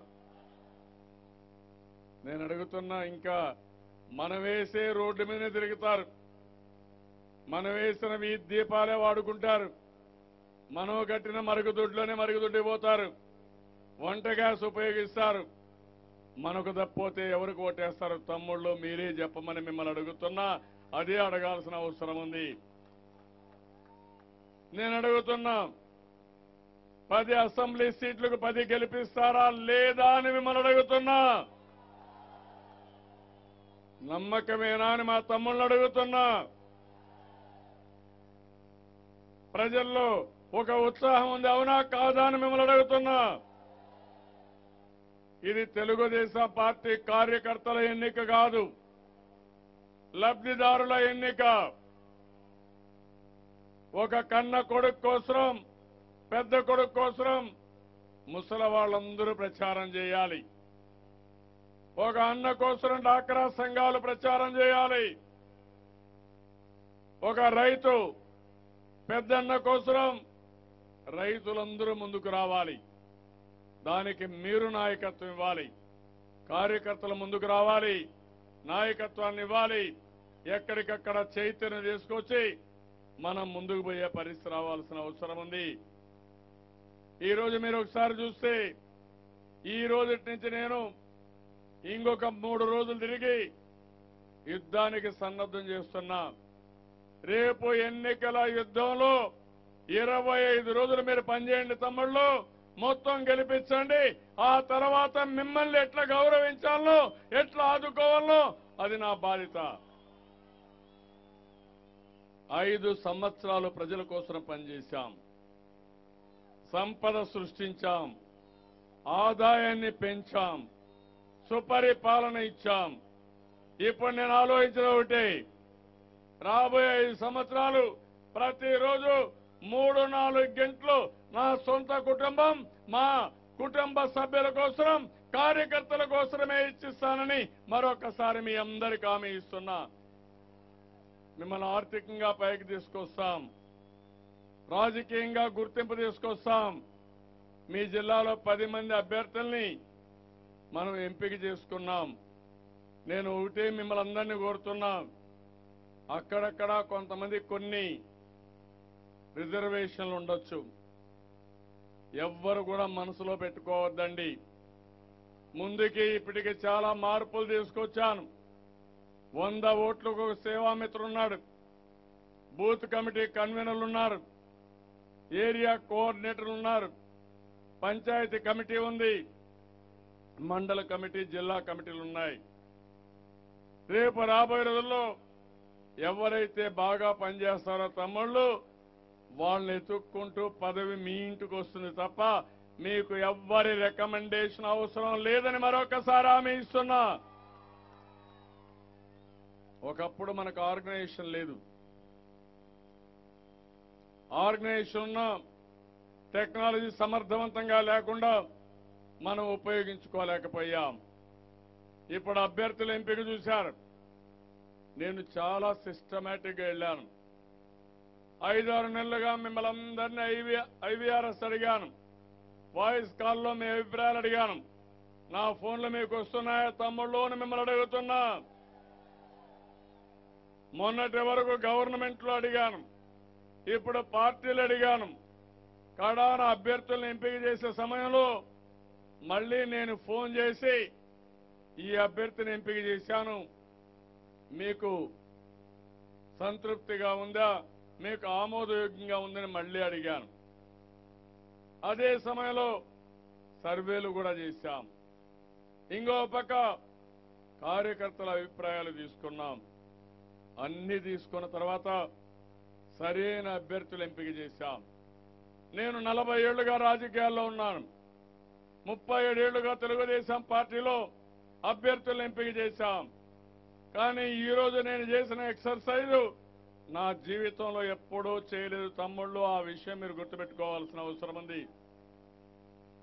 నేను అడుగుతున్నా ఈసారి మనం చేసిన అభ్యర్థుల ఎంపిక మీకు తృప్తినిచ్చిందా లేదా అని మిమ్మల్ని అడుగుతున్నా. గట్టిగా చెప్పండి కూడా చెప్పండి. మిమ్మల్ని అడిగానా లేదా? ఏం తమ్ముళ్ళు అడిగానా లేదా? మీ ఆమోదంతో అభ్యర్థులను ఎంపిక చేశానా లేదా? మిమ్మల్నే కాదు ప్రజలు కూడా అడిగా. ఇప్పుడు భారం మీ మీద ఉంది ప్రజల మీద ఉంది. నేను ఎంపిక చేసింది మీ అందరి సలహాలు తీసుకొని చేశాను. ఈరోజు మళ్ళా తెలుగుదేశం పార్టీ బలంగా ఉండాలంటే అనుకున్న ప్రగతిని సాధించాలంటే అందరూ కూడా మన అభ్యర్థుల్ని మళ్ళీ గెలిపించాలి. మీరు చూశారు. పోయినసారి వైఎస్ఆర్ కాంగ్రెస్ పార్టీ ఓటేస్తే అసెంబ్లీకి వచ్చి గొడవ చేసేవాళ్ళు. రెండున్నర సంవత్సరాలుగా అసెంబ్లీకి రావడం మానేశారు. వచ్చారా అసెంబ్లీకి? జీతాలు తీసుకున్నారా లేదా తమ్ముళ్ళు? మనం అందరం చెప్తాం పని చేయకపోతే కూలి ఇవ్వం అంతేనా? No work no pay. కానీ వీళ్ళకి మాత్రం పని చేయకపోయినా ప్రజాధనాన్ని శాలరీస్ రూపేణా డిఎల్ రూపేణా తీసుకున్న పార్టీ ఈ వైఎస్ఆర్ కాంగ్రెస్ పార్టీ. పార్లమెంట్లో మీరు చూశారు. ఇక్కడే అశోక్ గారు ఉన్నారు. అదే మరిగా మన రామ్మోహన్ నాయుడు ఉన్నాడు. బ్రహ్మాండంగా పోరాడారు. పోరాడారు లేదు తమ్ముళ్ళు. వైఎస్ఆర్ కాంగ్రెస్ ఎక్కడన్నా పార్లమెంట్లో ఉన్నారా? ఎక్కడన్నా కనపడ్డారా? ప్రత్యేక హోదా పైన ఎవరు పోరాడాం విభజన హామీల పైన ఎవరు పోరాడాం నమ్మక ద్రోహం చేసి నమ్మించి మోసం చేసి వదిలిపెట్టమని మనం పోరాడితే మన మీద సిబిఐ దాడులు ఇన్కమ్ ట్యాక్స్ దాడులు ఈడీ దాడులు మన మీద దాడులు చేస్తారు. అవినీతి పరులు కాపాడుతాడు నరేంద్ర మోడీ గారు. ఆయన పెద్ద ఫోజులు ఇస్తున్నాడు. నేనేదో పెద్ద దేశాన్ని కాపాడుతున్నాను నరేంద్ర మోడీ గారు మాట్లాడుతున్నారు. నేను అడుగుతున్న తమ్ముళ్ళందరినీ బీజేపీ వల్ల ఎవరికైనా ఒక్క రూపాయి లాభం వచ్చిందా తమ్ముళ్ళు మిమ్మల్ని అడుగుతున్నా. పెద్ద నోట్ల రద్దు. మీకు లాభం వచ్చిందా? జీఎస్టీ వల్ల మీకు లాభం వచ్చిందా? రైతులకు ఏమైనా లాభం వచ్చిందా? పేదవాళ్ళకి ఏమైనా చేశారా? కడాన తిత్లీ తుఫాన్ వస్తే పలకరించారా తమ్ముళ్ళు అని మిమ్మల్ని అడుగుతున్నా. పక్క జిల్లాల్లో ఉండే జగన్మోహన్ రెడ్డికి సమయం లేదు వచ్చి పరామర్శించడానికి. వారం రోజులు ఇక్కడే ఉన్నా. మళ్ళీ మామూలు పరిస్థితి వచ్చిన తర్వాతనే తిరిగి హైదరాబాద్ పోయాం తప్ప అమరావతికి వెళ్ళాను తప్ప అంతవరకు ఇక్కడే ఉన్నాను. ఈ రోజు నేను హామీ ఇస్తున్నా తాత్కాలికంగా చేయాల్సిందా చేశాం. భవిష్యత్తులో ఉద్దానం ఏరియాలో తీర ప్రాంతంలో పూర్తిగా మిమ్మల్ని ఆదుకునే బాధ్యత పెద్ద ఎత్తున అభివృద్ధి చేసి మీ సమస్యలన్నీ పరిష్కారం చేసే బాధ్యత తెలుగుదేశం పార్టీదని చెప్పి కూడా నేను మీకు తెలియజేస్తున్నా. వారం రోజులుంటే నాకు ఒక ఆలోచన వచ్చింది. భవిష్యత్తులో నేరుగా ఇచ్చాపురం నుంచి భోగాపురం వరకు బీచ్ రోడ్ కూడా ఒకటి వేసుకుంటే మధ్యలో భావనపాడు పోర్ట్ వస్తుంది. నేషనల్ హైవే ఉంది. పక్కన బీచ్ రోడ్ వస్తుంది. నూట తొంభై నాలుగు కిలోమీటర్లు వేసుకోగలిగితే దేశంలోనే కాదు ప్రపంచంలో ఇలాంటి తీర ప్రాంతం ఎక్కడా ఉండదు. పెద్ద ఎత్తున ఇండస్ట్రీస్ వస్తాయి. నీళ్ళున్నాయి. రైల్వే ట్రాక్ ఉంది. ఇంకో పక్కన ఈ రెండు రోడ్ల మధ్యలో సముద్రాన్ని కనెక్ట్ చేయగలిగితే బ్రహ్మాండమైన అభివృద్ధి అవుతుంది. నేను ఒకటే మిమ్మల్ని కోరుతున్నా. కొన్ని కారణాల వల్ల శ్రీకాకుళం ఇంకా అభివృద్ధి చేసుకోవాలి. ఇప్పుడిప్పుడే అభివృద్ధి పట్టణంలో పెట్టాం. నీళ్ళు ప్రతి ఒక్క ఎకరాకి ఇస్తాం. పెద్ద ఎత్తున పరిశ్రమలు తీసుకొస్తాం. భావనపాడు పోర్ట్ ఎయిర్పోర్ట్ పోర్ట్ని పెద్ద ఎత్తున అభివృద్ధి చేస్తాం. ఇలాంటివన్నీ చేయాలంటే పదికి పది సీట్లు మనమే గెలవాల్సిన అవసరం ఉంది. అది గెలిపించే బాధ్యత మీది. ఇంకో పక్కన కార్యకర్తలందరికీ హామీ ఇస్తున్నా. రేపు మీరు ఎవ్వరు కూడా ధైర్యపడవలసిన అవసరం లేదు. కుటుంబ పెద్ద నేనున్నా. తెలుగుదేశం పార్టీ ప్రతి ఒక్క కార్యకర్త ఎక్కడున్నా మీకు న్యాయం చేసే బాధ్యత నేను తీసుకుంటానని ప్రతి ఒక్క కార్యకర్తకు హామీ ఇస్తున్నా. దీనికి ఒక పటిష్టమైన వ్యవస్థను కూడా ఏర్పాటు చేస్తాం. ముప్పై ఏడు సంవత్సరాలుగా పార్టీ కోసం పనిచేశారు. ఒక వీర సైనికులుగా మీరు పనిచేశారు. నేను చాలా ఎన్నికల్లో చూశాను. మూడు నాకు అర్థమైపోతుంది. ఎప్పుడైతే తెలుగుదేశం పార్టీ కార్యకర్త ఉత్సాహంగా ఉన్నాడో అప్పుడు ఎన్నికల్లో ఎవ్వరూ మనల్ని ఎదిరించలేరు తట్టుకోలేరు. అది మనకుండే శక్తి. ఈరోజు మీరందరూ ఉత్సాహంగా ఉన్నారా లేదా అని మిమ్మల్ని అడుగుతున్నా. ఉత్సాహంగా ఉన్నాం రెండు చేలు పైకి చెప్పండి. అన్ని సీట్లు గెలిపిస్తారా అని మిమ్మల్ని అడుగుతున్నా. గెలుపు పైన మీకు నమ్మకం ఉందా అని మిమ్మల్ని అడుగుతున్నా. ప్రజల్లో ఆనందం ఉంది కార్యకర్తల్లో ఉత్సాహం ఉంది. ఇప్పుడు కావాల్సింది ఈ పార్టీలు ఏవైతే కోడికత్తి పార్టీ ఉందో వీళ్ళు చేసే రాజకీయాలు తెలంగాణ నుంచి డబ్బులు వస్తాయి తమ్ముళ్ళు. వస్తాయా డబ్బులు? పంపిస్తాడు. ఎందుకంటే ఇక్కడ వైఎస్ఆర్ కాంగ్రెస్ పార్టీ గెలిస్తే ఆ నాలుగైదు సీట్లు పెట్టుకుని ఢిల్లీలో బేరసారాలు చేయాలని మన రాష్ట్రానికి అన్యాయం చేయాలని ఆలోచిస్తున్నారు. నేను అడుగుతున్నా ఫెడరల్ ఫ్రంట్ అన్నారు. ఎవరైతే కేసీఆర్ ఉన్నాడో టీఆర్ఎస్ పార్టీతో పొత్తు పెట్టుకున్నారు. ఈరోజు ప్రత్యేక హోదాకు అడ్డంగా ఉన్నారు. మీరందరూ చెప్పాల్సిన అవసరం ఉంది. ఫెడరల్ ఫ్రంట్లో ఇద్దరు చేరారు. మాకు ప్రత్యేక హోదా ఇమ్మని టీఆర్ఎస్ని లెటర్ రాసే వరకు వదిలిపెట్టకుండా మీరు గట్టిగా ఒత్తిడి చేయాల్సిన అవసరం ఉంది. ఇంకొక పక్కన పోలవరం ప్రాజెక్ట్ని అబ్జెక్ట్ చేస్తున్నారు. సుప్రీంకోర్టుకు వెళ్ళారు నేను అడుగుతున్నా పోలవరం ప్రాజెక్టుకు అబ్జెక్షన్ పెట్టే పార్టీతో మీరెట్ట కలిశారో సమాధానం చెప్పాల్సిన అవసరం ఉంది. నేను ఒకటే మీకు హామీ ఇచ్చేది. నేను ఒకటే ఎప్పుడు మీరు చూశారు. ఎప్పుడైనా సరే ఆంధ్రప్రదేశ్కు నష్టం జరిగే పని ఎవరు చేసినా వాళ్ళ గుండెల్లో నిద్రపోతాం తప్ప వదిలిపెట్టమని మరొక్కసారి ఈ సభ ద్వారా ఈ శ్రీకాకుళం చెప్తున్నా. శ్రీకాకుళం ఎప్పుడు కూడా ఒక చైతన్యం ఉన్న జిల్లా. బ్రహ్మాండంగా స్ఫూర్తిదాయకంగా ముందుకు పోయిన జిల్లా. ఎప్పుడూ కాంగ్రెస్ పార్టీకి ఓటేయకుండా మనకే ఓటేసిన జిల్లా ఈ శ్రీకాకుళం జిల్లా. ఈ జిల్లా రుణం నేను ఎప్పుడు తీర్చుకోలేనని మరొక్కసారి తెలియజేస్తున్నా. చరిత్రలో చాలా మంది నాయకులు ఈ జిల్లా నుంచి రావడం ఒక పక్కన గౌత లచ్చన్న గారు ఈ జిల్లా నుంచి వచ్చి పెద్ద ఎత్తున ఉద్యమాలు చేయడం కడాన తెలుగుదేశం పార్టీ వచ్చిన తర్వాత నేను ఎప్పుడూ మర్చిపోలేను. ఎర్రమనాయుడు గారు నాకు చాలా కుడి భుజంగా ఉండి ఏ పని చేయాలన్నా ఒక మాట చెప్తే ఆ పని అయ్యే వరకు పట్టు పట్టుదలతో పనిచేసిన వ్యక్తి ఎర్రమనాయుడు గారని చెప్పి కూడా నేను మీకు తెలియజేస్తున్నా. తెలుగుదేశం పార్టీ కూడా ఆ రోజు ఈ రోజు కేబినెట్ ర్యాంకులు వస్తే ఈ యొక్క విజయనగరం శ్రీకాకుళానికి ఇచ్చాం ఉత్తరాంధ్రకి ఇచ్చాం. ఆ రోజు ఎ- ఎర్రంనాయుడు గారిని కేబినెట్ మంత్రిగా ఇచ్చాం. ఈ రోజు మొన్న కూడా మన అశోక్ గజపరాజు గారు మన పార్టీ తరఫున కేబినెట్లో ఉన్నారు. అలాంటి నాయకత్వాన్ని ఇచ్చిన జిల్లాలు ఈ ఉత్తరాంధ్ర అని చెప్పి కూడా నేను మీకు తెలియజేస్తున్నా. కాబట్టి మిమ్మల్ని అందరినీ చూసినప్పుడు మళ్ళీ నేను ఒకటే కోరుతున్నా. ఈరోజు సంక్షేమ కార్యక్రమాలు చేశాం. అభివృద్ధి కార్యక్రమాలు చేశాం.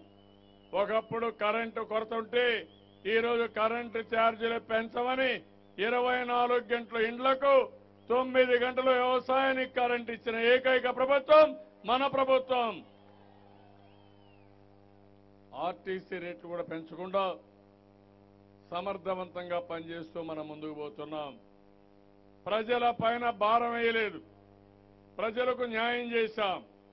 ఇంకా ఎక్కువ పనులు చేయడానికి మనం ముందుకు పోతున్నాం. ఇలాంటి సమయంలో మిమ్మల్ని అందరినీ ఒకటే కోరుతున్నా ఒకటి రెండు పనులు కాదు చాలా పనులు చేశాం. ఈ రోజు నేను వెంకటేశ్వర స్వామి దగ్గరికి పోయినప్పుడు నేను చేసిన ప్రార్థన ఒకటే. ఆంధ్రప్రదేశ్ రాష్ట్రాన్ని ప్రపంచంలోనే ఒక ఆదర్శ రాష్ట్రంగా తయారు చేయడానికి ఆశీర్వదించమని వెంకటేశ్వర స్వామిని కోరాను. నాకు వ్యక్తిగతంగా ఏమీ లేదు. భగవంతుడు అన్ని విధాలా ఆశీర్వదించాడు. ఈరోజు మనం ఆలోచించాల్సింది రెండు వేల ఇరవై రెండుకి భారతదేశంలో మూడు అగ్ర రాష్ట్రాల్లో ఒక రాష్ట్రంగా మంది ఉండాలి. రెండు వేల ఇరవై తొమ్మిదికి నెంబర్ వన్ రాష్ట్రం ఏదంటే అది ఆంధ్రప్రదేశ్గా ఉండాలి. మన హక్కులకు సంబంధించి విభజన హామీలు బీజేపీ ప్రభుత్వం నెరవేర్చలేదు. అవి సాధించుకోవాలి. ప్రత్యేక హోదా మనకు మోసం చేశారు. మనం మీరు ఆలోచిస్తే ధర్మ పోరాటం చేశాం. నిన్నే మీరు చూస్తే విశాఖపట్నం రైల్వే డివిజన్ ఇచ్చారు. ఏమిచ్చారు తమ్ముళ్ళు? ఏమన్నా ఉపయోగం ఉండే డివిజన్ మనకి ఇచ్చారా అని మిమ్మల్ని అడుగుతున్నా విశాఖపట్నానికి? తలలేని మొండాన్ని మనకి ఇచ్చారు డివిజన్ తీసుకుపోయి రాయగడ్డకి ఇచ్చి విశాఖపట్నంలో డివిజన్ కూడా లేకుండా మనకు జోన్ ఇచ్చే పరిస్థితికి వచ్చారంటే ఆదాయం రాయగడ్డకు పేరుకు మాత్రం జోన్ విశాఖపట్నానికి ఇచ్చే పరిస్థితికి వచ్చారు. అంటే ఇది పచ్చి మోసం. దగా నరేంద్ర మోడీ గారు గాని బీజేపీ గాని పూర్తిగా మోసం చేసే పరిస్థితికి వచ్చారు. మీరు ఒకటే చెప్పాలి. ఇరవై ఐదు పార్లమెంటు సీట్లకి ఇరవై ఐదు పార్లమెంటు సీట్లు మన అభ్యర్థుల్నే గెలిపించమని మీరందరూ కోరాల్సిన అవసరం ఉంది. ఇరవై ఐదు పార్లమెంట్ సీట్లు మనం గెలిస్తే తప్పకుండా ప్రత్యేక హోదా వస్తుంది. విభజన హామీలు నెరవేరుతాయి. తెలంగాణ నుంచి రావాల్సిన వాటా కూడా వస్తుంది. ఇవన్నీ మనం సాధించుకునే అవకాశం వస్తుంది. ఇక్కడ మన అభ్యర్థులుగా ఇద్దరు అభ్యర్థులు ఉన్నారు. నేను ఒకటే మిమ్మల్ని అందరినీ కోరుతున్నా. మొట్టమొదటిసారిగా రామ్మోహన్ నాయుడు.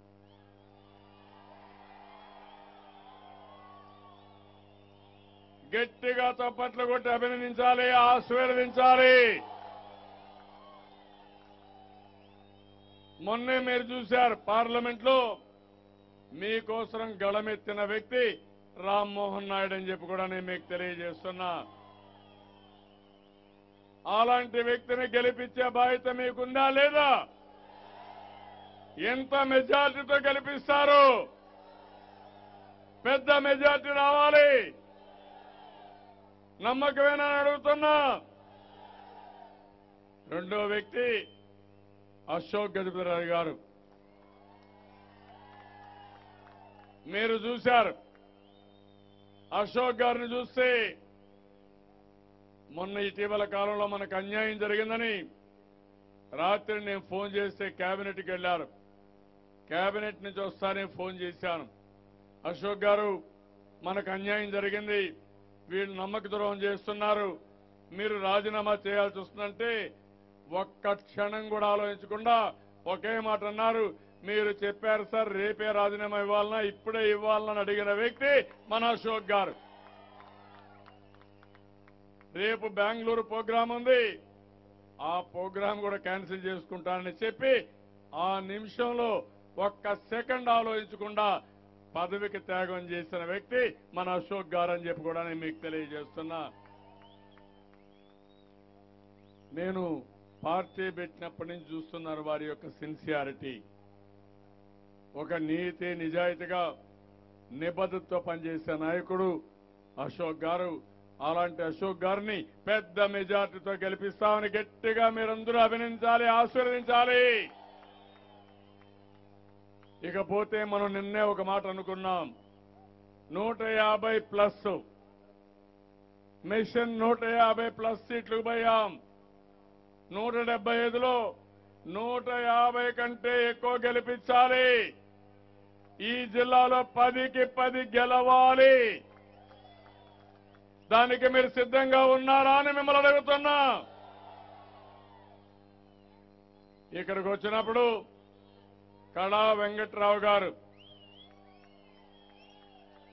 ఆంధ్రప్రదేశ్ రాష్ట్ర తెలుగుదేశం పార్టీ అధ్యక్షులు హెచ్ఆర్ల అభ్యర్థిగా కళా వెంకట్రావు గారు మీ దగ్గరకు వస్తున్నారు. గట్టిగా చప్పట్లు కొట్టి అభినందించండి. మంచి మెజార్టీ రావాలి. గెలిపిస్తామని ఒక సీనియర్ నాయకుడుగా మీ అందరికీ ఎప్పటికప్పుడు అందుబాటులో ఉండే వ్యక్తిగా మీరు గట్టిగా ఆశీర్వదించాల్సిందిగా మరొకసారి మిమ్మల్ని అందరినీ కోరుతున్నాను. ఇక్కడిని ఈరోజు మిగిలిన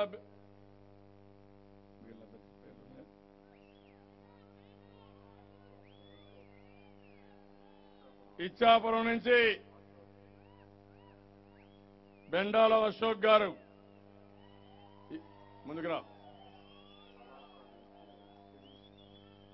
గట్టిగా చప్పట్లు కొట్టి అభినందించాలి మంచి మెజార్టీ కల్పించాలి పలాస నుంచి శిరీష్ గారు.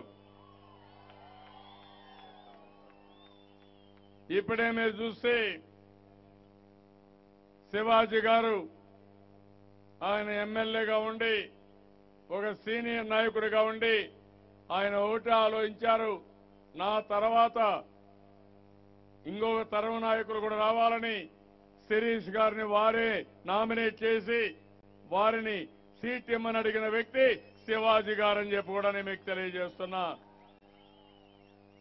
అదొక రాజకీయ కుటుంబం. గౌత లచ్చన్న గారి గురించి ఎవరూ మర్చిపోలేం. ఆయన కుమారుడిగా శివాజీ గారు తెలుగుదేశం పార్టీలో చాలా సేవలు అందించి ఈరోజు వారి వారు రాజకీయాల్లో ఉత్సాహంగా ఉంటూనే శిరీష్ గారిని మళ్ళీ వారి ప్రపోజ్ చేయడం చాలా సంతోషం. గట్టిగా చప్పట్లు కొట్టి మీరందరూ ఆ అమ్మాయిని అభినందించాలి. జిల్లా పార్టీ అధ్యక్షులుగా చాలా బాగా పనిచేసింది. చాలా మంది నాయకులు జిల్లా పార్టీ అధ్యక్షులుగా ఉన్నారు కానీ ఆఫీసు కట్టలేకపోయారు సొంత ఇల్లు కట్టలేకపోయారు. ఒక ఆడబిడ్డగా ఉండి శ్రీకాకుళం జిల్లా ఆఫీసు కట్టే వరకు నిద్రపోకుండా ఆఫీసు కట్టారు. చాలా అభినందగ్గ విషయం. ఆ తర్వాత మీరు చూస్తే మన అచ్చెమనాయుడు గారు టెక్కలి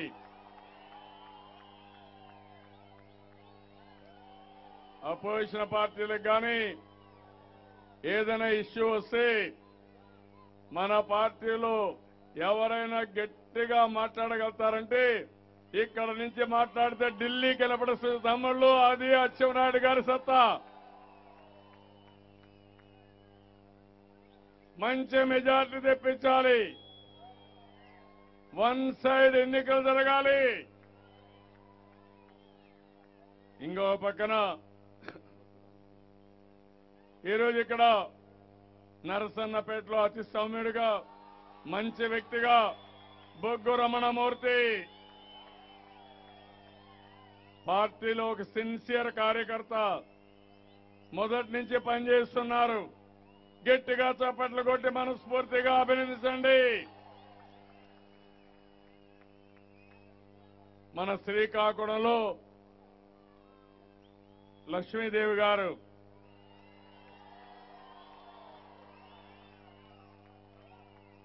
అప్పల సూర్యనారాయణ గారు ఈ శ్రీకాకుళంలో చాలా సేవలు అందించి వారి తర్వాత లక్ష్మీదేవి గారు సేవలు అందిస్తున్నారంటే గట్టిగా చప్పట్లు కొట్టి మీరు అందరూ అభినందించాలి అతిపెద్ద మెజార్టీ కల్పించాలి.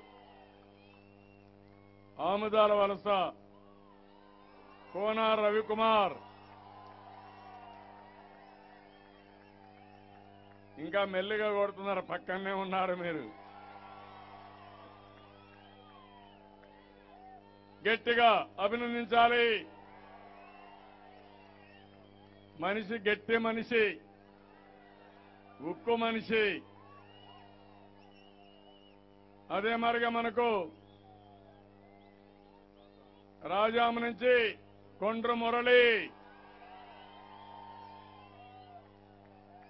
కొండ్రు మురళి వచ్చిన తర్వాత రాజాం తిరుగులేని నియోజకవర్గంగా ఎమర్జ్ అయింది. One side గెలుస్తున్నాం.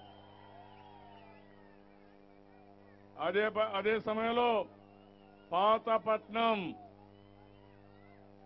పాతపట్నంలో కలమటి మోహన్ రావు గారు. సారీ కలమటి మోహన్ రావు గారి అబ్బాయి కలమటి వెంకటరమణ. గట్టిగా.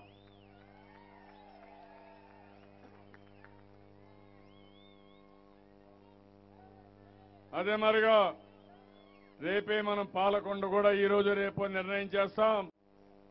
అన్ని నియోజకవర్గాల్లో ఎమ్మెల్యే అభ్యర్థులను ప్రకటించుకొని మనం ముందుకు పోయే పరిస్థితి వస్తుంది. నేను అడుగుతున్నా మిమ్మల్ని అందరినీ. టీం శ్రీకాకుళం చూశారు. అందరినీ మంచి మెజార్టీతో గెలిపిస్తారా అని మిమ్మల్ని అడుగుతున్నా.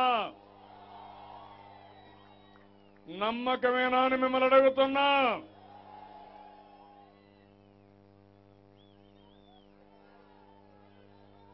టైగర్లు పులులు లైన్లు ఎన్నికలైన తర్వాత చెప్తాను తమ్ముళ్ళు మీ అందరికీ. ఏ నియోజకవర్గంలో ఎంత మెజారిటీ వస్తుందో ఆ నియోజకవర్గం కార్యకర్తల్ని లీడర్ని ఎంత గౌరవిస్తారు రాబోయే రోజుల్లో? ఇప్పుడు కొత్తగా ఒక రూల్ పెట్టాను.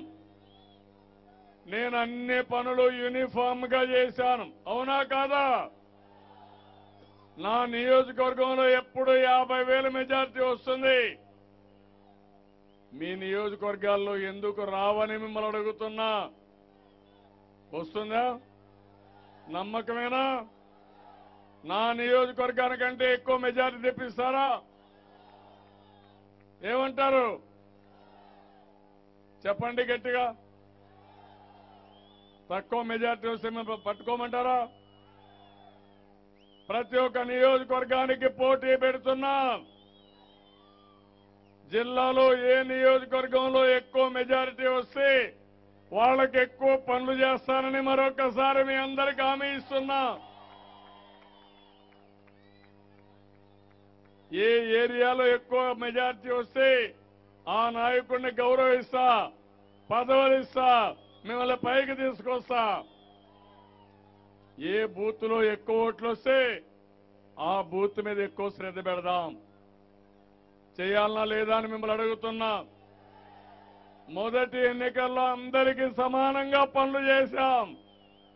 రెండో ఎన్నికల్లో పోటీని పెడుతున్నాం.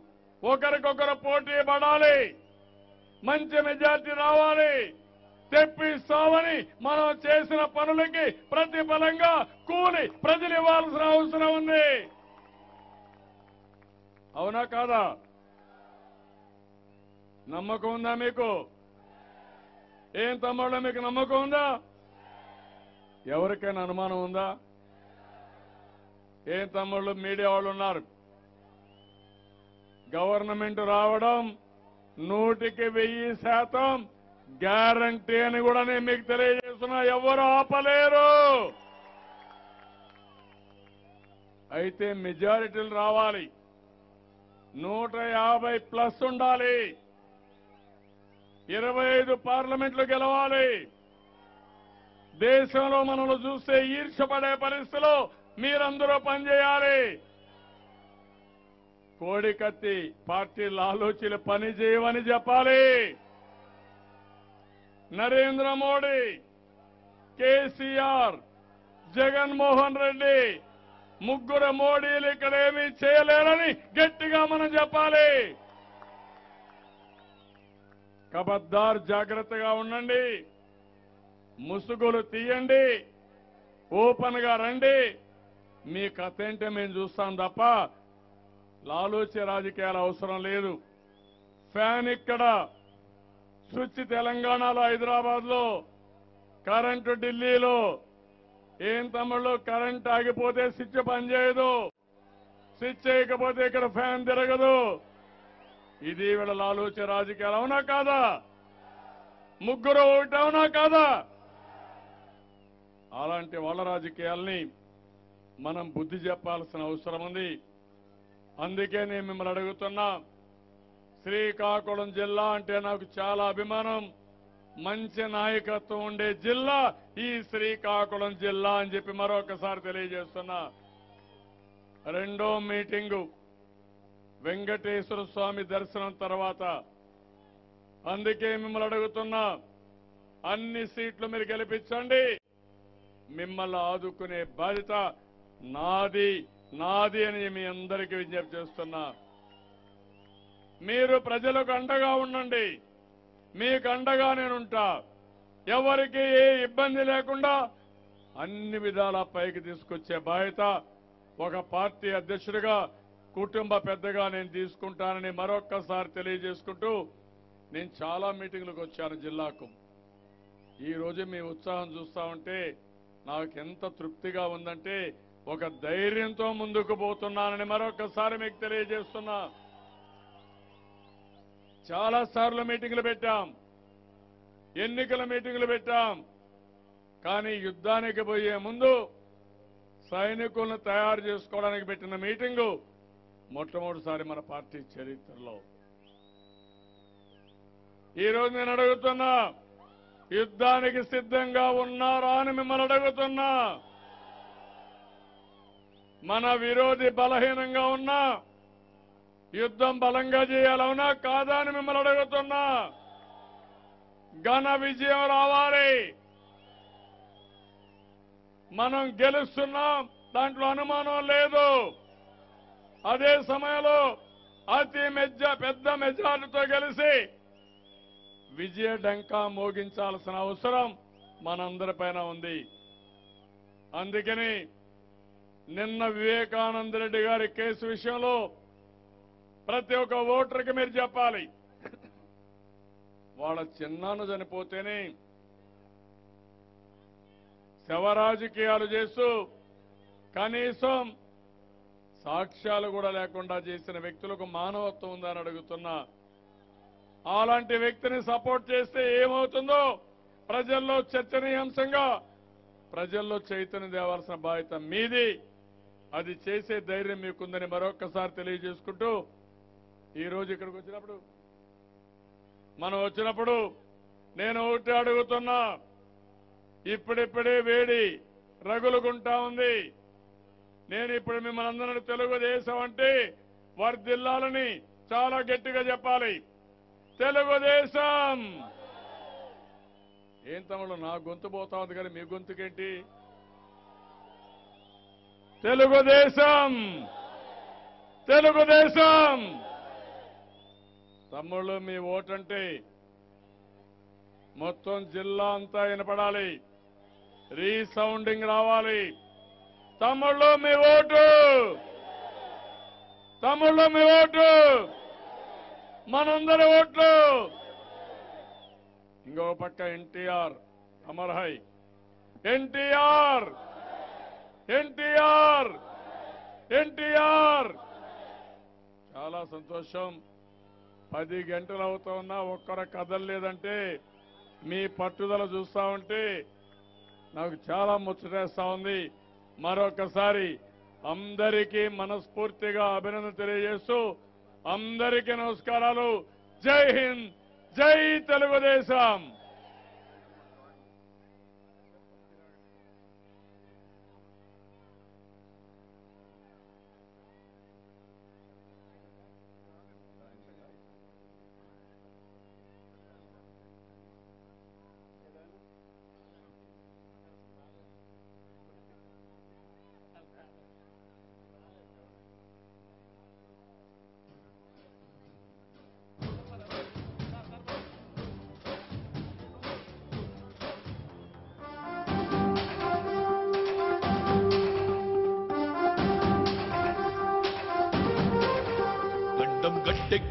నాయకుడిప్పుడు ఒకటే ఒకటే ఒకటే. జాతికి ప్రగతిని తెచ్చే పాలకుడిప్పుడు అతడే అతడే అతడే. గడ్డం గట్టెక్కించే నాయకుడిప్పుడు ఒకటే ఒకటే ఒకటే. జాతికి ప్రగతిని తెచ్చే పాలకుడిప్పుడు అతడే అతడే అతడే. సూర్యునిలాగా చీకటి చేర్చి చంద్రునిలాగా వెన్నెలనిచ్చి అందరికీ అభివృద్ధిని తెస్తాడే.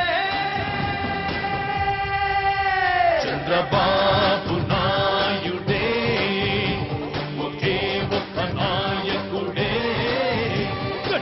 ఎక్కించే నాయకుడిప్పుడు ఒకడే ఒకడే ఒకడే. జాతికి ప్రగతిని తెచ్చే పాలకుడిప్పుడు అతడే అతడే అతడే.